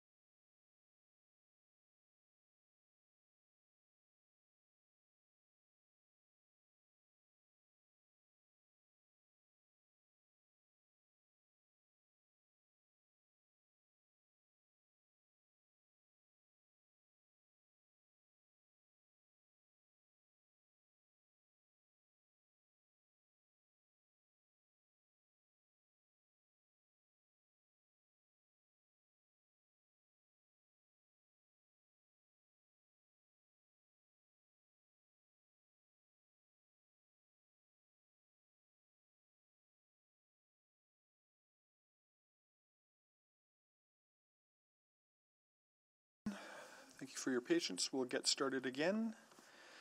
And we'll move to questions of our speakers. Uh, we'll start with uh, Councillor Tang.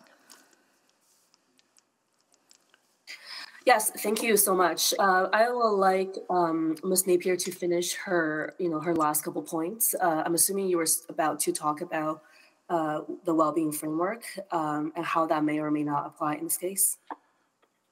Yeah. Um, would it be possible to get it up on the screen? Uh, if you're able to, maybe you can just go ahead and, and, and speak. Sure. Thanks for the question, Councillor Tang.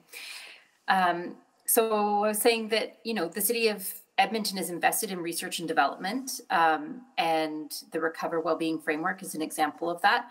It's centered around desired outcomes of connection and well-being, which came out of that ethnographic research. And the outer circle of the framework offers up levers of change that can influence whether people feel a sense of connection and well-being. And Recover uses a prototyping process that experiments with different levers of change, such as resourcing unusual suspects to play different kinds of roles that convey meaning and purpose. And then the middle ring of that framework offers up some different kinds of metrics to help us understand what it might look like when people are feeling a greater sense of connection and well being. Wonderful. Thank you very much. Um, uh, you know, I guess uh, you, you know, your team works a lot. Uh, spend a lot of time with folks on the margins, uh, whether it's in Edmonton or other uh, cities. What are some of the key pieces of information that you search for that are essential to uh, human-centered design, which the report talks about? Yeah, so um, with every ethnography that we do, we use different methods to understand pain points and stressors uh, as people experience them as well as values and what people consider to be good outcomes for themselves. And we observe to see what is working for people, how they behave in different environments, how they solve problems, um, what kind of solutions they gravitate towards. And we prompt using designed tools to understand what's appealing to people, what they're drawn to. And all of that gives us clues to begin to generate ideas and design alternatives that might work better for different segments of people. And we do that with people as well. Yeah, no, uh, that's really a critical uh, lesson. Thank you. Um, so this report focuses a lot around the services and the programs and the changes that they may undergo as part of, as a result of the human-centered design research uh, work. And in your experience, whether it's with Recover or with other initiatives, when organizations want wants to push forward uh, incrementally, um, to improve the status quo in favor of disrupting the current understanding of problems and the solutions, what is needed?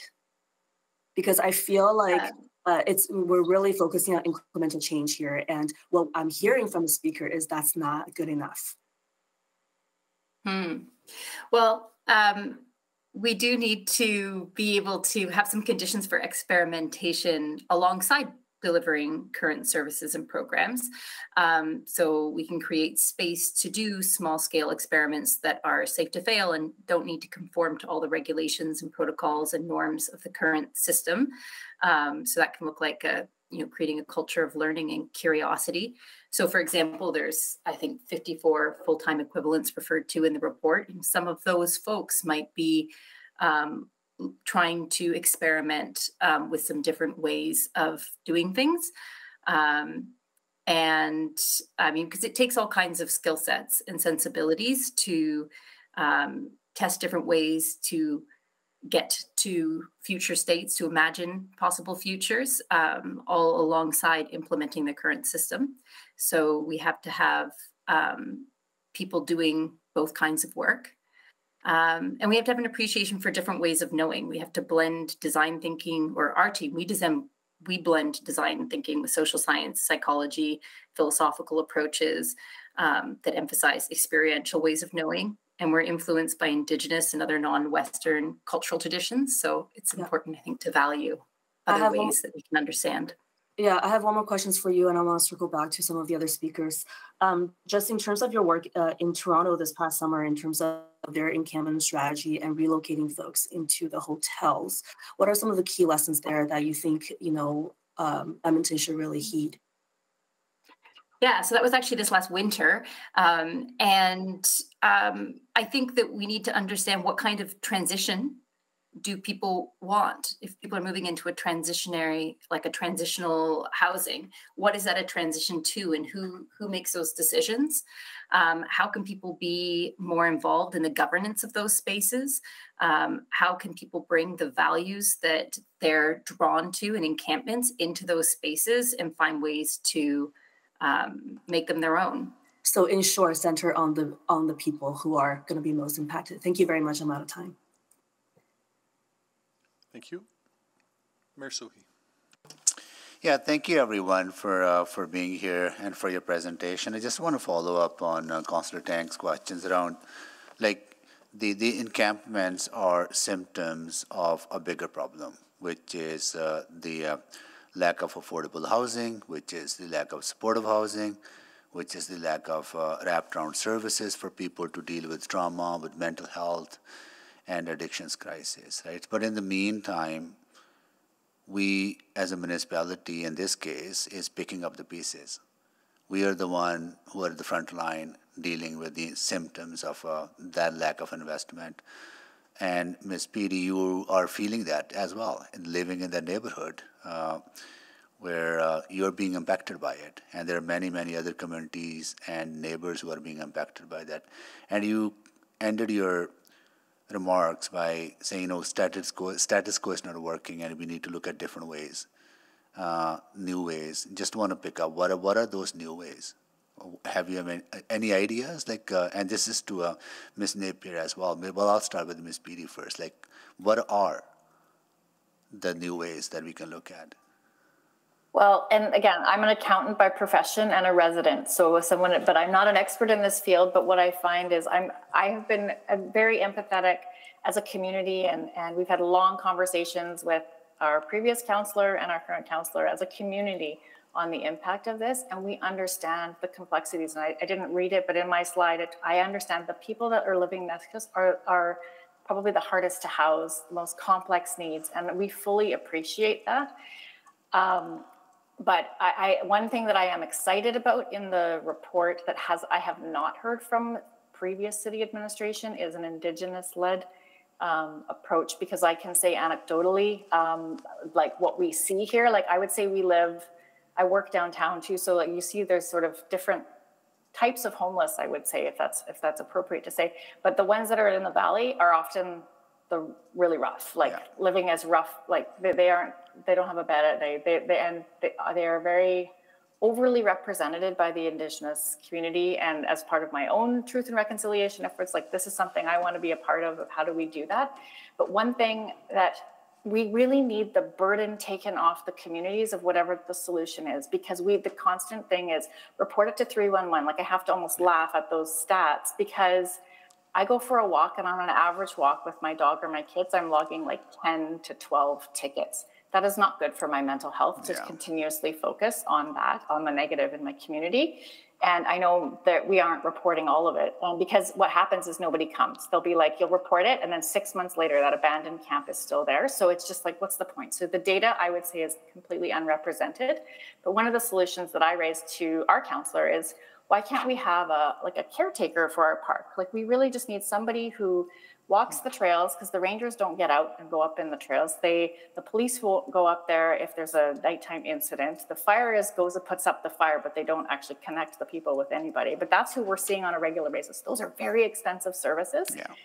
We have crews and we know the people, the crews, like I know the crews that are out here. And I met a lady just out, out with her truck and I pointed out, can you go pick up the box spring and mattress that just appeared here the other day? And she said, yeah, I'll go get that. She was one of the city crews phenomenal woman. And I was like, she should be the park caretaker. Like you need someone to walk around who cares and just sees and, you know, builds those relationships with those people. I know the outreachers are out there. We see them occasionally with their backpacks, but there's also a very under-resourced like neglect of the abandonment. Like this is not, there's, I think there's mm. two separate issues in some respects because even the abandoned camps aren't being cleaned up in okay. any timely fashion. Yeah, and well, you, if you drive down towards Riverdale, it looks like a garbage dump at the corner of Alex Taylor Road and Rowland Road. And that's how people get to downtown to our beautiful ice district. Like it's, yeah. it's embarrassing.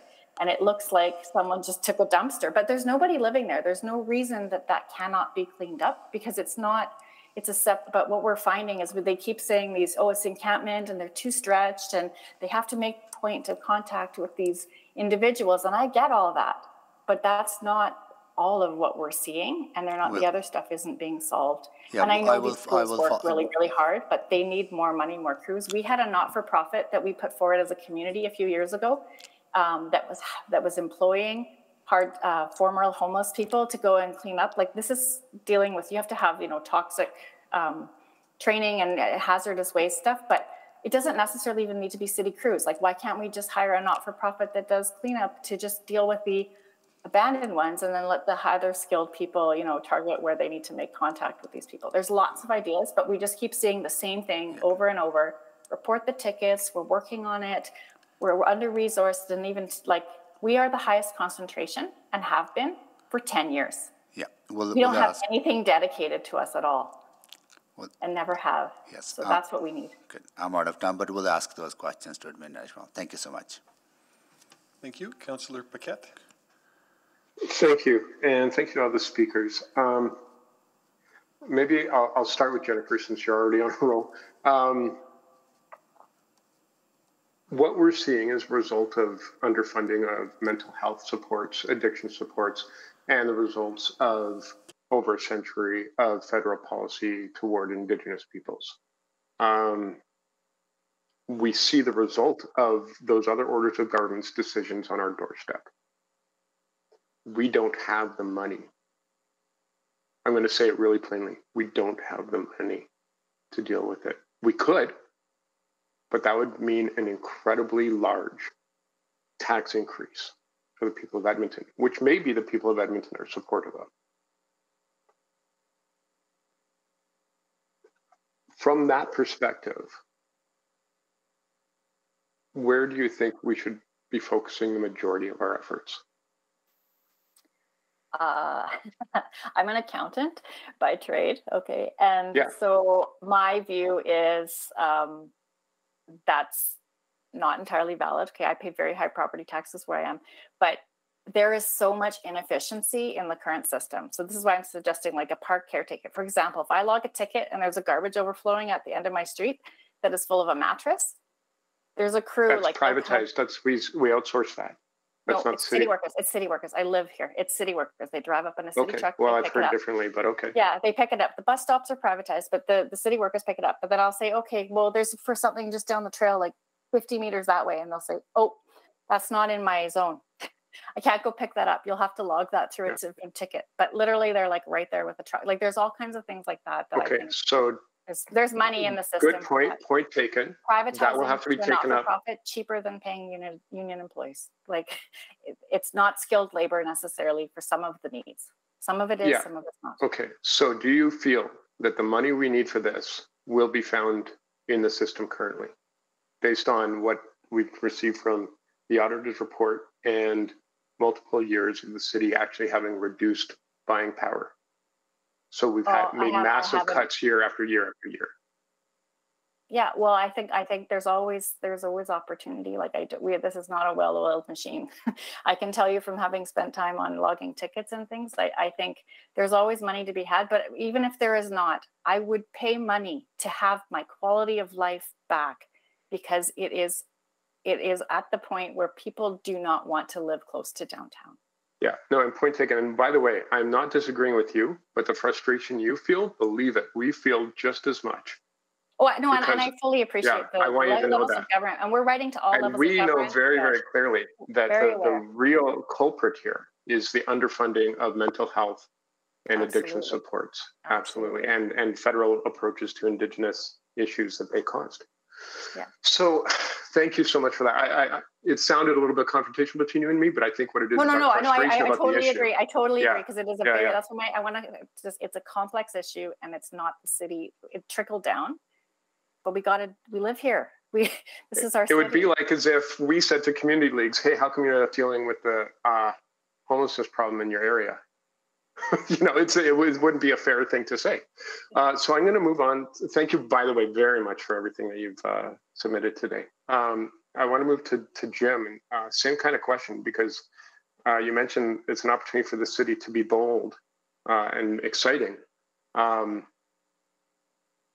where do you draw the line between doing, uh, take, taking this burden on property taxes and the city can't go into deficit and a provincial government or a federal government who absolutely goes into deficit whenever they want to and for whom the solution to this would actually be a blip on their budget, which is incredibly frustrating. For us, it would be a massive impact on our budget. For them, it'd be a blip. Where's the excitement and what the city can do, I guess, is what I'm looking for. Well, I, I think I'm entirely sympathetic to the to the idea that uh, um, we need to continue to keep the pressure that you folks have done so well on, on other orders of government to come up with the real money that's needed to address some of these things. Um, but but in the immediate context, I also think that that it's prudent to look at how much is being spent to do what we're doing, which I think, as all of the speakers said this afternoon, uh, is is continuing to not succeed in any way um, if if those millions of dollars that are doing what doesn't work were creatively reinvested in some some uh, experiments around whether we could have sanctioned opportunities for people that were living in informal settlements, we might be surprised at, at the fact that we could have a better quality of life and avoid some significant problems uh, without spending more money. Not so, to say that we back off on continuing to advocate for the other money. Yeah, so I'm out of time. So you're saying just a reallocation of funds could potentially solve the issue? Thank you. We'll move now to Councillor Stevenson. Yes, thanks very much, and thanks to all of our speakers for being here uh, today. I just wanted to hone in on a few key points. Um, so, Ms. Morin, I, uh, Ms. PD, I'll come to you as well, but Ms. Morin, you really spoke about the burden of reporting on communities. Um, if if I'm hearing from you, something that would really help uh, lessen the impact of surrounding communities would be to have the city doing some of that that proactive inspection or, or um, surveying. Yeah, that's exactly right, Councillor. I think often, to what Jennifer spoke to, I mean, uh, the, the health and well-being of our of our community that lives in and around these areas is is really at a fragile place. So to be able to have people that are not just doing business hours, you know, nine o'clock at night are actually out and about and hearing the screams.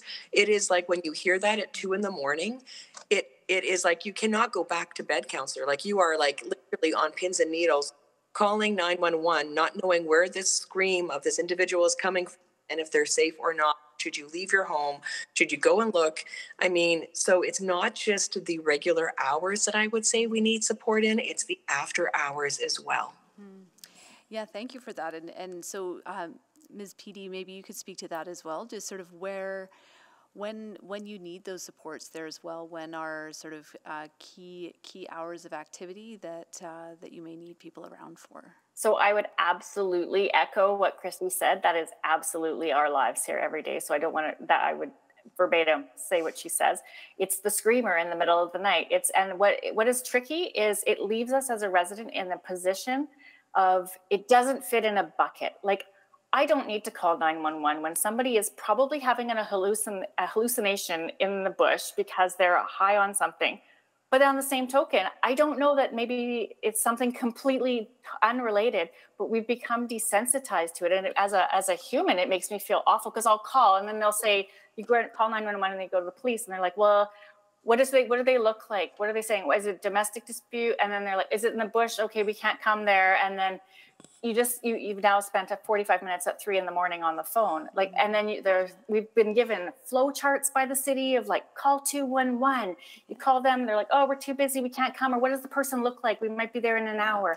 So can't call I, the fire department. So and to the other point i just want to make is the, the reallocation of resources. We are calling 911 sometimes. That is not a 911 issue. Mm-hmm. there's money. That's a very expensive resource yeah, well, and I think you know you spoke to the frequency of calls that you're making to again some of our highest cost uh, services. Yeah. Absolutely. Um, also, just just uh, very briefly, and then I have another uh, question for Mr. Uh, Gurnett as well. But I, I've heard from you as well just that concern around the service level expectations on the cleanup. So even when cleanup crews come, it's maybe not not to the extent that that communities might hope for.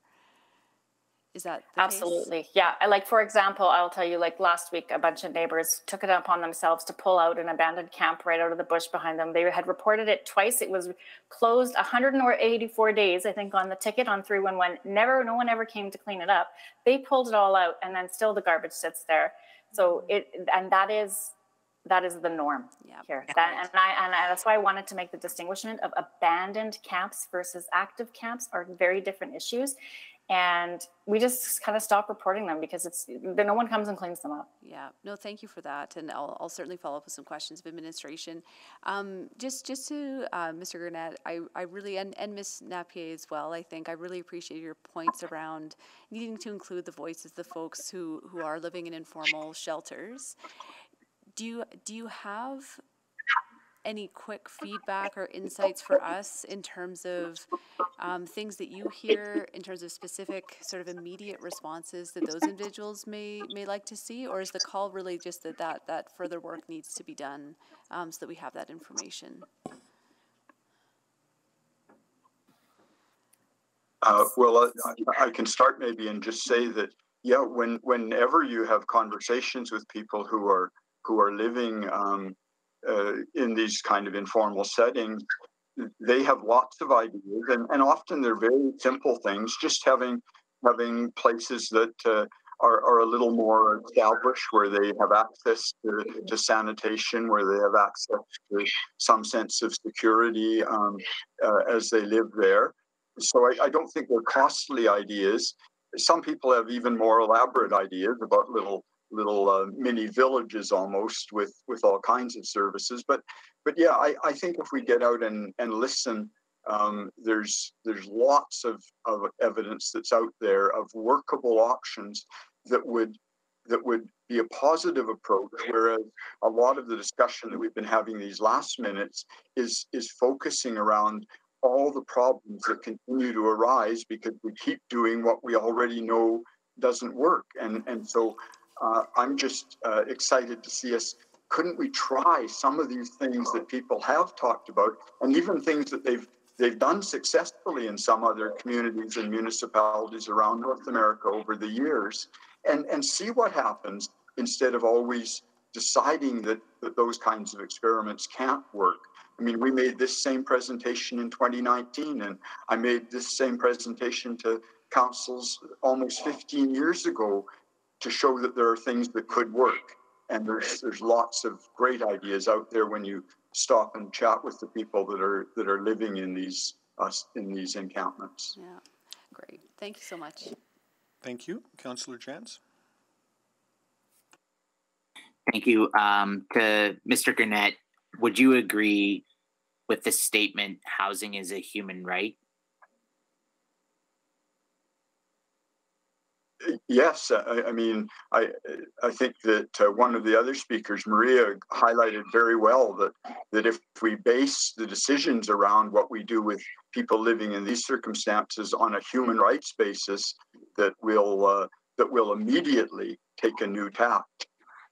And would you agree that a bed that does not meet our shelter standards is not actually a bet at all, and we shouldn't be because if it doesn't meet our standards, we shouldn't be expecting an Edmontonian to to go and stay in it. Exactly. The I mean, the international agreement about what the human right to housing means is is specifically that it's adequate housing. That is, it's safe, secure, healthy. Um, that that you know, it's a place that's dignified to live as a person. One of the concerns I have with tent clearing is that if we clear some neighbors on 105th Street from their tents, that it's not like they can just, if they're not willing to, or or there's well, the report has acknowledged that there's not enough shelter space available. Period. If they're not able able to get into a shelter, that they'll just have to go and set up a camp now on 103rd Street, and all we're really doing by tent clearing is just displacing folks from one area to another, traumatizing them and getting them essentially worse off. Are you aware of a um, a managed encampment strategy that you would prefer to point us towards in another jurisdiction or or or somewhere else?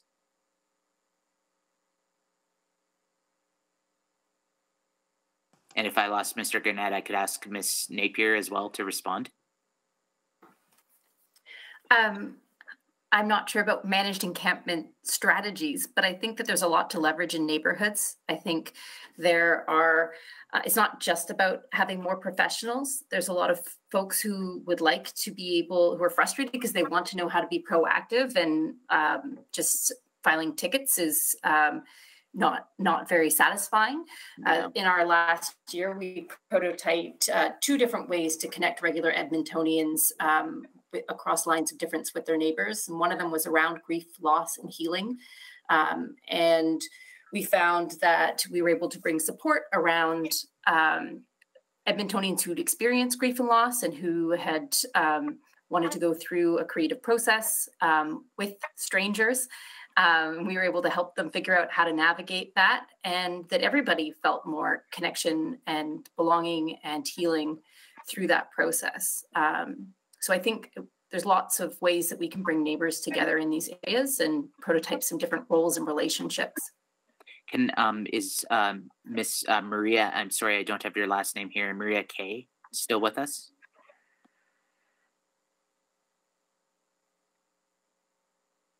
Might have lost her. Is yes, I'm here. I'm oh, here. I was. Hi, Maria. Just... Sorry about that.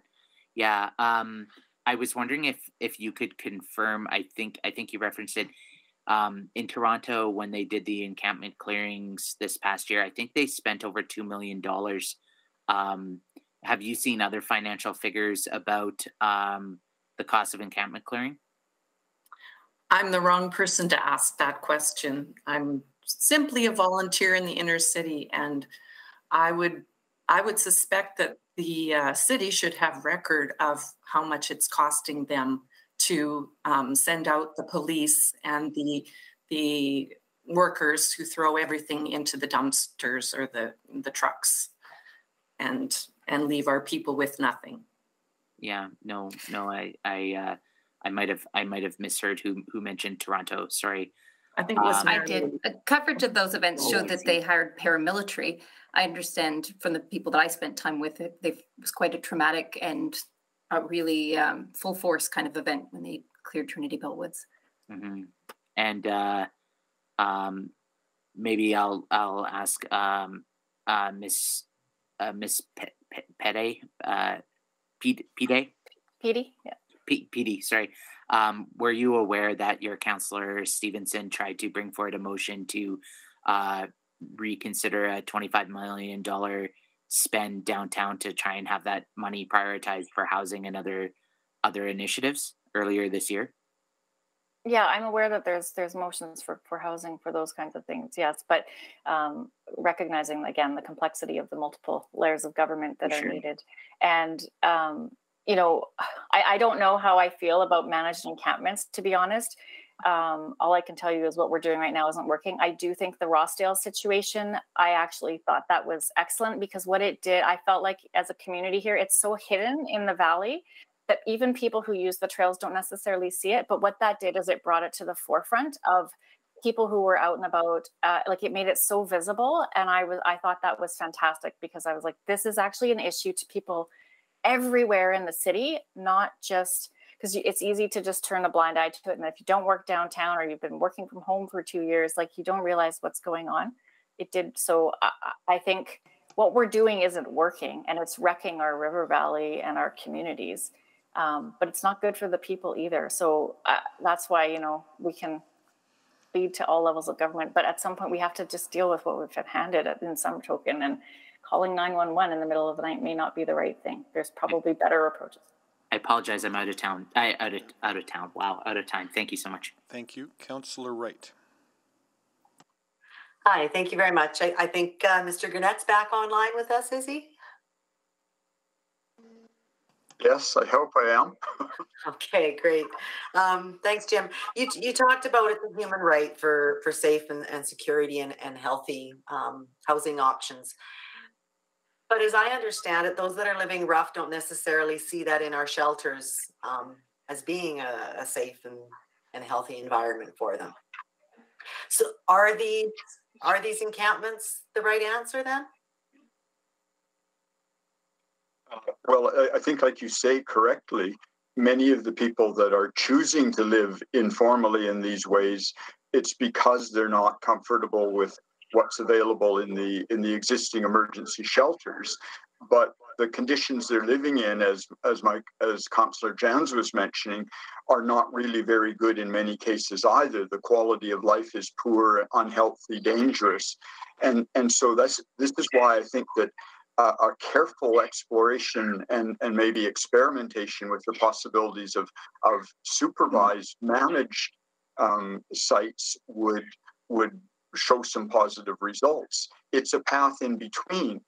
We right now we're everybody loses with what we're doing now. The people themselves who are living in the informal settlements, the people who are living in the communities where they are, and and so we know it doesn't work and we've known continuously that it doesn't there's there's a great research document mentioned in in our written submission that looks at this across north america and demonstrates all the the problems created by renewal r- removals and and uh, t- dismantling of camps so to honor people's human rights we've got to do something better and make a commitment to that I don't think it would cost a lot more to do that either than what we're doing now. And would these managed sites be viable year round? I mean, given our minus 30 and 40 degree temperatures in the winter? Well, I, I mean, I'm not the expert on that, that but there's there's certainly possibilities for that. Um, and I think there's there's a, a, lot of cases we could look at that would tell us more about what could be done, what needed to be done to to make them viable. Um, and uh, it, it, there may not be a perfect solution, but if we if we had a more dignified approach that honored people's human rights, it might also cause people to be more open to also look at some of the other options in bridge housing that are already available to them instead of being so reticent about that as well. Okay, so there is more that we need to, to look at then. Okay, thank you very much. I'll yield the rest of my time. Thank you. Uh, on the second round, then, Councillor Tang. Yeah, uh, thank you very much. Um, yeah, I just really want to thank all the speakers. You know, I think there is a couple of themes that are coming through loud and clear across several speakers. I just want to pick something up that um, I think Jennifer and Natalie both mentioned, just in terms of some roles and uh, interactions. And I think, Jennifer, you mentioned really well how uh, there could be perhaps refresh, renew different kinds of roles that folks who are living rough can can take on in, in terms of contributing to the community. Um, have you ever contemplated perhaps roles for the local residents like yourself? Because what I'm hearing too is right now you take on this role of reporting, of calling through, and of being very much on the lookout. Um, did that ever just and if there's an opportunity to have that conversation would you be interested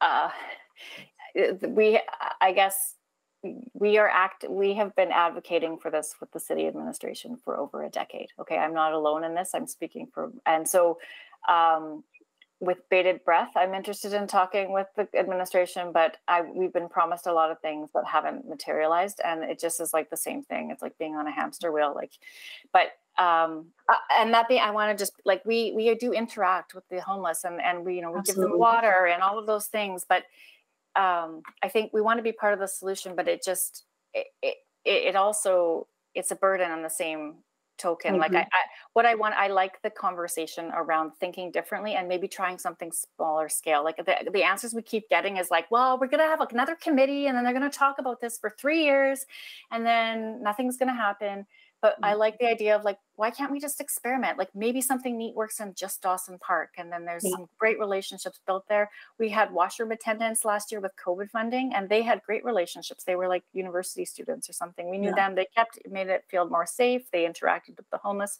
There's opportunities there that are pretty low hanging fruit to think differently in each community. Yeah, thank you so much. Um, Natalie, do you want to just respond to that? Also, I'm curious, some of the research you have mentioned pre, pre previously, which I am familiar with, this is work City already has done. Uh, you know, where are some of those literatures? Where is it housed? Uh, just in terms of solutions that do think differently. Yeah, well, I mean, I couldn't agree more with Jennifer. I think uh, having those opportunities to start doing things in community and getting feedback on what works and what doesn't, and seeing the effect of behaving in different ways, trying out different kinds of um, relationships with people, and being able to kind of change some power dynamics is um, really exciting um, in terms of where we keep things or what's been done. Um, Recover has over 60 individual profiles for folks who are street involved. Um, there are reports or what we call playback books for each of four rounds of ethnographic research in the core in Strathcona with users of 24-7 crisis diversion in City Center Mall. Um, all reports present top pain points and opportunity areas and identify possible starting points for prototypes. Um, Recover has access to all of that, and their website also has reports and blogs about all the prototypes over the past five years, some of which have their own websites, uh, like solos.ca. Yeah, no, thank Uh, you so much. I'm out of time, but just to say that there's seems like there's a lot to build off of. Thank you very much. Yeah. Thank you. I believe Councillor Paquette's on for administration. So that uh, completes uh, questions of our speakers. So we thank all of you very much for joining us today and sharing your perspective and, and making your presentations. Just realized my camera was off. Uh, we'll now move to questions of administration. Now, Councillor Janz, you uh, exempted this item, so we can start with you if you're ready. Pass, please. Fair enough. Mayor Sohi. Yeah, I'm cognizant of the time because we only have 35 minutes left, right? And uh, so I'm going to get quickly into questions. Have we looked at having a small supervised managed sites? Um, th- uh, thanks for the question, Councillor Sohi. We have looked at it in the past, um, examined it, especially during the course of the pandemic. Like at the very beginning in 2020, there was some guidance from the CDC around not moving encampments to reduce the spread of COVID 19. And so we did investigate the prospect of a sanctioned encampment at that time. And what we found was that cities who had experimented with sites often ran into one of two challenges. One is that they were well, managed by having adequate services and supports present, but they were very costly, and the costs were similar to an in, an internal, like a, an, a building or a solution that was inside, essentially. Um, or in other cases where they weren't as expensive or they maybe were less um, extensive, then they quickly became unmanageable and untenable and posed a number of safety risks that ultimately res- resulted in them being closed. So you'd rather see that money go into permanent solutions instead of temporary solutions? I get that, okay. And What- I would, I would also say, your, your worship, that, uh, you know, we've had some conversations, nobody in this city, from what we could tell, wants a managed encampment in their backyard. Okay. Uh, and near their community, uh, based on our discussions with some of the BIAs and others. Okay, so when uh, encampments are dismantled, whether by force or uh, uh, or uh, other ways, right? Uh, I understand there is a high-risk uh, enforcement team place of city and EPS. Have we looked at a more of a tripartite approach, the way we do with transit now, having uh, more com- community involved and more compassionate approach to uh, uh, to moving people if they are posing a safety to them, uh, safety risk to themselves or to the community? Uh, yes, um, uh, Mayor Sohi, that is something that was um, came out through our encampment evaluation that we did of the response last summer. Is that there may be an opportunity to have outreach participate in those um, closures to to be the messenger of that clear and consistent connection to housing options, and that is something that we're looking at. Are we looking at or are we implementing this, that tripartite governance structure that w- we have similar to We are implementing where it can, but we have to be cognizant of the numbers. We removed seventeen hundred and sixty-five camps last year. There is not the capacity to add social services to every one of those removals, or if we were to wait to have a social service there every time we did that, there's no way we could remove uh, that many encampments. We've already done, and we've cleaned up three hundred and twenty-two in this fiscal year already as well. I would love, definitely lo- lo- love to learn more about that because I think that's the better approach than uh, more of a enforcement approach. But I Uh, would say to your worship that I, to assume that just because a social agency is not there does not mean it's not a compassionate approach. Oh, I And I think it's understand. No. but I think it's important to state that because the police and our bylaw officers and those involved are very compassionate in their approach to, to when they do this. I, that's not what I meant. I'm sorry if I came across no, that no, way. but but it's not done in the in the manner described by some of the speakers. I would say as well. so there's a lot of compassion involved. So why don't we ab- uh, uh, clean up abandoned encampments quickly? We we clean them up. We we so like I said, we cleaned up 1,765 last year. These There were are abandoned 20 ones, okay, There are 28 reported vacant encampments awaiting cleanup and removal that are on our list right now. Uh, we are doubling our cleanup crews from last year to this year. 14 last year. We're up to 28 this year, with 14 of them focused on the downtown area. Okay, got it.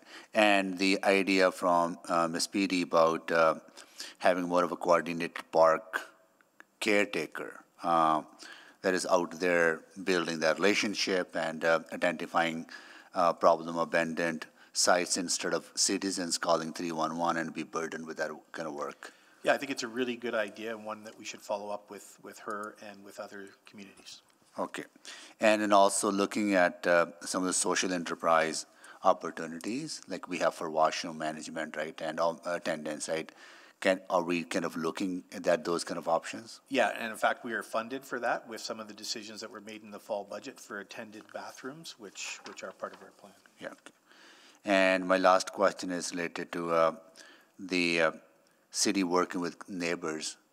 I know it's a burden on the neighbor, but uh, we are a community, and we have, as a community, have a responsibility to look after each other. I understand concerns from Ms. Speedy, but do we have a structure in place where city works with the neighbors to give them tools to engage, or I mean, uh, provide some sort of support for to? Uh, Um, Council, or Mayor Sohi, we do do that in an ad hoc way currently, where there's like hotspots or periods of particular consternation, like the areas around the Spectrum Building. Um, Ms. Moran referenced engagements that we've done.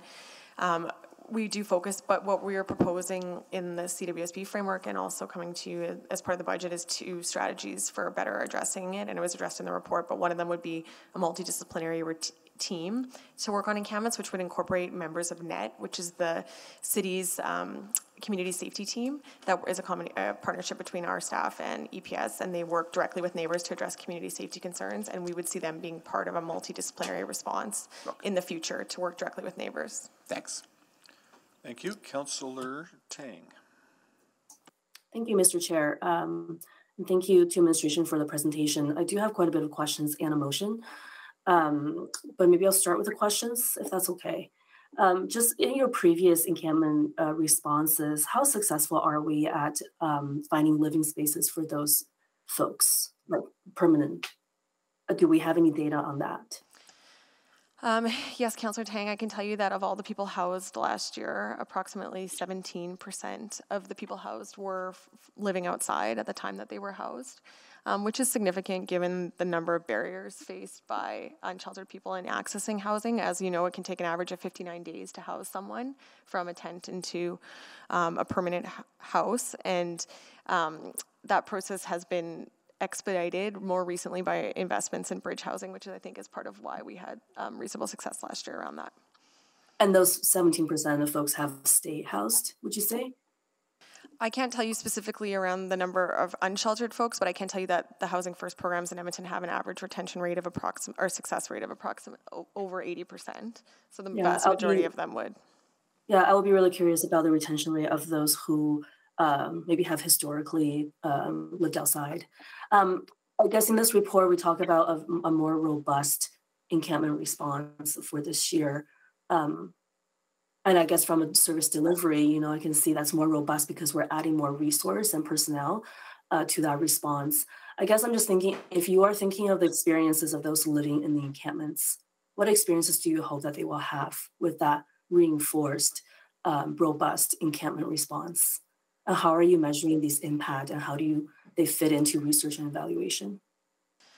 Um, so for, I can speak from the housing side of things, although there's obviously other parts of, in te- of teams of the city involved in this. Um, and we so we track the number of people that are housed by the outreach teams that we employ to engage with encampment residents. So certainly one of the outcomes that we hope for is that more people out of encampments are re- acc- accessing both bridge housing and permanent housing, and those are two evaluation metrics that we track in Yeah. response to our ongoing response.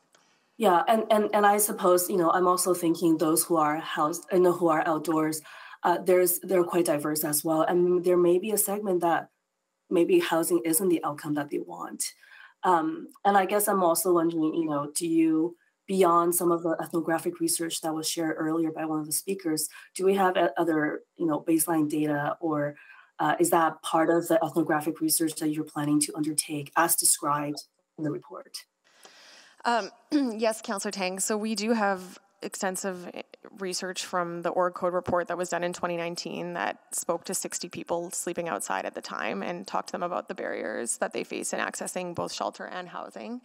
Um, but we are renewing our efforts around engaging people with lived experience this year and we've contracted MAPS Alberta which is another firm that works with vulnerable people to do journey mapping of someone's experience in an encampment with the goal of being um, really clear around where the pinch points are in the process for them and how we can help remove those barriers to shelter and housing because obviously I think that's the goal that we have for everyone who's currently sleeping outside is that they'll be able to access you Yeah. know permanent Yeah. safe housing. I want to follow up on that on my second round. Thank you very much. Thank you. Councillor Wright? Thank you very much. Um, I'm glad to hear um, that there has been contact with um, with those that are um, living rough. That um, I think you mentioned um, 60 people were were included in sort of your survey. Um, that was sort of my concern: is is are we reaching out to them um, to see what their needs are? So I'm glad to hear that. In the report, it talks about new strategies that are being discussed um, and potential pilots what are some of those new strategies? I'm, I'm thinking, you know, have we looked at existing campgrounds within the city? Is there um, tiny homes, something like that, that we could provide?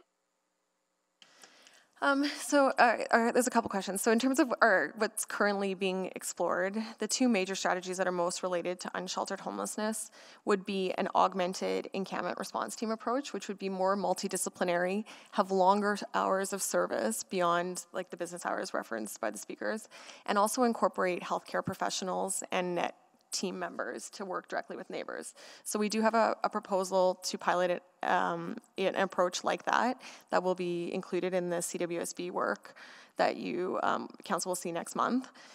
In addition to that, we also have developed, are working on developing a proposal around an Indigenous-led shelter. It has been acknowledged that Indigenous people are disproportionately are included amongst the people experiencing homelessness in Edmonton, and I would say they're also slightly overrepresented in terms of the unsheltered homeless as well. And so, an Indigenous-led shelter that um, incorporates, you know, a more comprehensive well-being framework in how they engage outdoor sleepers to help bring them into shelter, we think would be an important intervention that could work towards um, increasing shelter uptake. Okay, and for the, the augmented encampment that you spoke about, eh, like, would that be a, a large population or like smaller to manage? Uh, the team, the proposal that's fleshed out in the CWSB framework is looking at about nine FTEs. Um, so they would work with the existing resources that are on the in the also being applied to encampments currently, but look at augmenting um, the approach so that it includes all these different disciplines. And then if that's successful, obviously we would look to scale um, an, an approach like that. But what we've found is that um, sometimes people need access to connections to service while they're waiting for housing as well, and that can help them in the housing engagement process, which is why we're interested in trying to incorporate mental health and addictions workers into the encampment response. Okay, so that's staffing. I, I'm wondering how many clients does that serve then? Oh, sorry. Think. Oh, sorry. Um, you know, uh, um, ultimately, we haven't gone that far in terms of modeling the exact program and, and caseload. But somebody, uh, I could get, I can get back to you in terms of how many FTEs, what that would translate into a caseload. Someone on my team will have that if you give me a minute. Okay, thank you. My time is just about up, so I'll yield the rest.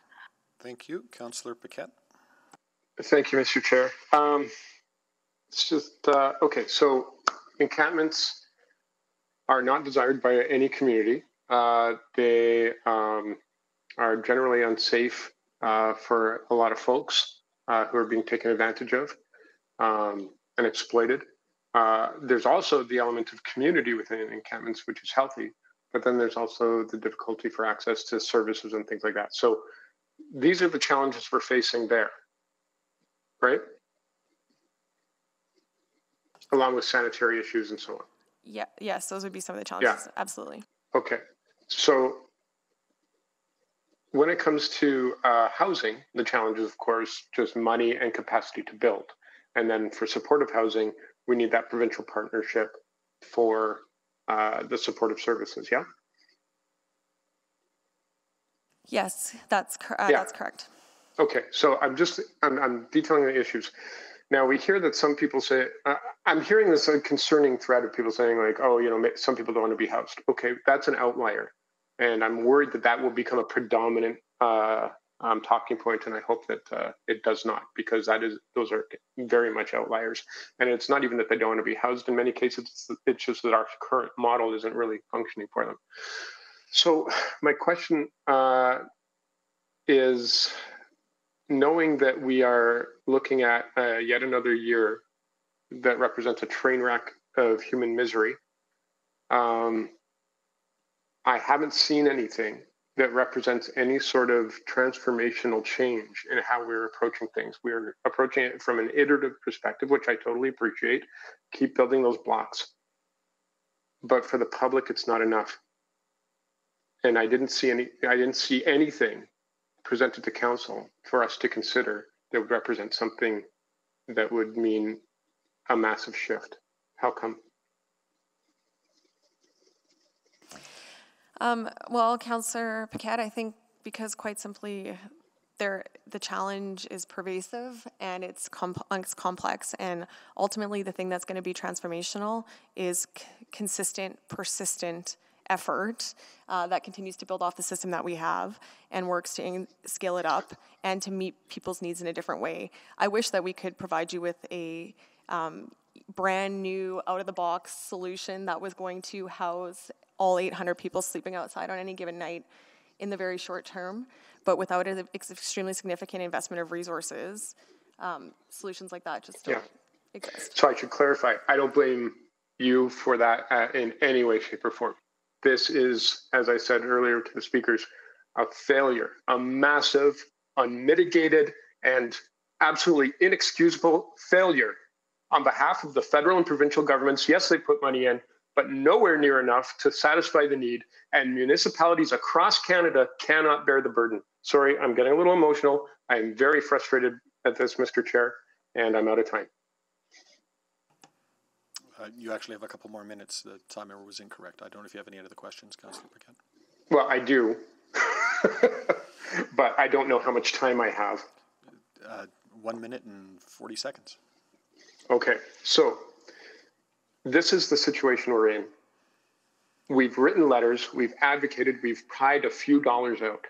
What is it going to take? Maybe this is directed toward uh, Mr. Corbould. What is it going to take for us to see a meaningful difference so that we can stop having people dying on our streets simply due to the fact that there is a failure of government policy? Well, I would agree with uh, Ms. Kjenner that we need to continue to keep working on it and keep pushing on it and and just not not ever give up. I believe that area of work needs to focus on mental health. Uh, you know, if you want something systemic and transformative, it should be in the mental health area. It should be in the in the opioid uh, crisis and drug poisoning area. And the one thing So, we the one thing we have tried to do that, though, Mr. Corbould. Well, This- we don't have the authority or the or the money. No, but that we just got to keep pushing the province. Now, the one thing, uh, there's two other things we can do from a, a municipal perspective. The first is to keep on pressing and pushing and showing hard data to the province, which we are doing. It hasn't made a difference yet, but we, we that's important because in some cases we have different data sets that we can't correlate. And some of the decisions they're making are based on different data. The other thing is in this report in attachment one, we have tried to take a human-centric approach. So we are trying to consider the encampments from the person who's in them and making sure they have access to whatever needs they might have, from basic needs like water and food and bathrooms to housing needs if they're willing to go there. Yeah, and that's what it is. We at the city do everything we can. We're putting every dollar we can into this, barring exponentially increasing taxes. So I appreciate everything that uh, our administration is doing. We've heard that you could do it better, but that, we hear that about every single item, and it's probably true. That's just the spirit of continual improvement. Uh, and that's not a knock on anyone. That's just a, that, that's the way the world works. Okay, well, uh, I think I'm probably out of time at this point. Yep, Thank you, Mr. are. Chair. Thank you, Councillor Paquette. Uh, Councillor Salvador. Uh, thank you, Mr. Chair. And I absolutely share Councillor Paquette's frustration by the utterly inadequate levels of support provided by other orders of government. Um, the report that's in front of us today makes it incredibly clear that we're facing a significant increase in the number of Edmontonians who are experiencing homelessness. And I guess for me, despite that increase, I don't really see a significant shift in our our response or and our approach that is kind of commensurate to the challenges that we're facing. So I guess I worry that you know we're going to see increased displacement of community members who are experiencing homelessness and kind of a pattern of, of shutting down camps without viable housing options and supports for people to turn to. Um, so I wanted to just follow up on Councillor uh, Tang's question around, you know, how many people are actually being transitioned? Um, you mentioned 17% of the folks who were housed uh, last year were living outside Ms. Kjenner. And, and I'm wondering, you know, when we are trying to connect people with services, um, is that the 17% that you're referencing? And does that mean that the vast majority of folks are, are still going to be living unhoused, uh, just in a different location?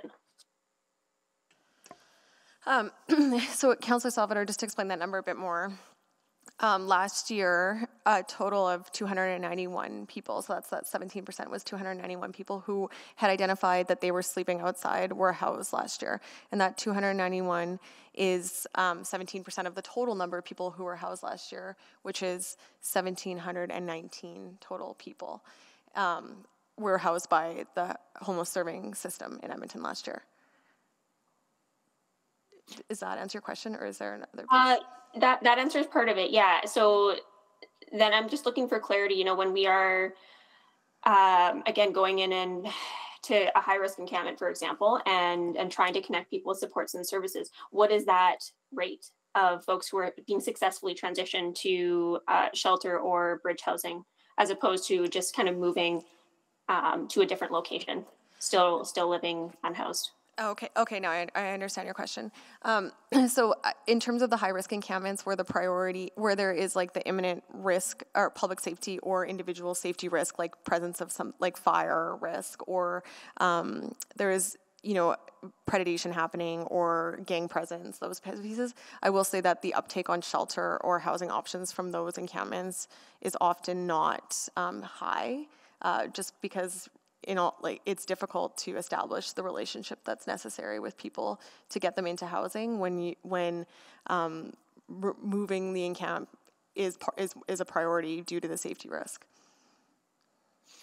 Okay, okay, I might come back to that one, but I appreciate the answer. Um, and I, I just want to get to one of the, I guess, options that some of our speakers brought up around having a willingness to experiment, um, potentially pilot some options that we haven't tried before.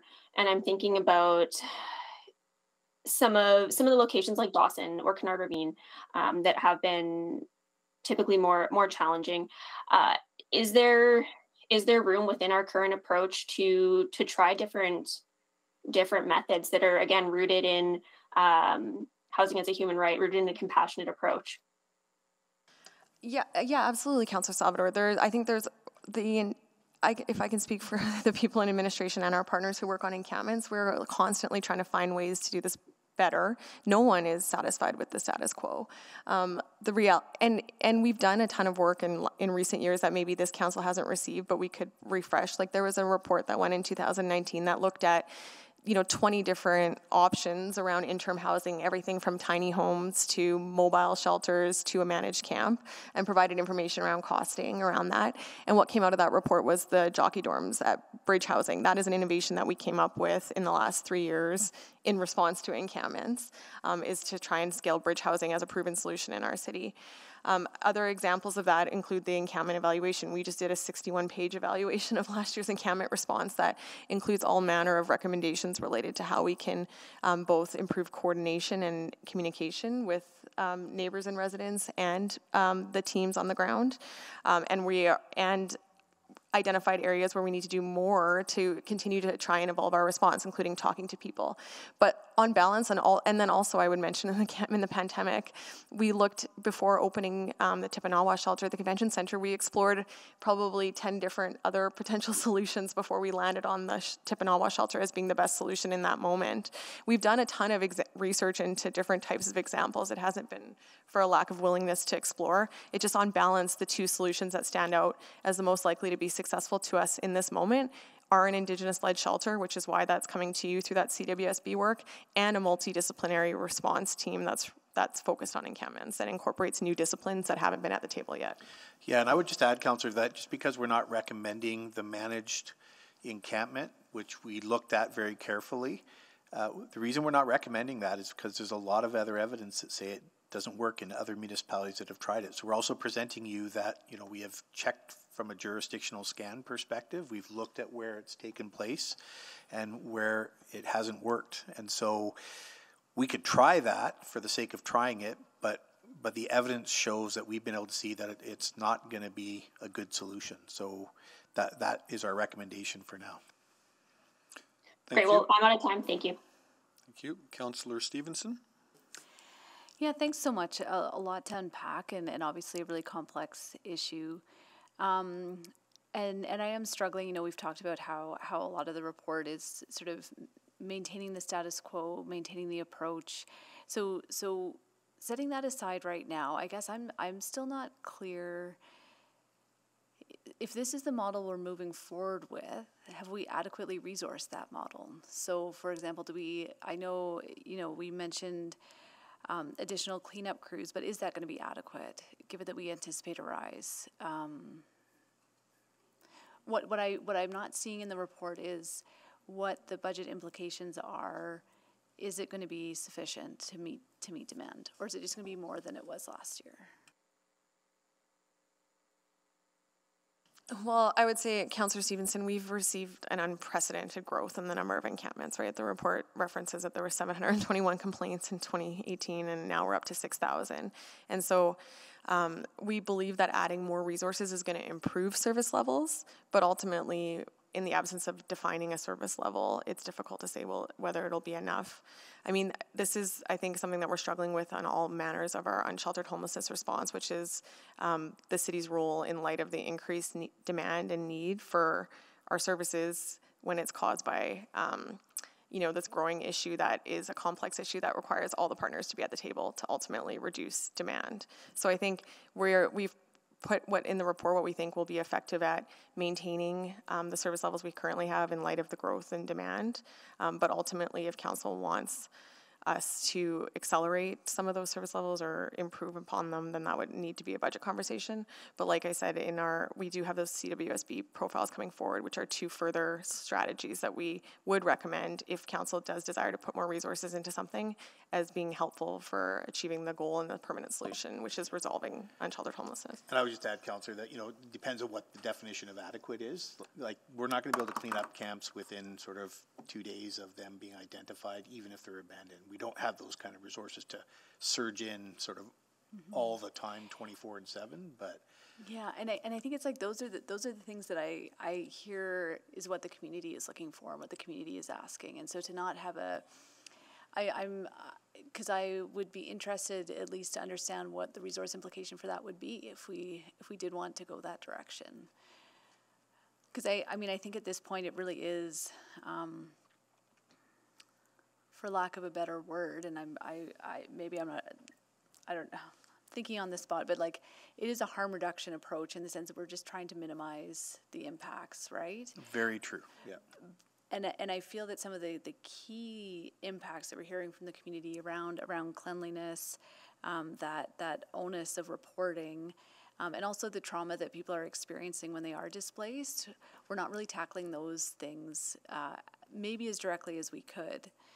Um, So sorry, it's so short on time, but you know, again, just really wanting to question, you know, the comment earlier that that the idea of having a social service agency representative for those high risk responses that that wouldn't be feasible. I just I want to dig into that a bit more. Yeah, I didn't say it wouldn't be feasible. I said it wouldn't be feasible in 1,700 camps because of the capacity issues. So. Right. And would that be so? Just maybe to break out the numbers. So the high risk was that there were 1,700 high risk responses. No, I believe that was 1,700 total camps that we cleaned up. Yeah.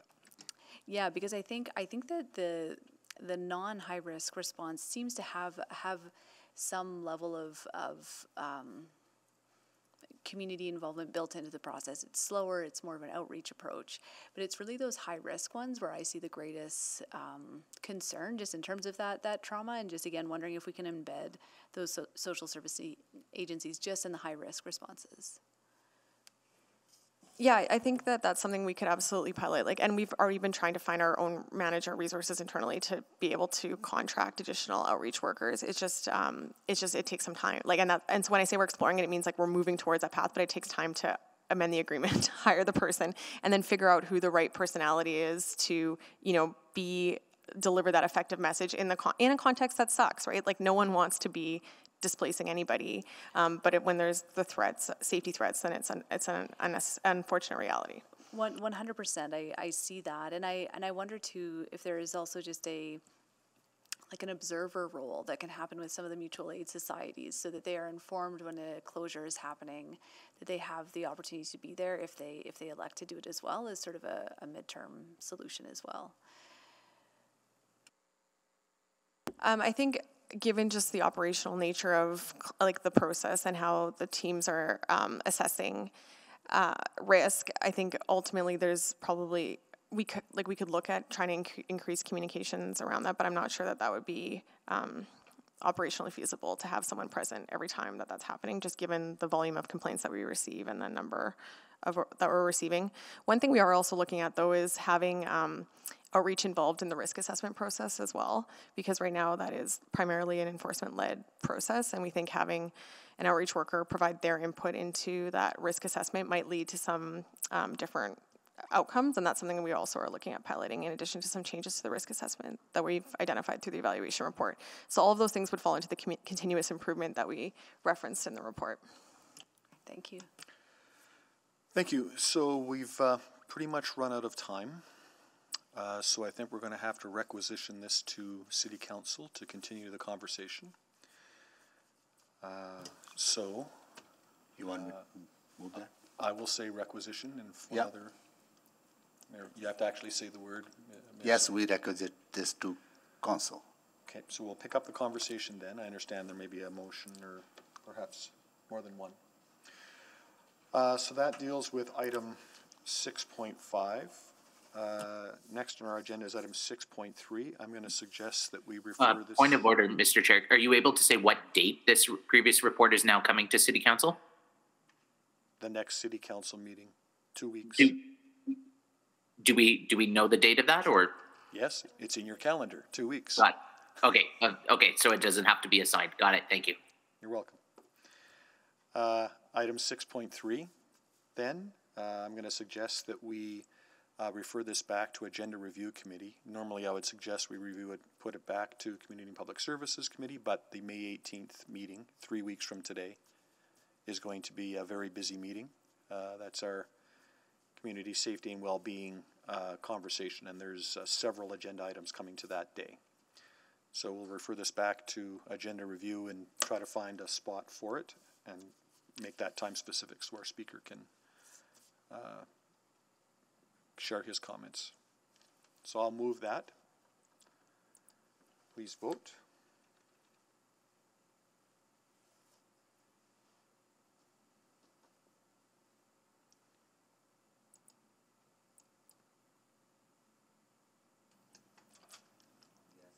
Didn't, didn't, I didn't see the call. Thank Um, you, yes, Mr. Lee. We have five votes. Please display the vote. That is carried. Uh, are there any notices of motion and motions without customary notice? I have a notice of motion that I think I shared with the clerk.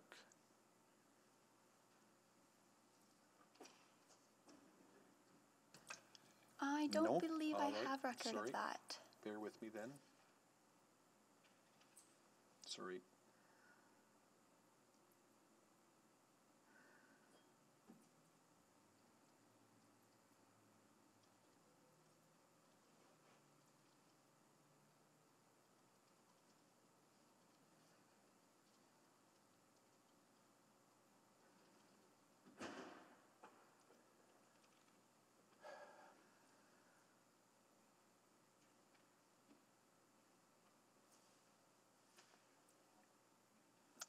Apologies, uh, Madam Clerk. I thought I'd sent that to you earlier, so I put that in a chat to you. And as that's coming up, I'll just read in, this is notice of motion.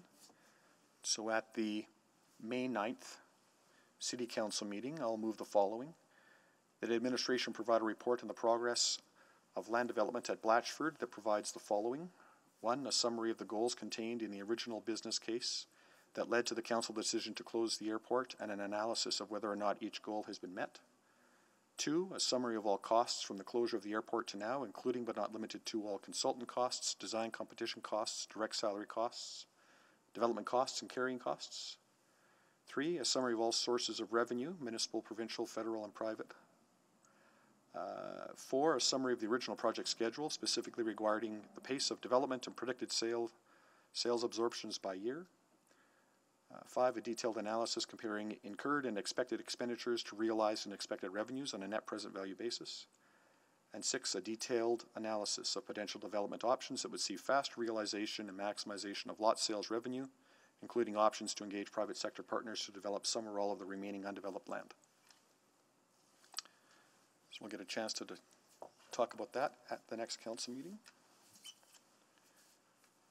Are there any other notices of motion? Hearing none, we are adjourned. Thanks, everybody.